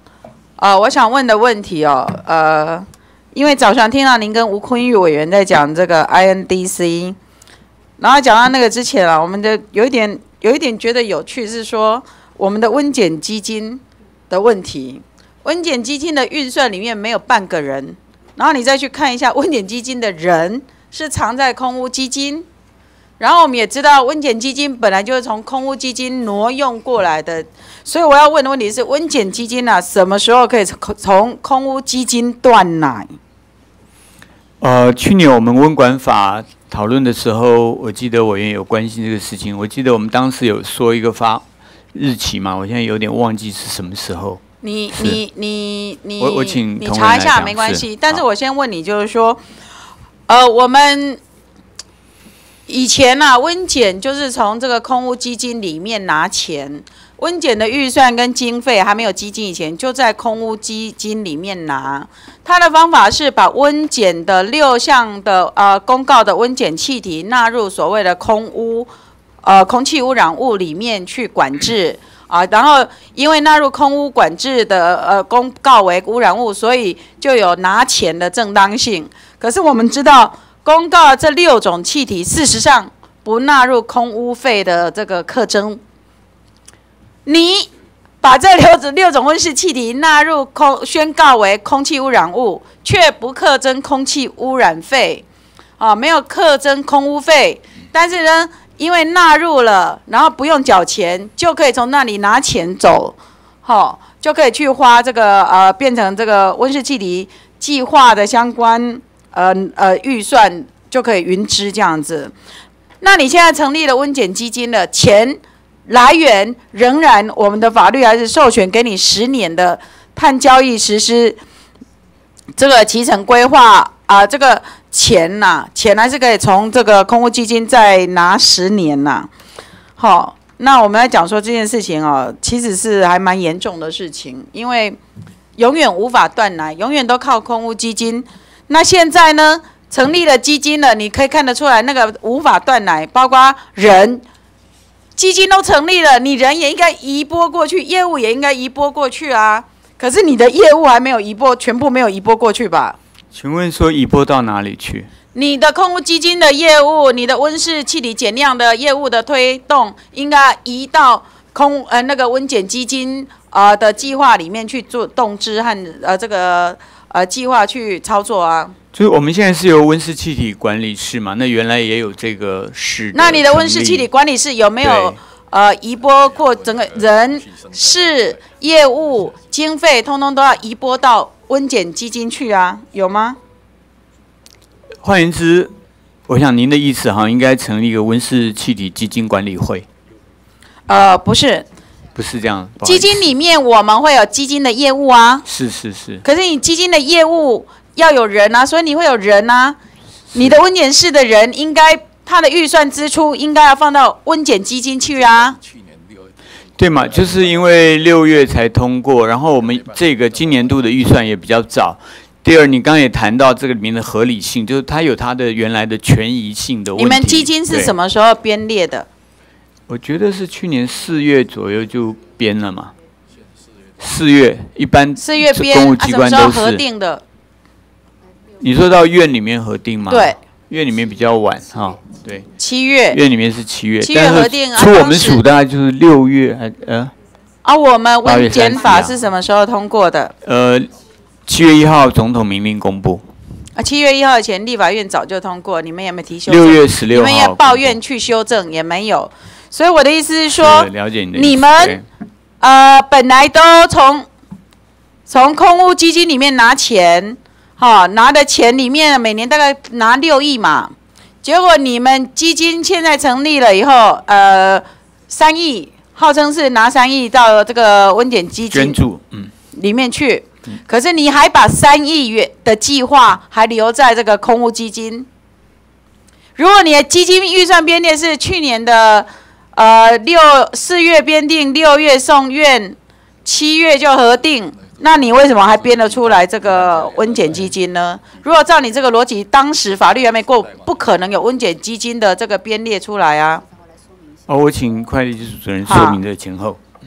报告委员，呃，那个时程是这样，我们四月是送送到呃行政院去。我现在问你，就是说，你温检基金都编得出来，你的业务、你的人、你的钱，呃，通通都移过去，这也不难啊。对为什么没有放过去呢？是，所以我们后来为什么没有行政院放过去核定以前，我们有去报修正啦，哈，所以把那个温检的部分把它切出来，成立一个新的基金。对，但是因为就温检的部分预算，对对对，呃，就放到温检基金去。对，但是当时因人为什么没有的问题全部？人的问题比较复杂啦，哈，那他有一些权责还没有办法切得很清楚，但是因为当初就是呃立法院通过那个呃温检法的时间太仓促了，我们在呃我们在切的时候很难切的啊！对，就是我们对我们预算的筹编来讲是比较仓促一点。那那时候行政院他我我我现在告诉你是说时间，我们未来预计从呃空屋基金每年固定要拿多少到温检基金？你先回答我。每年呐、预计这十年内呃三亿，约是这样子一个规模啦。好，那我知道你们为什么切不开，因为事实上你们照现行的计划在执行都要六亿啊，所以你只拨三亿过去，那会有三亿的既定的计划是有缺口，财务缺口的，所以只好不得不把它留在空屋基金。所有碳足迹标示、环保几点制度、社区节能和低碳措施、低碳永续家园相关计划、金门低碳岛计划、二手物品交工计呃做，呃区域生殖物生植物能资源化系统产品碳标示核发及推广专案，这些钱大概没有办法拨过去，因为既定的计划就要花六亿，可是只能拨三亿到温检基金，好，所以剩下的已经。执行中的计划三亿永远都没有预算来源，我是要点醒你这一点，所以这就为什么会留在空屋基金。然后呢，更不要讲人事经费，我们空屋基金里面聘雇九位专任，四十一月特约，四十一位的这个所谓你们讲自雇特约，好，空保跟温检的比例是这样子，空屋基金的专任人员里面，空保处有三个，温检室有两个。另外呢，还有这个呃特约人员，空保处有十个，温检室有十四个。我为什么要讲这件事？你知道吗？喧宾夺主。你们把人家空屋基金为什么要基金呢？基金署长，你知道为什么要基金管理吗？为什么要成立环境保护的相关基金？空屋基金成立的目的是什么？依照我们预算法第四条第一项第二款所定的特别收入基金哦，有特定收入来源的，供特定用途的，要专款专用属性的。所以，我们空屋不是让你来做其他的事情的。你把六项的温检气体放进来，却没有课费哦，全部都是其他污染物、其他的这个呃呃污染物在缴钱的。结果你们。挪去用做这个温检就算了，你们挪的比例，你看你的人事里面，你会看到说，空屋基金，结果你的温检的业务的人比空屋空保的还要多，这不像话嘛？这个鸠占鹊巢，喧宾夺主。那你们现在因为温检法通过了，也成立了温检基金了。温检基金的钱也是要从空屋再拿过去，拿过去了就算了，还还在人家的位置里面，还在占缺，还在占占这个计划，其实就是一个，就是叫空屋基金继续买单。所以我就要回过正本清源哦，这个署长，我们都知道台湾很骄傲，你也觉得很骄傲，大家都觉得很骄傲。我们通过了温检法，那这个温检法的核心业务其实是要减碳，好。但是呢，我们要从这里看呢，说是这样子说，可是温检法根本没有裁员，没有独立的自主的裁员，现在都还在吸人家的奶，然后呢，呃，寄宿在人家身上，但是办温检业务的人比办空保业务的人还要多，所以在这种状况里面，我们还要再让你拨用十年，空屋做得好不好，大家心知肚明。光是委员说帮我们多设几个测站都不愿意做，钱都凑不出来，都不愿意花。事实上，空屋基金钱还蛮多的，四处乱花的话蛮多，做成正经事大概都做不出来。测站做这种测站，大家一再反映测，当然测站不是依行政区域去设测站了，是要依气流地形相关的要件才去设测站。但是人家反映出来的，也是也有很多人在认为，车站车站还是不足啊。当这种事情都不做的状况里面，我们回到刚刚讨论的，呃，叫其他各部会挪钱公务预算来编列这个温检的温室气体减量的业务的预算，也编不出来啊。所以就变成说，不断在那里继续使用这个空屋基金。可是我们讲这个不是正本清源的方法。所以温检基金的税入规划很重要。当初我们设计这个法，我是没有提案的，但是我当时还是放重点在一个地方，叫做我们一定要实施总量管制后，我们要克碳交易，要把这些无偿合配收归国有，然后把这个 quota 出去，要有偿配售，要有偿配售，无偿合配一部分。但盘点完以后，要收归国有，要有偿配售出去。所以配售出去的钱，作为这个基金上路的基本财源。可是我们说可以继续使用空屋基金十年，并不是说等到十年后以后才实施空屋总量管制。你如果十年到了，然后没有裁员了，然后总量管制又没有实施，你盘点不出来。你今天讲 INDC 要减到这个二零零五年的标准的呃二十 percent 以下，我们自主的承诺。可是你你现在盘点好了没？然后你不能够十年后才来讲说要实施总量管制，那显然你应该盘点过了，你才能讲到说 INDC 里面的承诺要这个百分之二十，二零零五百分之二十，你盘点过了嘛？那如果你盘点过了，那么我们对各个产业要核配，好，这这些核定的额度，这个排放的额度要算得出来了啊。然后什么时候要开始核配，什么时候要配售，也都应该要有能够执行的方案出来啦。所以我们现在讲的是说，我们希望你在十年不能等到十年后才来施行总量管制，碳这个排放的总量管制，应该要现在就要齐成。那你的齐成是什么？越早实施您刚刚说的啊，它这个基金的来源呢，就就会开始有，或者越来越多。就是你刚刚说的，你不能等到十年后空污基金不能用了就没了。我想我们在想法上是不能等啦。那虽然给了我们一个十年的断奶期限啊，对这个前十年，现在我们第一个五年的计划哈，就是现在有咨询委员会要成立，但是我也把这个后续的主要的。这个决定权呢，要留给新任的署长。那我是会很诚恳建议，就今年之内啊，就把明年开始的这个剩余四年了，可以这样讲，就要开始做您刚刚说的事情。现在正本清源呢非常重要，原来是权益措施，现在权益措施继续做，就是名不正言不顺了。就是您刚刚已经提到的这些事情，它现在如果不是空污的气体的时候，就要回正本清源嘛，回到它是温室气体来管理。对，那我再问你，因为你你去年就给人家宣告说，INDC 你的自主减碳承诺是要到二零三零要到二零零五的百分之二十以下嘛？对。那我的意思说，你们盘点，所以你们已经有规划有提成，你们什么时候会实施这个呃总量管制？然后什么时候会开采取这个核配？然后是预计的，你们显然都已经有排排演过了嘛，有规划案嘛？什么时候会开始配售？这个时间点是这样子才有钱呐！如果你没有钱进来，就是我们刚刚讨论也是这个。对，那你们的规划是什么时候？我要听你的脐橙啊。这个脐橙我现在不能够马上告诉你，但是根据我们温管法，它有三个阶段，对不对？第一个部分我们现在做这个，我是怕是永远永远没有确切的脐橙。那个鲍委员，我在两个月以后也在野，我跟您一起，我们来监督啦。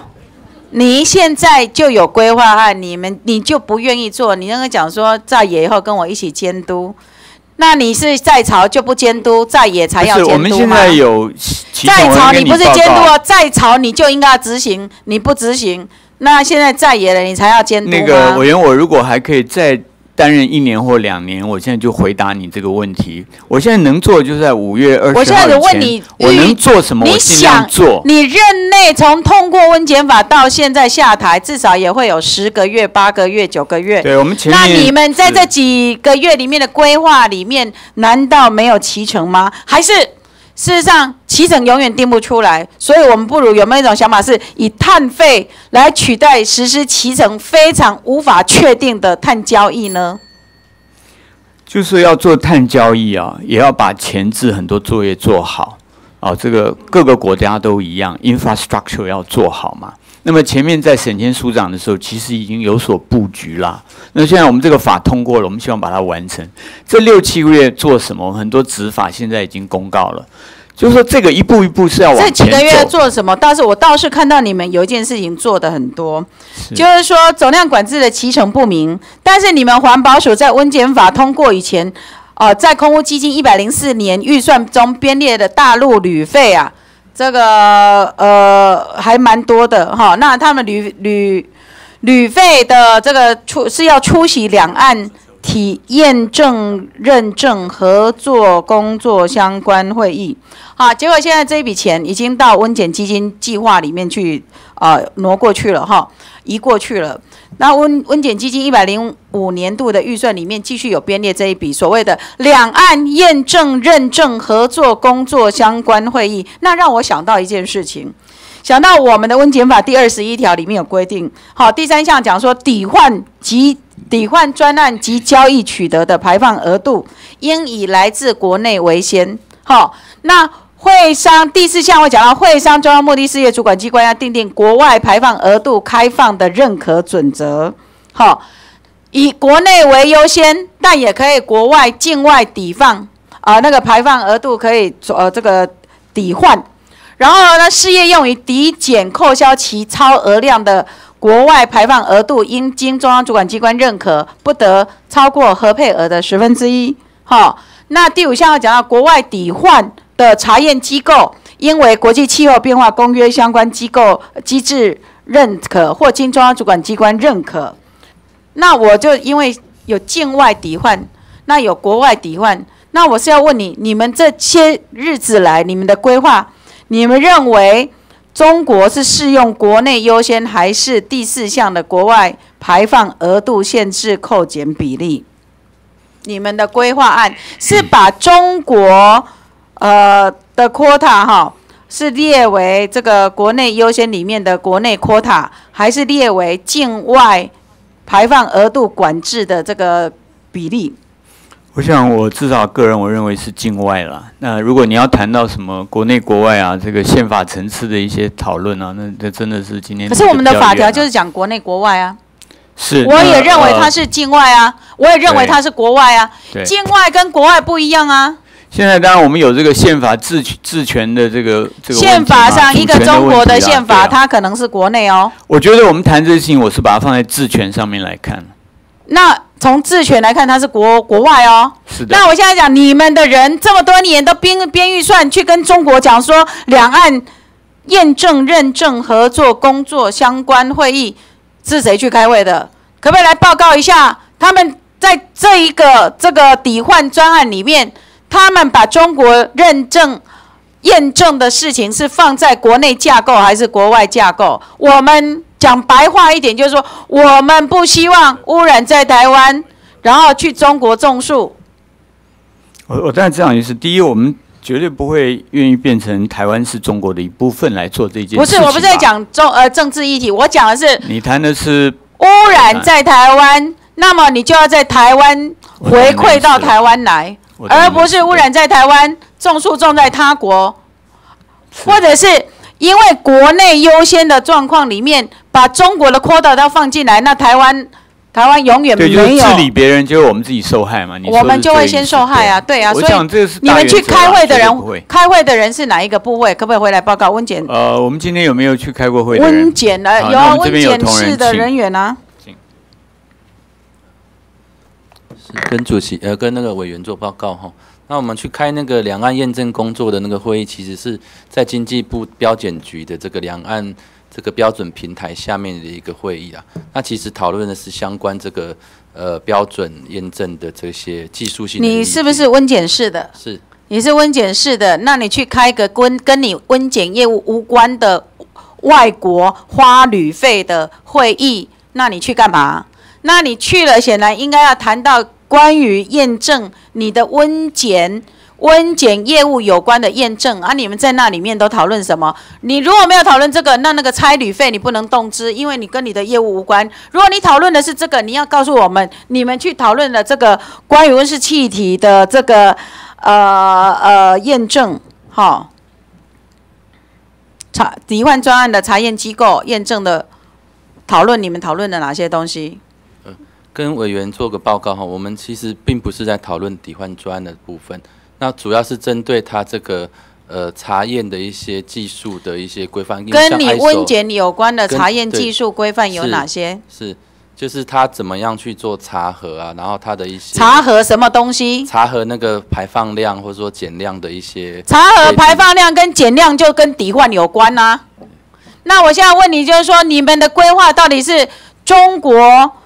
中国跟台湾的抵换是属于国内优先模式，还是国外排放管制呃模式？你们的讨论，我们没有跟他们讨论好，OK，你们你在这里说你们没有讨论了，很好。我们希望你告诉你，绝对不能以国内优先，把中国当成国内的国内优先模式。好，好，最后抱歉，我最后呃，赖委员抱歉，我讲最后一件事情好了，署长，完善的法规哦，是人民哦要能够容易遵守，而且管制单位能够有效率的执行。哈，但是我们国内有很多的呃呃环境法规，像刚才我们讲说应环评未环评也很荒谬，但是也有另一种相反的模式，是许可的申请流程啊，许可文件不仅繁杂，内容还多有重叠。好，那我们。呃，除了事业基本资料需要重复填写以外，连污染排放资料也有重复。那以某一个事业废弃物清理书来当范例哦，这个事业清理书里面还要交你的空污流向关联、你的水污资料、你的呃这个相关东西。事实上，他在申请空污许可的时候已经呃报过一次了，水污许可的时候也报过一次，可是清清理书的时候还要再一次。我们不是说不需要，我们的意思说，政府的管理的这个制度啊，整合上应该可以再更上一层楼，哈。所以啊，在这个管理里面呢，呃，如果水污防治设施异动，可能是不只要申请变更水污许可，连废青书都要一并再变更，因为很多资料都填一遍、两遍、三遍、四遍，所以你一个变动可能要十份变动啊。这是不是一个好的管理制度？这个制度设计是不良的。那我们也知道，比如说同一种类似的行为，在废弃物清理法跟水污法，它的呃罚则哈呃它的刑责、行政罚法，其或者是这个呃刑法的处分哦，呃其实是不一致的哈。所以这方面我们可以看到，就是说要整合环境的法令，把相关的制度通通都要整合在一起。好，那当然，其中之一也包括开发行为的许可制度，也是要整合。那德国在二零零九年有推动了一个环境法典的这个整合草案，哈，最后因为他们是联邦制，地方政府反对，所以没有完成立法。但是韩国，韩国最近哈已经完成了污染物排放设施整合管制法，好，并且在去呃二零一五年的年底施行了。那相关的执法，韩国在今年会定出来。那呃，像主要措施包括提供最佳技术，或者是整合很多许可相关的文件整合在一个管理系统，那去改善它的相关的环评的流程等等。哈，所以我们在讲说，环保署对污染管制或者是许可项目这些，其实是可以业务上不是行礼如仪啊。其实改革改造就在这里。我们在讲说啊，赶快通过环资部主改啦，主改要全部所有的问题都会改变，不不是那样子。主改是手段，主改是为了达到整合事权，哈，所有的事权同整，然后确定效能可以同同呃提升。然后我们来看这个环资部的主改，我们看到只看到机关平移，原来的业务在移移过来，人在移过来，钱移过来，行李如移。然后，因为整合到很多个既有的部会，所以搞不好平移过来后，还会有整合、平行整合的问题、垂直整合的问题。这些都不是主改的目的。如果主改只是机关平移，然后横向沟、纵向沟通都还有问题的话，我们这主改是失败的。所以我们在讲说，那我们要平移之前，我们光是环保署、环境部是生态保育、国土保育、污染管制，所以。污染管制只占环资部一部分，那环保署占业务占了这么一小部分，就署内自己的业务，光一个容许可的申请都这么多种，要填写这么多次，光一个污染管制的法案，各各做各的，然后刑度罚款，呃，整个法则通通都没有没有同整在一起，所以。这种环保署既有的业务都没有能力整合了，跑到环资部里面，我们会预期机关整并了以后，它会有效能提升、事权同整的这个功能吗？我们是真的还蛮担心的。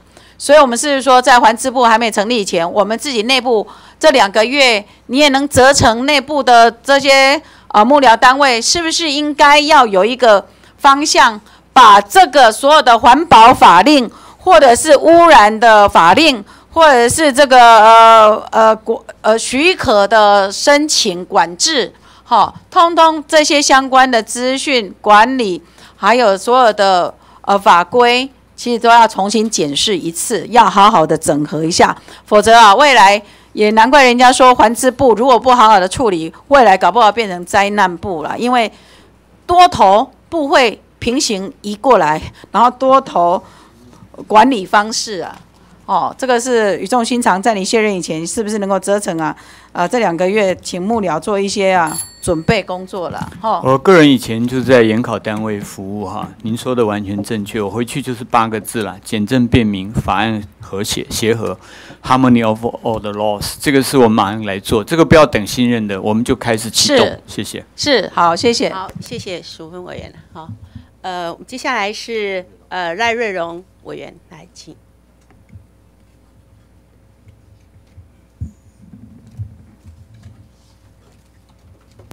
好，谢谢主席。好，请那个署长。哎，请署长。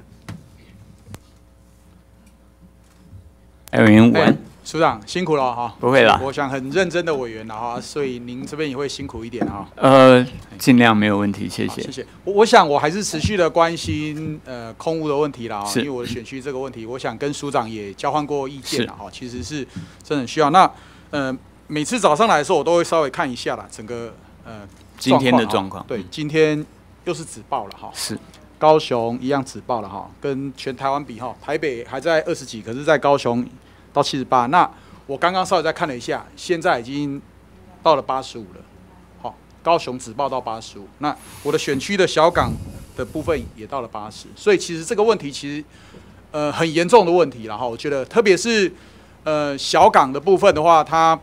它的 PM 二点五不只是空空气，我我说它的状况其实会更不好，是因为它有很多的一些化学的物质在那边，所以它绝对比台北这边的状况会来更更加严重了哈。所以上次也跟部长提过这个问题了，不知道呃署长了哈，署长不知道您对这件事情的目前为止您有没有什么样的想法？怎么样来协助小港、协助高雄来改善空污的问题？是刚才上回也跟您聊过啊，我我觉得小港啊应该会是我们在。高雄地区或大高雄地区啊，把它当做一个非常重点的地区。当我们找到一个重点区，这个就会事半功倍啊。所以我觉得有很多的事情我们都可以呃做进去。但我想我就不一略那个讲。我们现在那个八大项哈，里面有很多都可以在这边加强实施。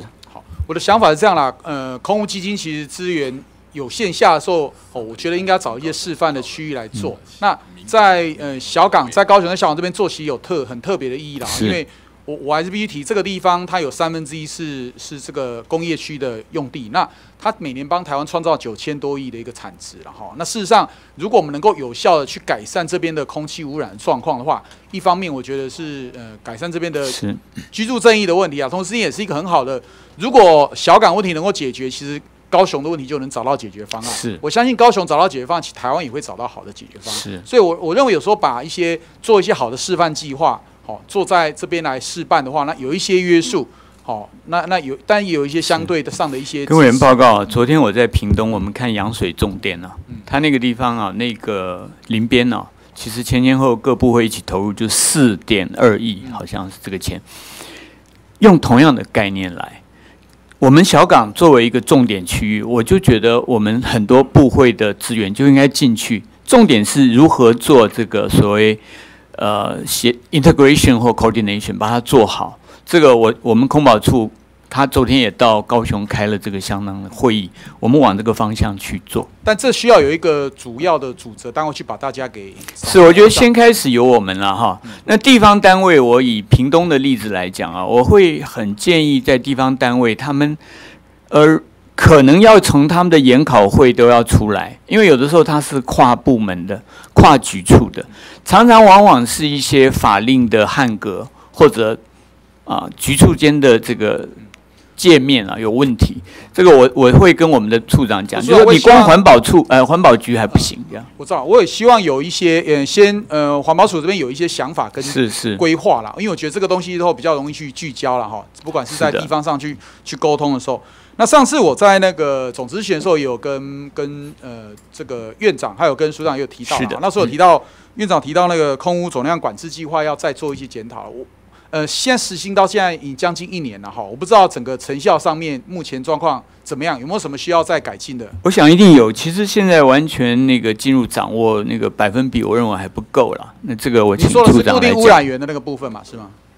跟委员报告哈，第一年的总量管制实施最主要是认可量的呃合可啦，也就是说各个被列管的固定污染源来申请它的认可量，所以我们现在积极这个工作，希望在六月底完成申请，在九月底以前啊完成审查。现在多少量？呃，总共六百多家，目前已经申请了两百多家，这个进度是在看起来是有稍微落后。那最主要当然有些问题，所以在十一号的这个监督会议已经把它解决了，所以会加速整个整个认可量的这个申请跟核定的工作。所以在目标什么时候可以把这些都能够完成？我们是六月底以前，呃六月二十九号以前必须要完成申请。好，那是请加油了哈，这一块请那个。然后另外除了这个固定以外的移动污染源的部分，有没有什么样的一些想法来处理？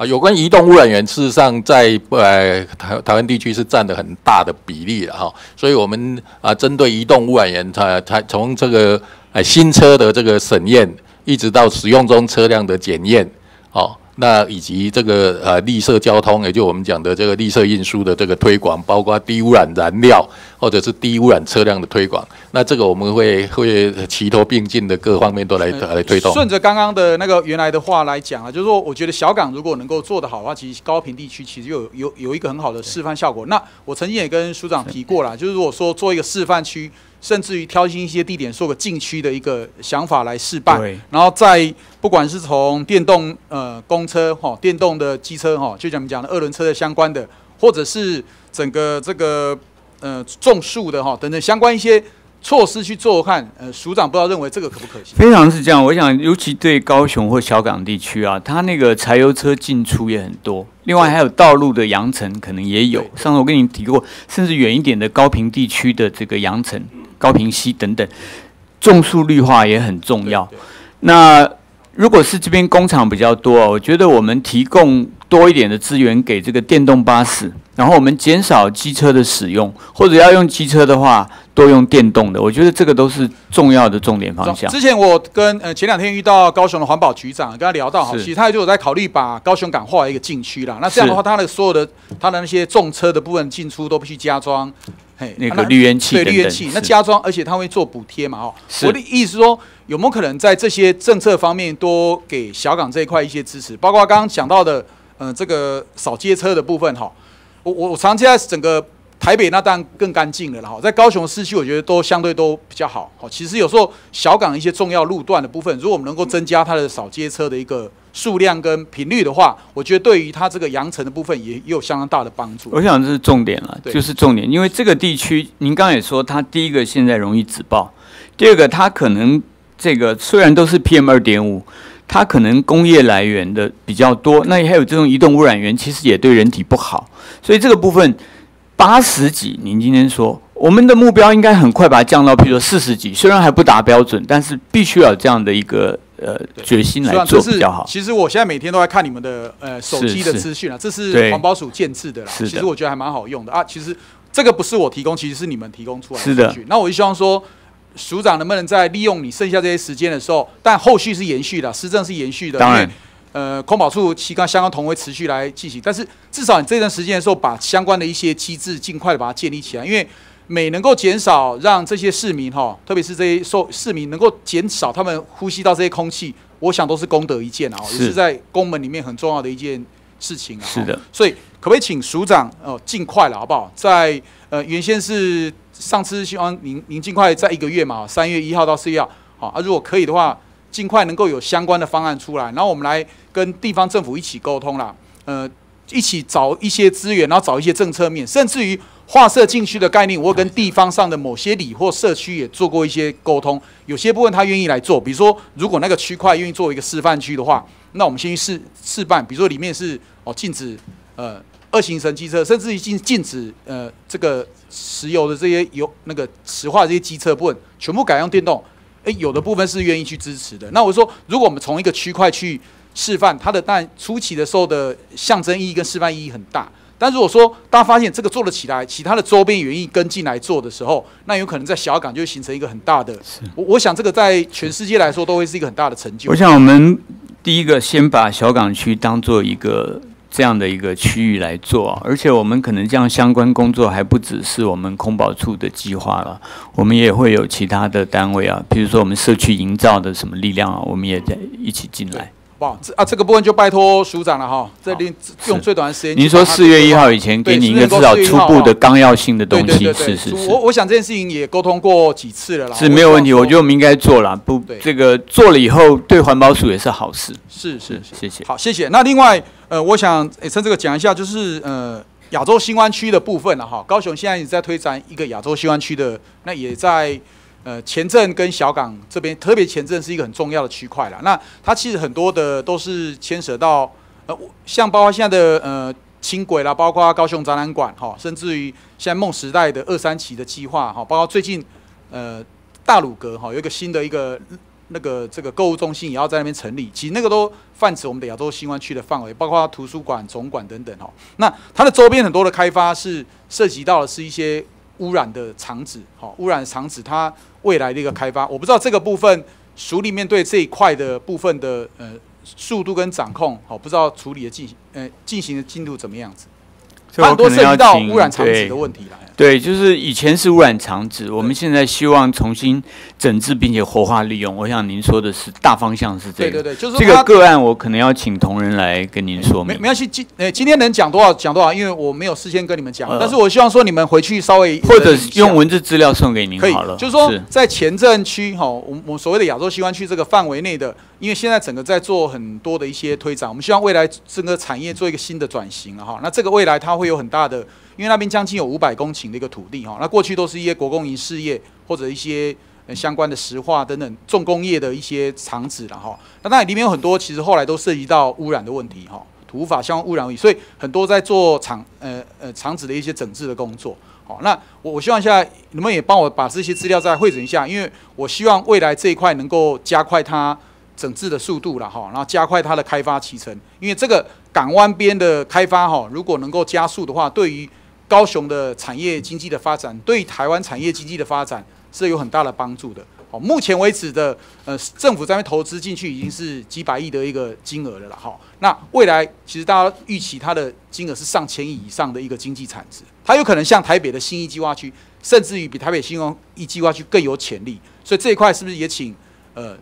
署长这边能够帮我把那个资料汇整一下，然后加快它整治的是我们从环保的角度啊，来来提供这个目前有的做法，并跟您请教有什么方呃方向应该更要加强，好不好？好的，可以，没有问题。我请同仁负责这个事情。那另外还有一个是呃登革热的问题，我看到您报告上有提到了哈。其实登革热在去年四万多例，其实是蛮严重的。是的，特别是台南跟高雄这两个地点了哈。那今年上次我看了一个成大的一个报告的时候。他们预估今年会到八万例了哈，那如果到八万例的话，大概真的是非常严峻了哈。那目前我知道，呃，小呃高雄这边的其实已经有一些状况，那我只是希望说署里面也能够大力的支持地方政府，然后提早准备的了哈，因为今年有可能真的，如果照预期是去年已经这么严重，还是去年的两倍的话，那真的是非常严重。那这个署里尽快来新的估计，我不知道怎么来的，不过去年这个痛定思痛啦啊，前车之鉴，我认为我们不会。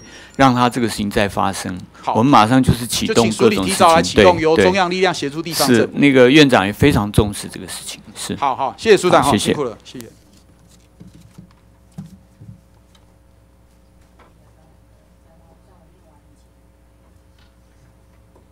叫他马上过来，哈，好好好，谢谢。那下一位，我们请赖世宝委员。赖世宝委员，赖世宝委员不在，我们请廖国栋委员。廖国栋委员，廖国栋委员不在，我们请江启成委员。江启成委员，江启成委员不在，我们请吴志阳委员。吴志阳委员，吴志阳委员不在，我们请吴思瑶委员，吴思瑶委员，吴思瑶委员不在，我们请罗明才委员。罗明才委员，罗明才委员不在，我们请郑运鹏委员。郑运鹏委员，郑运鹏委员不在，我们请陈怡杰委员。陈怡杰委员，陈怡杰委员不在，我们请蒋乃馨委员。蒋乃馨委员，蒋乃馨委员不在，我们请陈欧博委员。陈欧博委员，陈欧博委员，陈欧博委员不在，我们请何新纯委员。何新纯，何新纯委员不在，我们请卢秀燕委员。卢秀燕，卢秀燕不在，我们请吴炳瑞委员。吴炳瑞，吴炳瑞委员不在。呃，向各位报告哈，呃，我们这个吴坤玉委员哈，啊，他要做第二轮发言哈。那我们就让他在第二轮发言。那现在抱歉，本人去上个洗手间，休息一分钟，谢谢。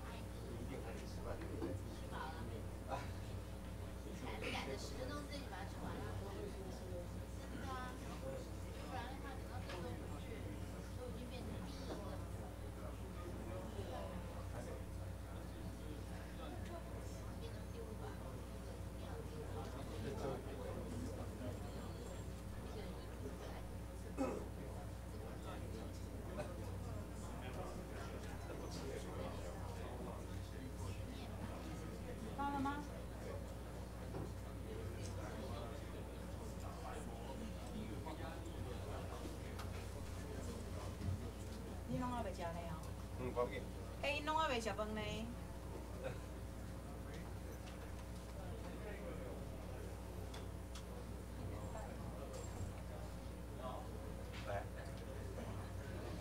好，各位，我们继续开会啊！我们现在委员可能要尽量，因为他他们都还没有吃饭。好，对对对，呃，尽量哈控制在时间里面。好，不好意思哈。好好，感谢。我们请吴坤玉委员。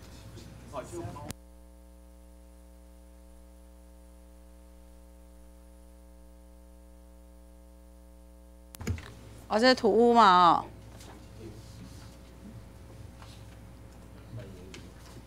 哦，抱歉哈，因为早上麦克风有吗？好早早上时间哈被占用了，所以没有咨询完。那继续哈，因为啊、想请教您，就是说，目前我们在土整治肠子或污染肠子整治的时候，我们往往需要做健康风险评估嘛。那现在评估的化学物质有哪一些？有大概有多少种？不知道您知不知道？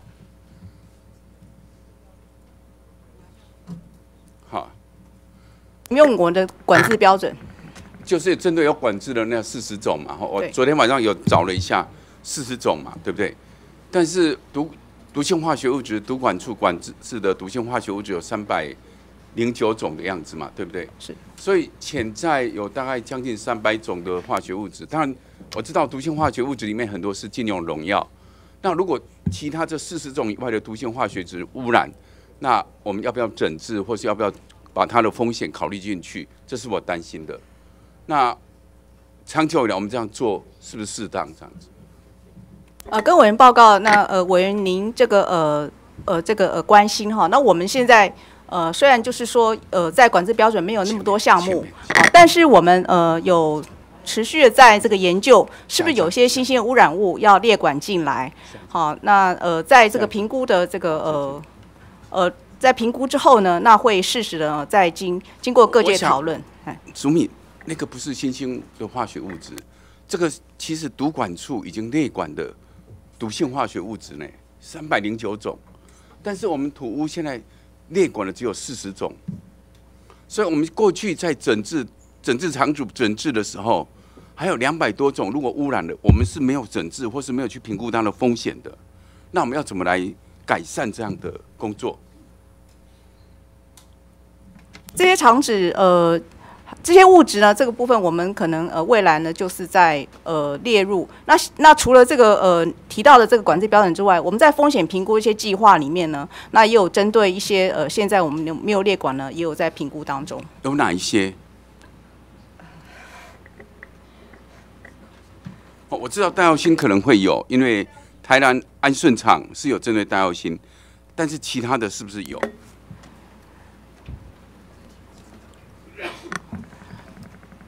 这个有些比较这个呃详细的资料是不是再提供给我？好，但是我知道很多是没有，麻烦土木基金应该尽快规划，看怎么来补正，好不好？再来就是风险评估技术规范，其实过去地方政府请我去审查，我都审到不敢审，好做的非常粗糙。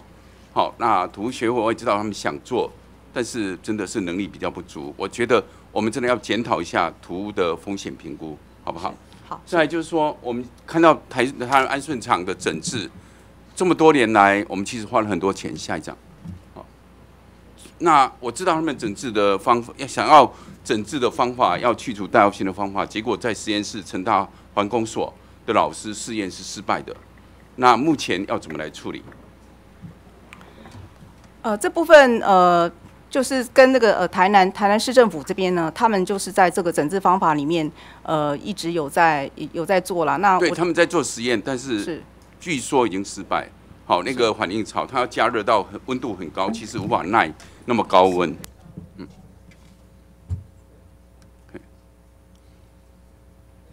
呃，报告委员，那个是安顺厂他自己本身提的。那呃，因为他是行为人，所以我们审查他的计划。对对对，是，但是。目前要怎么处理？其实那当然还有汞的问题，好，还有那个代药性的问题。那这么多年了，其实我们照顾当地的民众，还有整治已经花了数十亿以上。那目前好像没有太好的成果出来。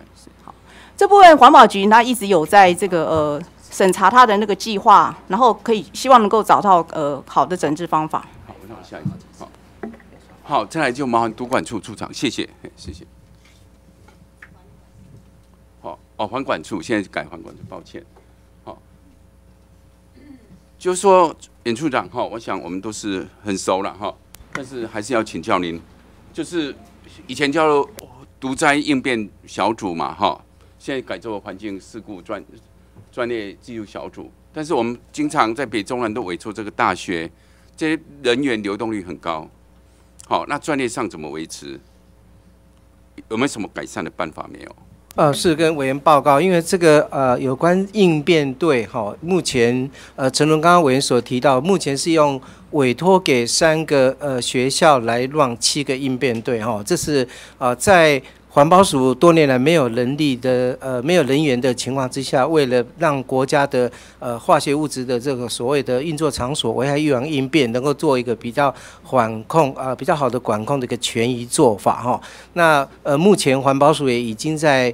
在讨论说要如何让我们应变队能够长治久安哈，那这个部分呃署里面有一些呃构想，那也跟行政院做呃几次的报告，那目前行政院要环保署这边呢继续在眼里比较可行的方式呢，那再提出呃方案，因为好不能钱丢下去中央都不负责，因为像以六轻为例，当地连续发生发生那么多的灾变，那。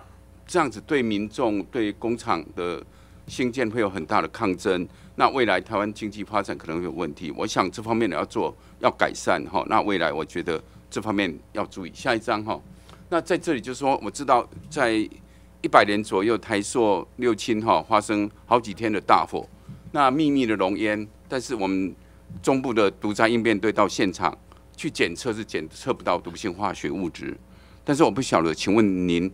觉得像这样的浓烟对健康有没有危害？那我们检测到不不到毒性化学物质就不要处理了吗？就跟环保署没有关系了吗？是不是？对，跟委员报告，如果依照毒性化学物物质管理法来讲的话，哈，在呃运作场所里面的环境的这所谓的监测工作是属于业者自己的责任。那场外的，呃，场外的话，就场外的部分我们会做环境的监测。对啊，但是因为毒性化学物质啊，在有些的部分，在过去的所谓的呃，在呃南部所发生的所谓的那个化学物质的灾害事故里面呢，呃，大部分都不是真正的刚刚委员所关心的三百一十种劣管毒化物所引起的火灾，很可能是一个公安的事件，也可能一个呃火灾的事件所烧出来的这些含有毒的化学物质，所以它不是等同于所谓毒性化学物质。当然，会不会我们管制的化学药品太少？因为好，这里其实有很多有害的物质，对人体健康、对周遭居民甚至对生态有影响的化学物质。是有些是属于原料的东西，但是有些是燃烧出来所衍生出来所谓的二次污染物的化学物质。但是因为我们没有检测，我们不知道这些被检测到了有没有用在工业上。我知道毒性化学物质管的是有用在生产工业。对，它是有价的，在工厂里面是非常没办法检测嘛，所以我们不知道里面有没有产生这样的毒性化学物质。是，所以在一般来讲，现场呃，我们环保署的毒灾应变队过去这么多年来说配置的是说，呃，到了现场是去做环境的监控，这是一点。那当然，环境监控的部分，在基本上一些呃空污的这些项目呢，都呃一定的检。检测能力哈，但是有一些比较微量、非常非常微量的东西烧出来东西，确实要去做所谓指纹的呃呃鉴定的话，那这个技术呃层面方面的是要有在精进的所以我想我们需要去改善这些增加列管的毒性化学物质。那现在请毒管啊空保处的处长好吗？谢谢委员。好，那处长像这样子的，可能有很多有害空气污染物。那目前空保处好像没有针对这一些在列管，那我们要怎么处理？空保处针对这个有害的这个空气污染物，事实上我们是有在内管的，嗨啊，我们总共现在目前是内管的一百二十九、一百二十九呃一百二十九种，那美国是内管一百八十七种了，所以我们今年度会继续来来修订哈，把相关的预定今年会新增纳管十五种，并且加严六十二种的这个空气中的有害的这个呃污染物，哎好，麻烦把这些资料给我好吗？还有。我听到包括前建筑处的科长退休，都觉得说没有列管，哈，这个这个就麻烦环保处这方面要加强严厉，不然工业区附近的居民身体健康会受到很大的威胁，好，好不好？是，谢谢。好，谢谢谢谢我们的委员哦，这么专业，这呃，我们今天本本日的会议巡答哈，全部结束。那委员王玉敏、李彦秀、林静颖和徐真卫哈，呃，所提的书面质询列入记录刊登公报啊，并请书面答复。那委员口头质询未及答复或请呃补充资料者，请于两周内答复。委员另要求期限者，从其锁定。那今天的会议到此结束，现在散会，谢谢大家。